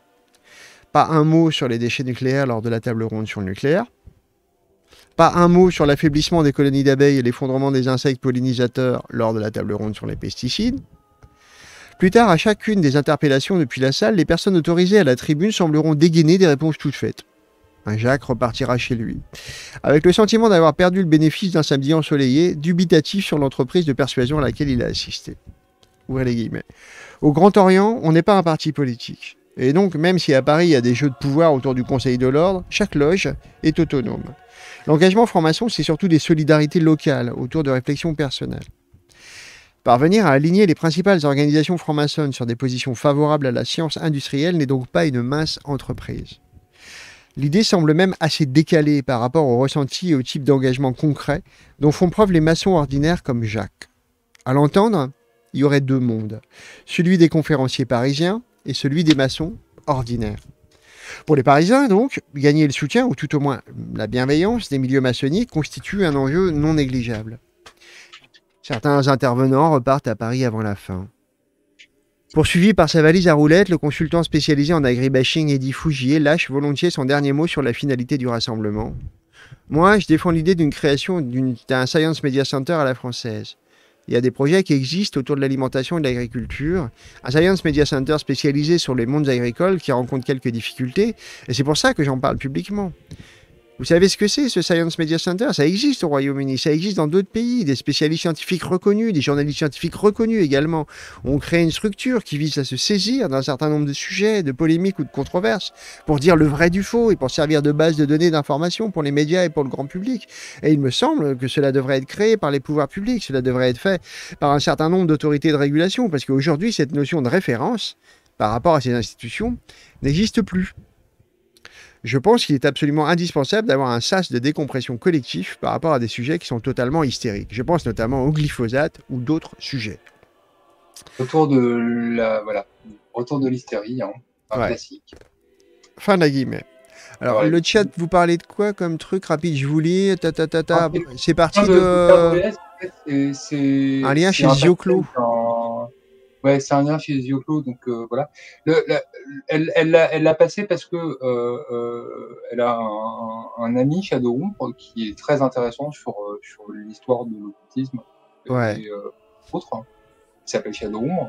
Ouais, je vois ce que c'est. Ouais, qui est Mais qu'est-ce qu'il est allé foutre chez Zioclo informé. Il est pas très informé sur les questions. Ah oui, là, on nage en pleine confusion quand même. hein. il savait pas où il, était, où il allait. Visiblement, en plus, il s'est retrouvé avec Tabibian euh, euh, euh, dans, la même, dans, le- Bah, dans le même passage. Il n'était pas au courant. C'est normal chez Zioclo, non? C'est- Oui, euh, Il a tout à fait sa place là-bas, oui. Oui, Tabibian est à, à sa place beaucoup plus que Shadow, en l'occurrence. Donc, j'ai renvoyé vers la chaîne de Shadowroom. Ouais, c'est bien. c'est une bien. vidéo où il parle de franc-maçonnerie, de la bonne qualité. D'accord. Tu proposes de supprimer le, le lien? Bon, on peut faire ça, ouais. Hop. Voilà, voilà, voilà. Ouais, ouais, c'est pas la peine de faire de la pub à ce truc. Je ne ferai aucun Ah oui. comment. J'ai pas envie de faire de commentaires il dit, là-dessus. Il n'y a rien à en dire. est la confusion, mais c'est exactement ça. Non, trop de gouttes de salive euh, mérite pas, aucun intérêt. La plupart des interventions ont pour point de fuite la création de cette instance de régulation de l'information scientifique. Rumeurs et fausses nouvelles seraient reprises par les journalistes de façon systématique. Il faut réagir. Hervé Lebars, le porte-parole de la FIS, propose une intervention composée de captures d'écran montrant ses échanges sur les réseaux sociaux. Échange où il décrit notamment sa farouche opposition à Stéphane Foucard, dont les articles du Monde sont projetés à de nombreuses reprises au cours de la journée comme autant de contre-exemples à ne pas suivre. Ah, oh. Alors, la petite planche diapositive que j'ai là, c'est juste un exemple de ce qui se passe presque tous les jours sur les réseaux sociaux. C'est public. Ce tweet, c'est le réalisateur de l'émission Envoyé spécial, qui a justement donné la parole à Monsieur Serralini. Et donc, il critique la FIS régulièrement. Et donc là, on voit la FIS, trop souvent citée comme source scientifique, crédible, continuait d'affirmer en 2012 que le glyphosate était biodégradable, mensonge qui avait déjà valu condamnation pour Monsanto. Alors, sur ce, moi, je lui réponds, en tant que porte-parole de la FIS, hein, que le glyphosate est biodégradable, et il l'a toujours été depuis 1974. 74, pardon. Sur ce, Stéphane Foucard, du Monde, qui est un de nos opposants vraiment très très virulent, me dit tout de même que le produit peut, s'il fait très froid et très sec, entraîner une pollution du sol. Mais euh, biodégradable par définition, c'est qu'il est dégradé par des microbes, c'est ça la définition. Donc si vous le mettez dans un endroit froid et sec, c'est le principe du réfrigérateur, du congélateur, bah il se biodégrade plus, c'est totalement normal. C'est justement euh, presque la preuve, c'est la preuve qu'il est biodégradable. Mais bon, tout ça, ça leur a échappé. hein. Je pense que ça montre un petit peu qu'ils sont dans une bulle informationnelle. Dans leur bulle informationnelle, le glyphosate n'est pas biodégradable. C'est acquis définitivement et ils vont pas chercher les données scientifiques. Alors moi, je comprends pas. Je sais pas euh, expliquer ce qui se passe, mais je crois qu'il y a un grave problème d'information parce que l'information passe pas et j'arrive pas, n'arrive pas au public. Et donc là, euh, je passe, euh, mais là, euh, sur cette diapositive, c'est un troll, enfin un autre anti-troll, car on nous a dit qu'on était des trolls, qui me dit vous méritez au mieux la prison. Et le reste, bon, j'arrête. Vous voyez, c'est très tendu sur les réseaux sociaux. Il ne lit pas la partie de l'image où la fille est clairement traitée de salope des lobbies par un internaute anonyme. Dans la zone mondaine de l'estrade, nombreux sont les professeurs émérites, à la retraite, encadrant encore quelques thèses, en poste dans l'administration centrale, loin de leur laboratoire depuis plusieurs années. Aussi, beaucoup dézonent de leur champ de compétences, à l'instar d'Hervé Lebars, initialement ingénieur informaticien qui intervient ici sur la question du glyphosate. Difficile de saisir l'effet direct que peut avoir ce type d'événement sur les lieux de décision que sont les cabinets ministériels et les directions générales d'administration centrale. Mais la réunion... Comment? Oh, je dis, oh bah, pff, vu Mm. comment, on a, quand la, comment la pandémie a été gérée, euh, Ouais. Oui, c'est vrai. Ouais. Si, si, bon, c'est pas du tout difficile de saisir. Mais la réunion dans un même lieu d'anciens ministres, de députés, de professeurs d'université, d'agents du ministère de la Recherche et de responsables d'académie produit en soi un effet de sociabilité. non négligeable. Ces acteurs se reconnaissent mutuellement, comme appartenant à une même communauté d'experts. Des individus convergents sur les réseaux sociaux se rencontrent pour de vrai, à l'instar d'Eddie Fougier, qui n'avait jusqu'ici jamais rencontré Virginie Touré, euh, Tournay pardon, in real life. IRL. IRL. Ces formes Alors, de sociabilité, qui sont tout autant d'outils de percolation des idées, comme le Science Media Center, existent également dans certains clubs mondains, qui imitent le fonctionnement des clubs élitaires comme l'Automobile Club ou le Siècle, tout en les adaptant à la zone mondaine de la science. Le plus en vue est le Club Lavoisier. Animé par Catherine Bréchignac, ancienne présidente du CNRS et soutien des climato-sceptiques pendant de longues années, ce club est piloté par le cabinet de relations publiques Bourri, Talon et Associés, pour le compte du groupe agrochimique allemand Bayer, devenu propriétaire de Monsanto en 2018. Sa fonction principale consiste à rassurer l'industrie. Lors de ces dîners placés, euh, lors de ces dîners placés sont réunis des personnalités des mondes de la recherche et de l'industrie. Ainsi, en 2018, le PDG de Bayer France, Franck Garnier, s'est senti contrarié par la remise du prix de l'Union rationaliste à Stéphane Aurel pour son livre Intoxication. Je vous rappelle que Stéphane Aurel est un des co-auteurs du livre que nous sommes en train de lire, hein, comme tout à l'heure euh, Stéphane Foucard. euh, mais comme on parle souvent de Foucard, on ne parle pas de ses deux collaborateurs, je le rappelle ici. Qui raconte les efforts de son propre groupe, notamment, pour empêcher la réglementation des perturbateurs endocriniens, des produits chimiques toxiques que l'on trouve dans les pesticides ou les plastiques. Lors d'un dîner du club Lavoisier, il a alors pu être placé, le plus grand des hasards, à côté de Michel Leduc, la vice-présidente de l'association qui devait remettre le prix à Stéphane Aurel quelques jours plus tard à l'école normale supérieure. Bien belle opportunité de lui rappeler combien les journalistes sont si injustes avec le secteur de la chimie. Mais cette campagne tout azimut en faveur de la création d'un Science Media Center nécessite aussi le soutien de citoyens ordinaires. C'est là qu'interviennent des consultants, comme Antoine Brachet, expert du think tank de Mathias Dufour, euh, hashtag le plus important. Il est l'un des responsables de campagne de Blue Nove, une agence de conseil parisienne spécialisée dans le numérique, similaire à Gene Agency. On en avait parlé au chapitre 4 de Gene Agency. Ses clients sont L'Oréal, Engie, EDF, AXA, LVMH, Pernod Ricard. Ses produits, ce qu'elle appelle l'intelligence collective à savoir la capacité à mobiliser des communautés de grande taille, des centaines, de dizaines de milliers de participants, sur des enjeux clés pour co-créer en un temps court des solutions nouvelles. Donc ça, c'était entre guillemets, hein, co-créer en un temps court des solutions nouvelles. Antoine Brachet et Mathias Dufour se connaissent depuis au moins 2012. À cette époque, le premier avait créé Futurbulence, au secours. Futurbulence, un petit groupe informel réunissant journalistes universitaires et responsables de communication numérique de grands groupes afin d'organiser des débats avec des personnalités ou de réfléchir au futur possible de notre société autour de projets supposés inventifs comme l'écriture d'un dictionnaire corrosif. Alors c'est quand même pas mal parce qu'ils se sont donné la peine de mettre futur au pluriel quand même. Oui.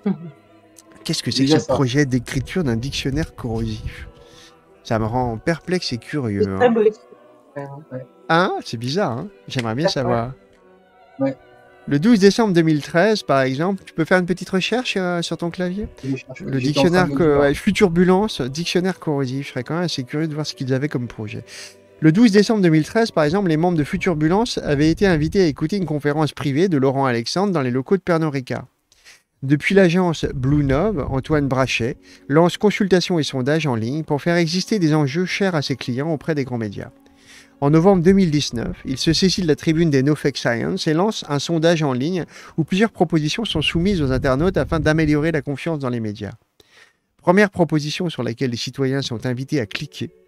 Un consortium national médias, État, police, justice, GAFA. La vache.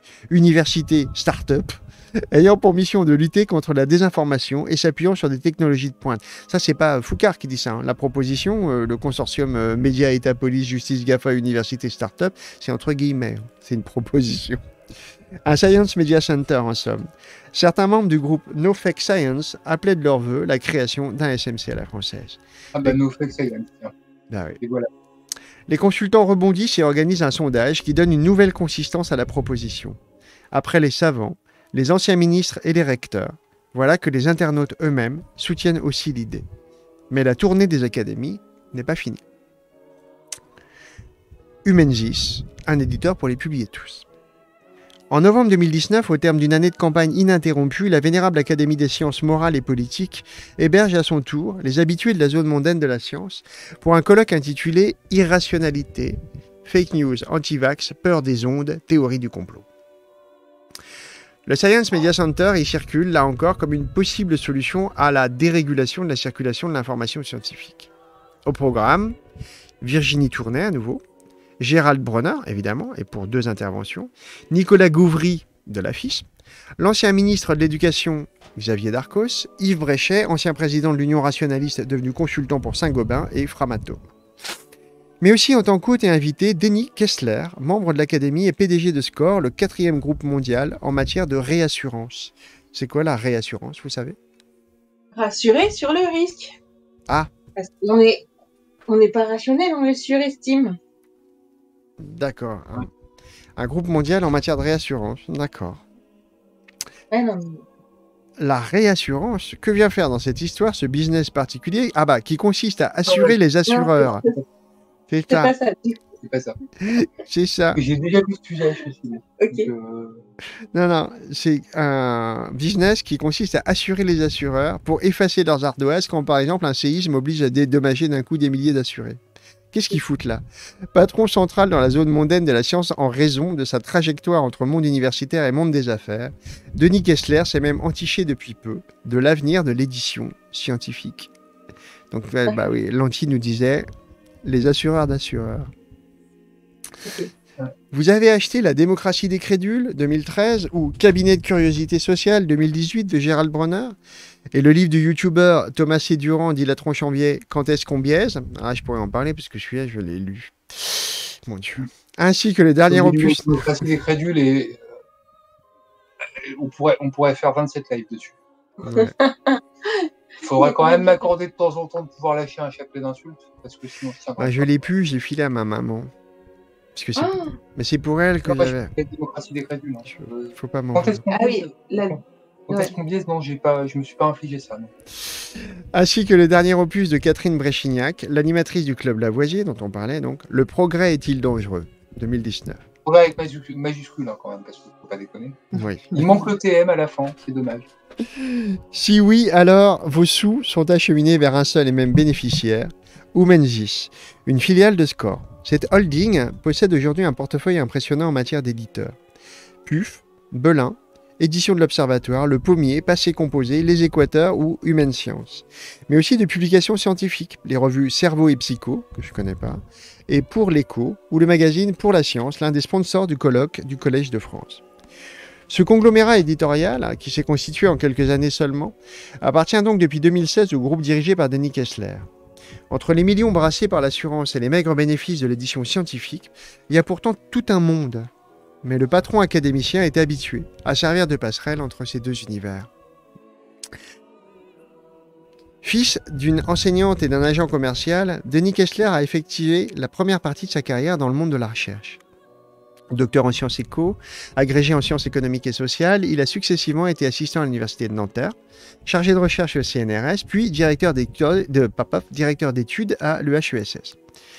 Dès ses premières années d'enseignant, écrit le sociologue Frédéric Pierru, Denis Kessler participe aux réflexions pionnières du Centre de recherche en économie sociale, au sein duquel Émile Lévy, proche de Raymond Barre, s'efforce de professionnaliser l'économie de la santé, ainsi qu'à celle du laboratoire de l'économie et de l'assurance où le fait venir son professeur à HEC, Dominique Strauss-Kahn.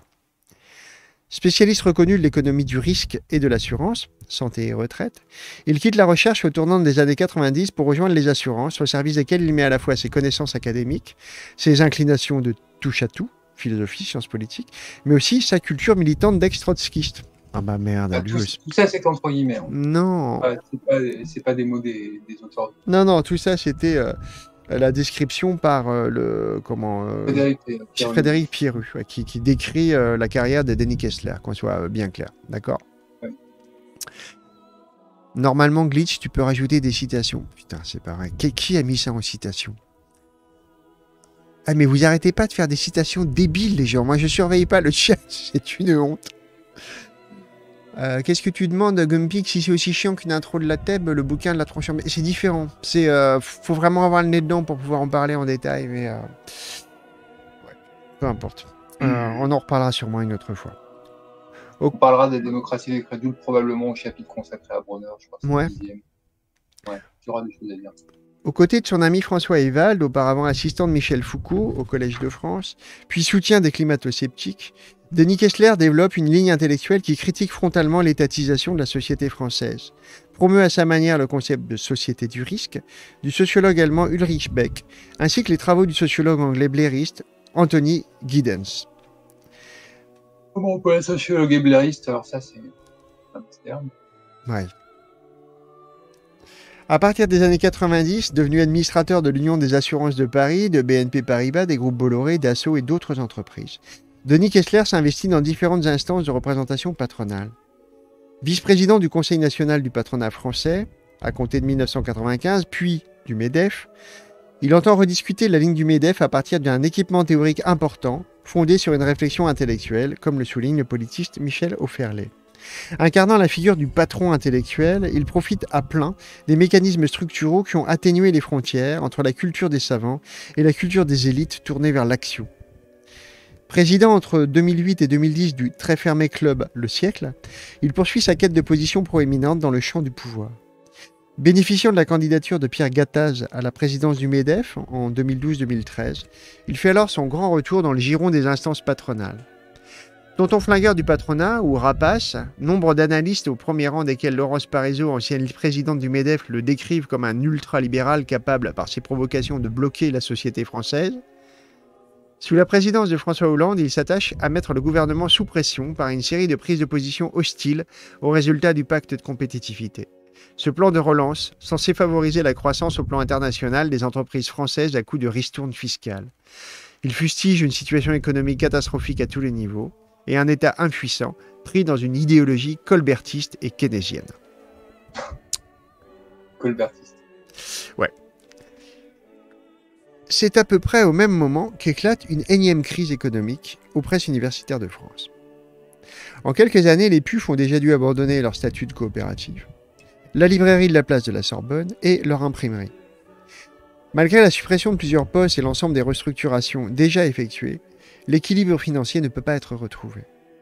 En 2012, les éditions affichent des pertes à hauteur de 300 000 euros. Une partie des actionnaires et auteurs influents, au premier rang desquels Alain Bauer, ancien grand maître du Grand Orient de France, l'économiste Jean-Paul Bedbez et l'éditorialiste Yvan Riofol, critiquent la gestion de la présidente du directoire, Monique Labrune, directrice éditoriale reconnue. Elle avait dû succéder sans enthousiasme à ce poste à Michel Prigent, décédé en 2011. Libris, l'actionnaire principal, et réunissant les auteurs importants, cherche à vendre ses parts. Gallimard aurait pu être intéressé, mais vient de racheter Flammarion et ne peut se permettre une autre acquisition. La place est donc libre pour une entrée en scène de Denis Kessler et Score. On parle des pufs quand même. Vous voyez le, le poids de crédibilité que ça représente quand même. Ouais. Avec son parcours particulier, le PDG, parce que là, on a l'air, ça a l'air chiant. Ce que je dis est chiant, je me rends bien compte que c'est un moment chiant. Mais euh, on voit ce qui se joue comme un jeu. Quoi. Avec son parcours particulier, le PDG maîtrise le langage de l'universitaire autant que celui du chef d'entreprise, ce qui lui permet d'évoluer sans peine dans la zone mondaine de la science pour y pousser ses pions. Les PUF constituent un patrimoine français qu'il était intéressant de sauvegarder, déclare-t-il, pour justifier leur rachat, lorsqu'il acquiert près de 51% des parts pour une somme symbolique. Alors, qu'est-ce que tu dis? Sa dénonciation de colbertisme était un contresens, là, non? Ben Moi, je sais pas, mon vieux. J'ai de, de, Colbert des souvenirs euh... plus que lointains. Hein. Là, euh, Cette euh... était un contresens historique. Euh, et il me donne envie de défendre Keynes, en fait. Euh, J'ai pas envie de défendre Keynes, mais... Euh, ben, je suis en train de lire en ce moment ces petits essais sur la monnaie, c'est pas mal, hein, franchement. Hein. Ah non, un voilà, petit, le petit traité sur la monnaie, c'est bien. Hein. C'est pas ma, c'est pas. Ah ma ouais, j'y de- prends vraiment du Oui, plaisir. C'est sûr, mais c'est pas, mais c'est pas non plus, euh, c'est pas non plus insultant euh, keynésien en fait. Ah ouais, franchement. En l'occurrence, c'est assez marrant de. Et de- Colbertien, de- du coup, ça voudrait dire quoi, Colbertien? Euh, euh, en gros, je pense que ce qu'il essaye de dire, c'est que ça serait un retour, ça serait un retour au, au mercantilisme. Et, c'est un non-sens à la fois sur Colbert et sur Keynes, quoi. Je connais pas la doctrine euh, économique de Colbert, du tout, pour tout Ouais. te dire. Ouais, j'en sais rien. Je regarde rapidement, est-ce qu'il y aurait quelque chose qui résumerait ça? Parce que moi, je sais pas. Alors, alors hein, donc c'est bon, alors, bon, on sait tous que c'est le ministre de Louis XIV, ça on sait bien. Qu'est-ce qui, c'est quoi sa doctrine? Alors, entre au service du roi à la mort, son protecteur, promoteur d'une politique économique interventionniste et mercantiliste, ultérieurement Oui, appelée colbertisme. Donc interventionniste, je vois, c'est en ça qu'il est proche de Keynes, je suppose, et mercantiliste, c'est un- un courant de la pensée économique contemporaine de la colonisation du Nouveau Monde et du triomphe de la monarchie absolue, le mercantilisme. Alors, qui considère que le prince, dont la puissance repose sur l'or et sa collecte par l'impôt, doit s'appuyer sur la classe des marchands et favoriser l'essor industriel et commercial de la nation afin qu'un excédent commercial permette l'entrée des métaux précieux. D'accord. Il y a, a- a d'autres attendus à ça. Par exemple, ce qui le distingue du libéralisme, c'est euh, que euh, la doctrine mercantiliste euh, poussait à, à faire commercer les, les- les colonies avec leur métropole exclusivement et d'être protectionniste à l'extérieur, alors que le libéralisme, voilà, au contraire, part du principe qu'il faut pas être protectionniste à l'extérieur bah, parce que euh, bah, voilà, doctrine des avantages comparés, quoi. Euh, ça va être un petit peu long d'expliquer pourquoi, mais euh, c'est pas du tout le même type d'inter- d'interventionnisme que Keynes. Et puis d'autre part, c'est quand même assez gonflé de parler d'impuissance euh, euh, et de rapporter ça à un keynésianisme, parce que quelles que soient les critiques que je peux avoir, sans surprise en tant que marxiste, sur la doctrine de Keynes, une chose est sûre, c'est que elle n'a pas vraiment montré son impuissance. Au contraire, elle a plutôt, elle a plutôt été un, un bon levier pour, euh, pour euh, sauver le capitalisme et, sortir de l'ordi- de l'ornière de la crise de 29. Quoi. Donc, euh, donc euh, euh, euh, attribuer ça à de l'impuissance, euh, c'est Bonne nuit, Lanky. un mensonge ou une stupidité, c'est au choix. Ouais. Ouais, Colbert, Col Noir aussi. Alors, il y, aura Bah oui, prône le développement économique par l'enrichissement des nations au moyen d'un commerce extérieur convenablement organisé en vue de dégager un excédent de la balance commerciale. Donc on voit effectivement euh, au XVIIe siècle, euh, le commerce triangulaire, c'est euh, c'est vraiment la grosse force de frappe du commerce extérieur, quoi, clairement. Donc oui, le code noir rentre dans cette vision du monde. No c'est- c'est- le code noir, c'est une, une force de comment dire d'harmonisation et de régulation de l'esclavage. Euh, Ce qui veut dire que aussi horrible que soit son contenu, je sais que c'est à gerber. euh, euh, dans une certaine mesure, c'est une amélioration par rapport à la situation, euh, par rapport à la situation.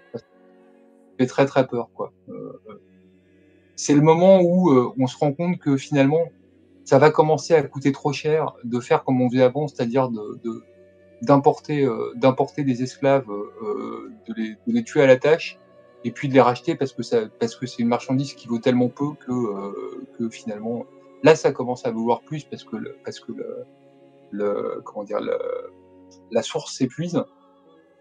Donc euh, les esclaves commencent à coûter trop cher euh, et du coup il faut les entretenir. Et le code noir vient euh, vient réguler ça quoi pour bon bref on est on est dans le glauque là. On est dans le, on est dans le crime contre l'humanité hein. Euh, Alors, oui, on est dans le glauque, on continue. Non, j'allais dire le moins glauque. Oui, Ouais. oui, dans une On- certaine mesure. on est on, on quitte en tout cas le crime contre l'humanité quoi C'est ça, on, on quitte juste le crime contre l'humanité. En 2016, les éditions Belin, alors en difficulté, sont également rachetées par la SCORE. Interrogé en juillet 2016 par le quotidien Les Échos, le professeur Denis Kessler est présenté en éditeur sauveteur. Il constitue une société anonyme au capital de 381 000 euros pour réunir toutes ses acquisitions du monde de l'édition savante. Ce sera le groupe Oumensis, issu de la fusion d'Epuf et de Belin. 26, ouais. Mais le vernis intellectuel est désinté. Et... Oui, tu as raison, pata sceptique. Lisez Trou, Trou, c'est bien. le vernis intellectuel est désintéressé s'estompe vite. La gestion d'Humensis s'aligne en quelques semaines sur ce qui se fait systématiquement dans d'autres secteurs qui viennent de fusionner. Les économies d'échelle sont menées à marche forcée. Aussitôt nommé, le nouveau directeur général, Frédéric Mériot, recruté chez Editis, le deuxième groupe d'édition en France, opère des coupes claires dans les effectifs. Puis, après la création de Mengis, il s'attaque à la décapitation des foyers de perte, abandon de la collection Poche, délégation des activités de distribution à Flammarion.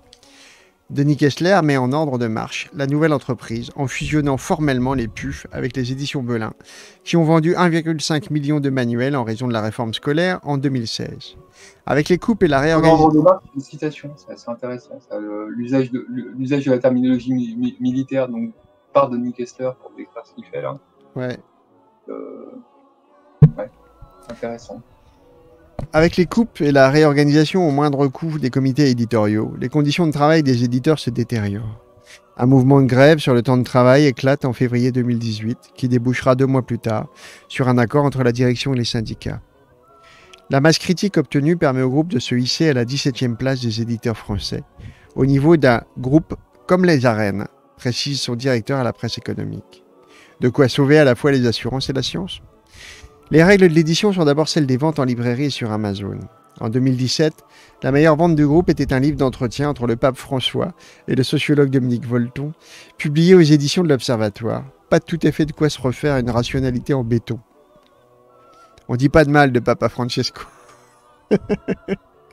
si l'on peut douter. Si l'on peut douter que les plus beaux revenus du groupe proviennent de la vente des livres universitaires, la force de frappe médiatique est dopée. Fin 2018, la direction de la nouvelle maison Humaine Science est confiée à Olivia Recasens, ancienne directrice adjointe de la rédaction de l'hebdomadaire Le Point. La priorité est mise sur la diffusion. Les ventes du journal pour la science, quant à elles, progressent de 10% en 2017. Mais pour quelle science exactement roule désormais Humensis Bonne nuit, pâte. Alors. Hein Bonne nuit, ceux qui vont se coucher, toutes celles qui vont se coucher. Voilà, C'est presque fini le chapitre, les gens. On y est presque. Presque. Au conseil d'administration d'Humensis se mêle l'histoire des PUF et l'avenir d'un certain type d'édition scientifique désormais adossé au monde de la finance. Se côtoient les philosophes André Comte-Sponville et Dominique Lecourt, anciens responsables des PUF, ayant jadis fait sa renommée grâce à un petit livre sur l'affaire Lysenko. Oui, que j'ai d'ailleurs. Ouais, ça donne quoi? C'est bien? C'est assez euh, factuel, on va Ouais. dire. Je l'ai pas trouvé, euh, je l'ai pas trouvé transformant personnellement. mais Pas mauvais non plus. Alain Flammarion et Jean-Claude Seize, président de l'Institut d'Hydro, le think tank des assureurs. C'est une blague. L'Institut d'Hydro, le think tank. Des fois, j'ai ma tête, j'ai ma calotte crânienne qui fait des drôles de. Mais qu'est-ce que tu fais là, Diderot? Pourquoi? Et administrateur de la holding suisse du groupe de Denis Kessler. À l'heure de justifier aux actionnaires ses investissements dans l'édition universitaire, le PDG de Score doit cependant présenter des arguments cohérents plutôt que des penchants philosophiques ou l'opportunité d'un rachat offert par des réseaux personnels. Ainsi, le rapport annuel 2017 de la société avance la nécessité de mettre en circulation des connaissances certifiées. Désireux d'investir dans des entreprises de taille moyenne et de qualité, actives dans la production et la publication de connaissances certifiées, Score a acquis la maison d'édition française Presse universitaire de France et les éditions Belin.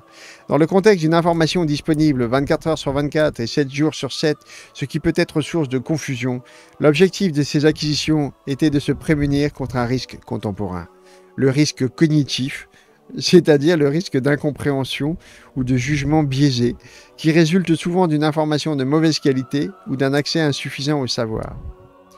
On, Les- on va, on, va, on, va, on va le dire juste, euh, juste euh, même si on le sait tous, a priori, euh, il est en train de nous jouer de la flûte là. Enfin, une acquisition, c'est euh, c'est jamais pour défendre la, la, la, la vérité opprimée, opprimée par le mensonge. Une acquisition, c'est d'une manière ou d'une autre, directement ou indirectement, pour se faire de la maille. Ouais, la moula, du blé, du baise. Et il faut bien comprendre quand même qu'on parle des PUF, c'est-à-dire d'un espace où se diffusaient euh, les états de la recherche avec toute la fragilité économique que ça représente. C'est évidemment que ce pas des sources de revenus. Ça ne peut pas l'être. Et ça n'est pas grave, ça n'est pas important. Ce qui est important, c'est que les états de la recherche se publient, puissent être disponibles et lisibles. Ça n'est pas une source de revenus possible. Si vous voulez en faire une source de revenus, vous allez devoir tailler gravement dans le catalogue pour rendre ça rentable. Et vous savez au détriment de quoi ça va l'être? C'est-à-dire des pensées les plus fines, les plus précises, les moins évidentes, les moins éclatantes, les moins dans l'ordre des choses, les moins sexy. Bref, tout ce qui fait l'intérêt des puces, le- leur raison d'être et d'exister. Fini les bouquins euh, voilà, glosons sur, euh, sur 400 pages sur l'importance de, de la ponctuation dans la, la légende dorée des géographies. Fini. Fini, Ah, rien à foutre. Voilà. le risque de conflit d'intérêts, ça passe. Oui, ça passe très bien. Euh, déployer au fil du temps cette politique de protection cognitive. De protection cognitive, mais c'est du délire. hein. Enfin, l'expression elle-même Ouais. est, tellement ahurissante. S'incarne aujourd'hui dans un groupe, Humenzis, issu de la fusion des PUF et des éditions Belin. Humenzis a pour objectif de réunir des marques fortes et reconnues dans la production. La diffusion et l'enseignement de connaissances confirmés au niveau du diplôme. Son ambition est de participer activement à l'expansion de la société du savoir. Tu parles, Charles. Au-. Au-delà de l'opportunité que représente l'ac- l'accaparement d'un fonds intellectuellement signifiant, la justification est donc bâtie autour de la lutte contre les fake news et de la nécessité de se positionner dans un espace de certification des savoirs dans l'espace public. Mais la véritable raison, la défense de la science industrielle et du libéralisme économique comme nouvelle frontière du combat intellectuel, est-elle dissible, elle? Dans une... bah, euh, non. Sinon, on ne prendrait pas autant de détours pour l'imposer, hein, si elle était dissible. Vous imaginez bien. Dans une allocution intitulée Le risque dans tous ces états, prononcée le 25 octobre 2016 devant ses nouveaux confrères et membres de l'Institut dans l'entre-soi que procure la zone mondaine de la science, Denis Kessler exposait sa vision des rapports entre science et société. La science aurait un rôle fondamental à jouer, d'après le patron éditeur intellectuel, car elle permet de transformer l'imprévu en un événement plus ou moins probable. Elle garantit l'existence d'un monde probabiliste et non plus déterminé par la providence, un monde où la science permet d'anticiper non pas l'événement lui-même, mais la probabilité de surgissement d'un événement. Le patron éditeur intellectuel a trois siècles de retard pour euh, la conception de ce qu'est la science. En d'autres termes, on ne peut pas prévoir l'arrivée d'une tempête l'année prochaine, mais on peut prévoir la probabilité du nombre de tempêtes sur de longues périodes. Voilà qui est sans doute suffisant pour faire de la réassurance un business fiable, mais aussi pour expliquer aux défenseurs du principe de précaution qu'ils n'ont rien compris.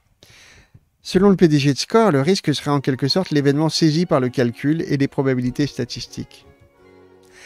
Dans un même mouvement, Denis Kessler salue la noblesse de la prévention, mais reste plus circonspect avec le principe de précaution. S'il signifie qu'il faut s'abstenir de développer des technologies dès lors qu'il existe une incertitude sur leurs conséquences, ce principe de précaution est lui-même dangereux, car il pourrait ralentir progrès scientifique et rythme des innovations. Développons au contraire une nouvelle culture du risque, dissipons les craintes que fait naître le développement des sciences et des techniques pour éviter l'apparition d'un nouvel obscurantisme. Comme si ces craintes étaient fondamentalement infondées. On a besoin de préciser que le principe de précaution, c'est pas ce qu'il décrit là où.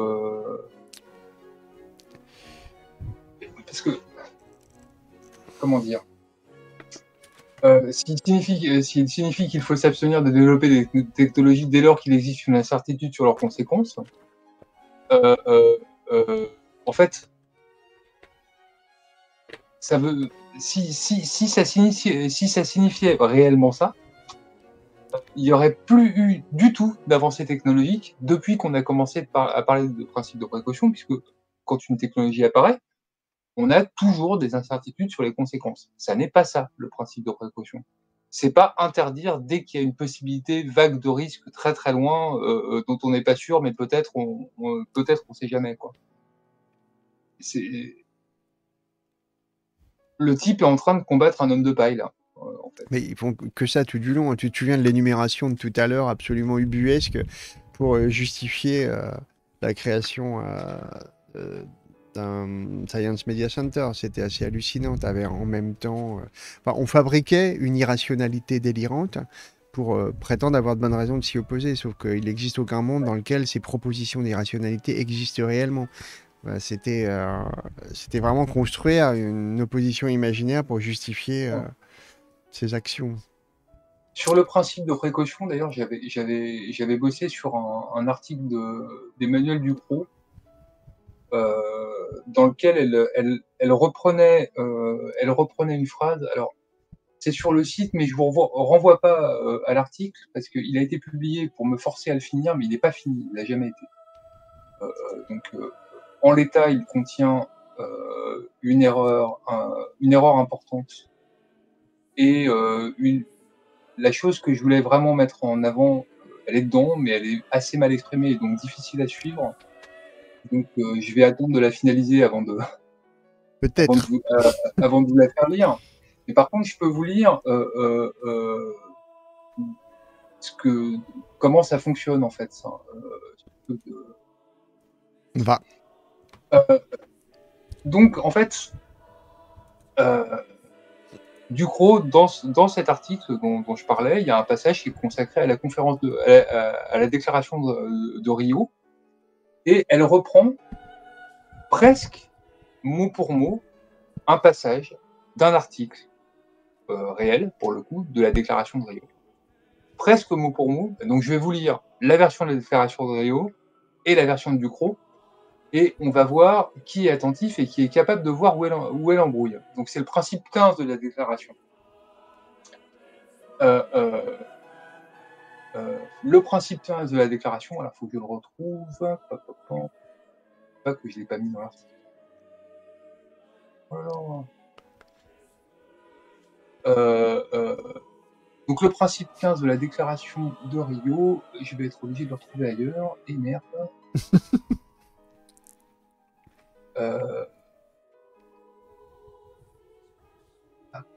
Ah, je vais pousser la musique.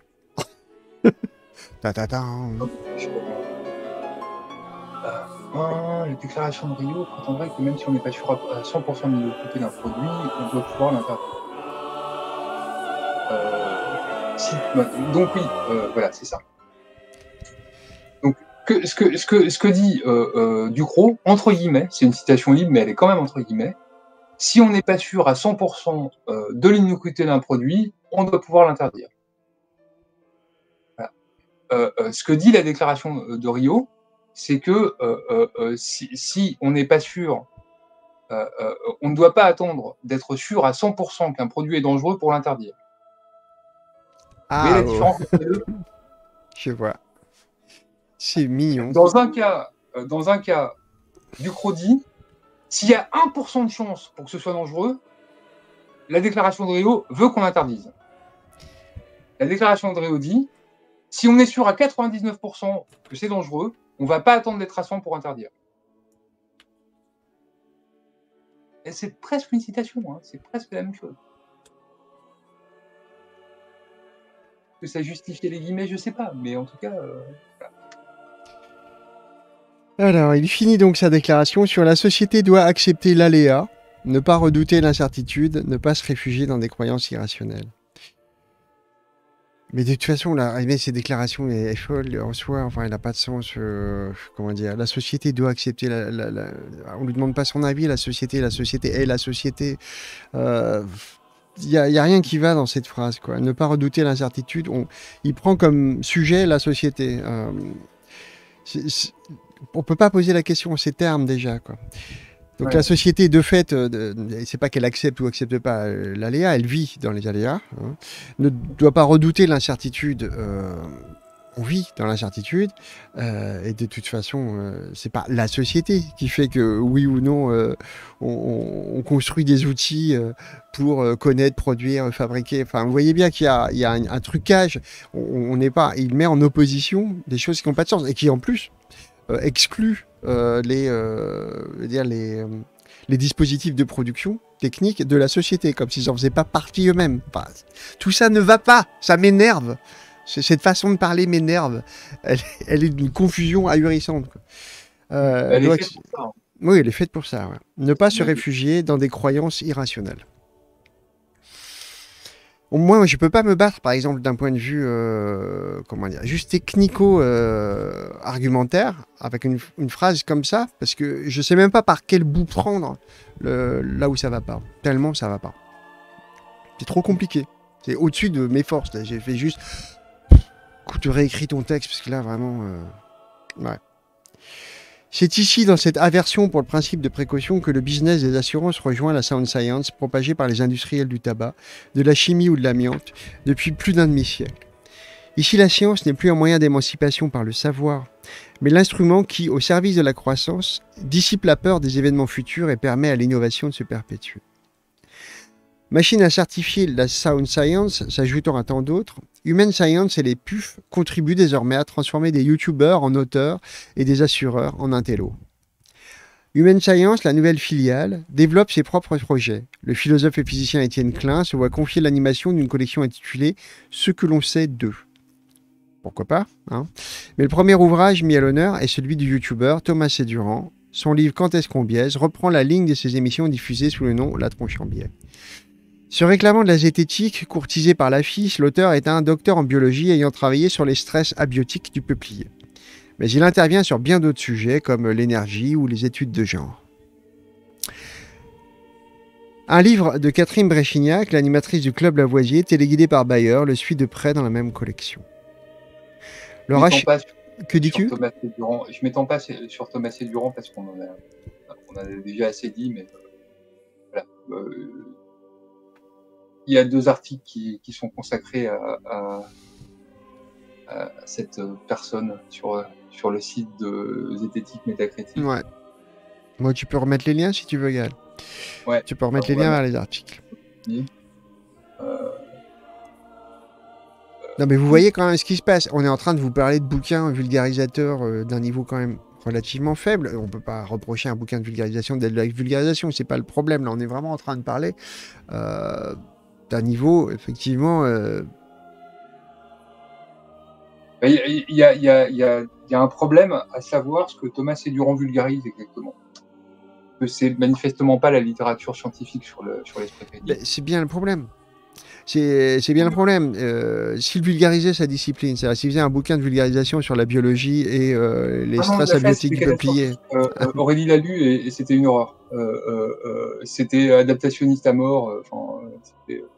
Mais c'était pas sur sa discipline. Lui, il travaillait sur la biologie des plantes. Et là, il faisait un bouquin sur la biologie de l'évolution. voilà. C'est pas non plus son domaine. C'est pas non plus son domaine. Mais il est à fond là-dedans en ce moment. Ouais, complètement. Ouais. Ouais, non, c'est par rapport à ce que sont les, les puces et à leur objectif jusque-là, il y a une baisse de régime folle. Clairement, hein, parce que ça, c'est euh, plutôt du, euh, du matériel pour la fou, quoi. Hein. Le rachat des puffs et de Belin ne conduit pas à un bouleversement total des contenus déjà présents dans les catalogues. On préserve au contraire la dimension scientifique des écrits publiés pour un temps voulu faire monter un contenu aligné sur le credo libéral à prétention rationaliste. Ainsi, pour sceller la nouvelle mainmise de score sur l'édition scientifique, Denis Kessler demande à Jean Tirole, prix Nobel d'économie, déjà membre de la Fondation Score pour la science, de faire une œuvre au contenu 100% scientifique tout en restant accessible à un grand nombre de lecteurs. Tiré à 70 000 exemplaires en mai 2016, le livre Économie du bien commun est aussitôt réimprimé. En novembre de la même année, la filiale de Score, ou Menzies, organise une soirée conférence à la Maison de la Mutualité, avec les nouveaux auteurs de son catalogue. Agrémenté de Jean Tirole, du philosophe Michel Serres ou encore de l'historien Denis Péchanski, tous deux publiés par Le Pommier, la soirée est placée sous le signe de la connaissance. je, relève, le nez et j'ai un joli plan de Gaël à sa fenêtre en train de fumer. C'est mignon comme tout. le plan est très beau. Je pas encore allumé. D'autres livres sont également mis en route avec d'autres proches du patron. Également membre de l'Académie, l'administrateur d'AXA Michel Pébéraud invite l'économiste Philippe Aguillon et l'essayiste Nicolas Bavrez et nombre de personnalités de la mouvance néolibérale à donner leur point de vue dans un livre collectif publié au PUF. L'intrusion parfois est encore plus visible. Fin 2016, Denis Kessler impose au PUF le manuscrit d'un inconnu défendant les idées libérales qui lui sont chères, le gouvernement des citoyens. Un changement profond de paradigme appelé, appelé gouvernement des citoyens nécessite un retrait de l'État, voilà ce que prônait Yann Cohen-Talem en quatrième de couverture. Ancien d'HEC l'ENA, officier de réserve de l'armée française, l'auteur est managing director chez Citigroup, le premier groupe bancaire mondial à New York. Ancien délégué adjoint pour l'Union pour un mouvement populaire, l'UMP, aux États-Unis, il dirige le think tank transatlantique Praxis, qui réunit des cadres expatriés. Le programme éditorial est bouleversé pour faire place à ce livre, préfacé par Henri de Castries, ancien PDG du groupe d'assurance AXA et grand ami de Denis Kessler. Les réseaux libéraux sont enchantés du vernis universitaire ainsi procuré à cette prose. Le site d'information Forbes recense aussitôt l'ouvrage et de façon dithyrambique sous la plume de Sébastien Lay, un entrepreneur de l'Institut Thomas More, un s'autodéfinissant comme libéral conservateur. Puis en janvier 2017, Denis Kessler invite Yann Coatinlem à présenter le livre où, à l'Académie des sciences morales et politiques, qui lui décerne l'année suivante l'un des prix spéciaux de sa section économie politique, statistique et finances pour son ouvrage et pour les travaux du club Praxis, le laboratoire d'idées qui l'anime. La boucle est bouclée. l'assureur publie dans sa presse universitaire un banquier qui, présenté aux membres de l'Institut, se voit adoubé intellectuel. Après une telle restructuration éditoriale, les interventions directes de Denis Kessler ne sont pas toujours nécessaires. Un groupe où presse universitaire cohabitent avec éditeurs et commerciaux favorise de facto une logique éditoriale et un écosystème propice au mélange des genres. En 2017, Muriel Beyer, directrice des éditions de l'Observatoire, délaisse ses retweets de Raphaël Enthoven, la publication de l'abécédaire de Raymond Aron, les essais de Gilles Clavreul, soutien du comité Laïcité République, ou de l'ancien patron du Point, Franz-Olivier Gisbert, pour faire un pas en direction de ses nouveaux collègues éditeurs des PUF. Elle leur propose de monter, chez eux, une nouvelle collection autour du sing-song ultralibéral Génération Libre que dirige l'un de ses auteurs, l'essayiste Gaspard Koenig. Son credo? Le libéralisme appliqué à tous les domaines. On ne peut pas d'un côté défendre la liberté d'entreprendre et de l'autre empêcher les gens de se marier avec qui ils veulent, de mourir comme ils l'entendent ou de fumer ce qu'ils préfèrent. C'est... Seulement en maintenant notre cohérence conceptuelle que nous, libéraux, pourrons gagner le combat des idées clamait-il en 2014. Ça tombe bien. La nouvelle hiérarchie d'Oumengis défend aussi le libéralisme et donne son aval au projet valorisant les débats d'idées et la diffusion des connaissances. La proximité éditoriale tombe sous le sens à plus d'un titre. Édité au PUF, Gérald Bronner est aussi membre du conseil scientifique du Dissing Song. Les bureaux des deux maisons d'édition sont installés dans le même immeuble, boulevard du Montparnasse à Paris. Après les youtubeurs transfigurés en vulgarisateurs du savoir, les notables des académies en penseurs et les promoteurs d'un néo-rationalisme libéral en intellectuel. Voici donc Koenig, l'animateur d'un think tank libertarien, élevé au rang de directeur de collection au PUF. Hein. Eh ben. Eh ouais. C'était dur tout ça. La fin, moi je suis désolé, je, me rends bien compte que, que tous ces faits sont un peu ennuyeux et, le fait que nous soyons un peu fatigués par euh, toutes ces choses euh, nous rend peu prompt à beaucoup réagir à tout ça. C'est sûr. Il y, a toujours cette. Euh, comment dire Cette contrainte en fait de, des livres de, journalistes d'investigation en fait. Qui va donner ce style accumulatif, voilà, où on va parler on va parler d'un tel qui a un lien avec un tel, qui a un lien avec un tel. C'est très courant dans, le journalisme d'investigation et c'est vrai que c'est souvent assez pénible à dire. Mais voilà, il faut, faut, garder à l'esprit euh, tout, ce qui joue en fait dans, tous ces engrenages qui tournent, qui s'entraînent mutuellement. Et ce qui joue en fait, euh, bah, c'est euh,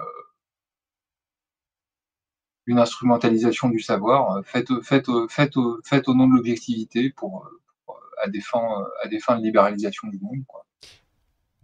Et puis vous comprenez bien que la pratique consiste, enfin elle est toujours la même, qu'il s'agisse d'intégrer d'une manière ou d'une autre par des colloques, le Collège de France, qu'il s'agisse de placer dans des dans des radios ou des médias qui ont une certaine autorité, comme Arte, France Culture, enfin, qui ont un certain éclat, ici ou là, des émissions, des journalistes, qui diffusent euh, cette doxa, c'est inlassablement le même procédé, qui consiste euh, évidemment à se vernir d'une autorité gagnée sans eux, euh, pour que, par coloration, par percolation, évidemment, leurs idéaux euh, eh bien, euh, en bénéficient à leur tour.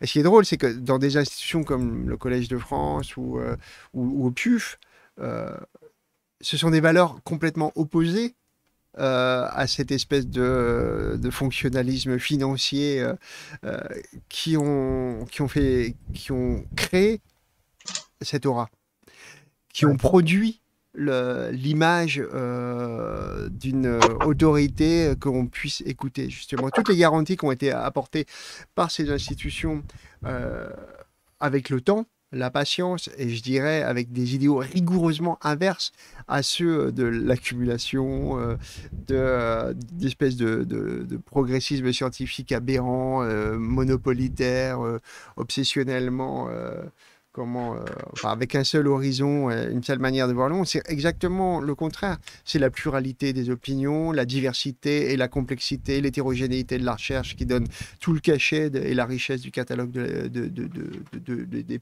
presses universitaires de France. Le Collège de France a gagné aussi ses galons euh, par la, multiplicité des, intellectuels qui s'y sont succédés, qui n'étaient pas d'accord entre eux. Il y a des, il y a des ozos aussi qui ont traversé le Collège de France, il y a des génies intégraux. Mais c'est cette totalité-là qui fait du Collège de France un endroit qu'on peut écouter. Et, tous ces gens qui ont des objectifs radicalement opposés cherchent là euh, la possibilité de se donner euh, de la légitimité, euh, une audience, une autorité. C'est tout à fait repoussant, évidemment. Mais c'est repoussant comme quand un extrême droitard fait appel à la liberté d'expression pour, exprimer sa haine de la liberté d'expression. Enfin, c'est tout aussi euh, repoussant et aberrant. Ouais. Voilà. Voilà. Le, le vice paraît des, paraît des, des oripeaux de la vertu, quoi. C'est vraiment ça, ouais. Qu'elle a, recueilli sur ses dépouilles encore fumantes. Enfin, Bah, vraiment, surtout euh, quand on voit ce que ça a coûté, tu vois, euh, dans la durée. Il faut une vraie durée euh, pour. euh, enfin, c'est le contraire de l'efficacité économique, quoi. Le- la constitution d'une patiente d'une maison Non, en même temps, moi, vénérable. je, trouve ça assez, euh, je trouve ça assez raccord avec l'effi- l'efficacité du capitalisme euh, euh, à l'heure actuelle, qui se construit avec des cycles de, de, de valorisation de, capital de plus en plus courts. Donc voilà, on est, on est, dans, le- on est dans la terre brûlée, là, en fait, euh, dans le capitalisme en général. Pas étonnant de le retrouver voilà, dans, dans, dans sa guerre contre la vérité, quoi. Enfin, Yep. Exactly. Ah bon, bah voilà, c'était Ah pas super bah, joyeux voilà, ce soir. euh, une bonne semaine hein, euh, avec euh, ce chapitre bien pris petit ma foi. Voilà. Merci pour le follow euh, euh, d'Evi Kenta et bienvenue à bord. J'espère qu'on vous a pas trop sapé le moral. On essaye de pas, on essaie de les rendre je un peu marrants, c'est c'est live, mais c'est vrai que. Je pense que vous ressortez de là en général un peu épuisé, malheureux, tout ça. Mais pas que, hein. j'espère que, que pas que, que vous marrez un peu quand même de temps en temps. J'espère. J'espère. Je me permets de vous conseiller les. Je, je vous permets de vous con- vous conseiller le prochain chapitre. euh, on, va, on, va, on, va, on va se marrer et beaucoup s'énerver. euh. voilà, je vous ferai, euh, je vous, je, vous ferai une petite dissection de, de, de- d'un chapitre de- d'imposture intellectuelle, de briquement et social pour voir Ah bah oui. Ah, je pense que là, oui, oui, c'est sûr que pas que, pas que. Tu aimes bien te faire l'avocat du diable, mais il faut pas, tu sais, il n'a pas besoin d'avocat. Même le Vatican a supprimé la charge. hein. Euh, Voilà. euh, Tu es d'accord, il va falloir dormir. Écoutez, on va vous dire bonne nuit, parce que là, je vois personne à raider. Il y a The Sushi Dragon. Bon, bon, ils ont plein de monde, ils ont pas besoin de nous. Voilà, voilà. Et, et, euh, je, ouais, je, je vois aucun. Je vois plus que ta petite mimine, plus. Elle n'est plus qu'une main. en fait. Hein Ouais. À un moment, je me suis carrément endormie. C'est vrai, tu as fait dodo, c'était bien? On t'a bercé? Oh, C'est bon signe, ça veut Ouais. dire que pendant tout ce temps, Gaël ne s'est pas mis en colère. Oui. Bah oui, c'est ça que ça veut dire.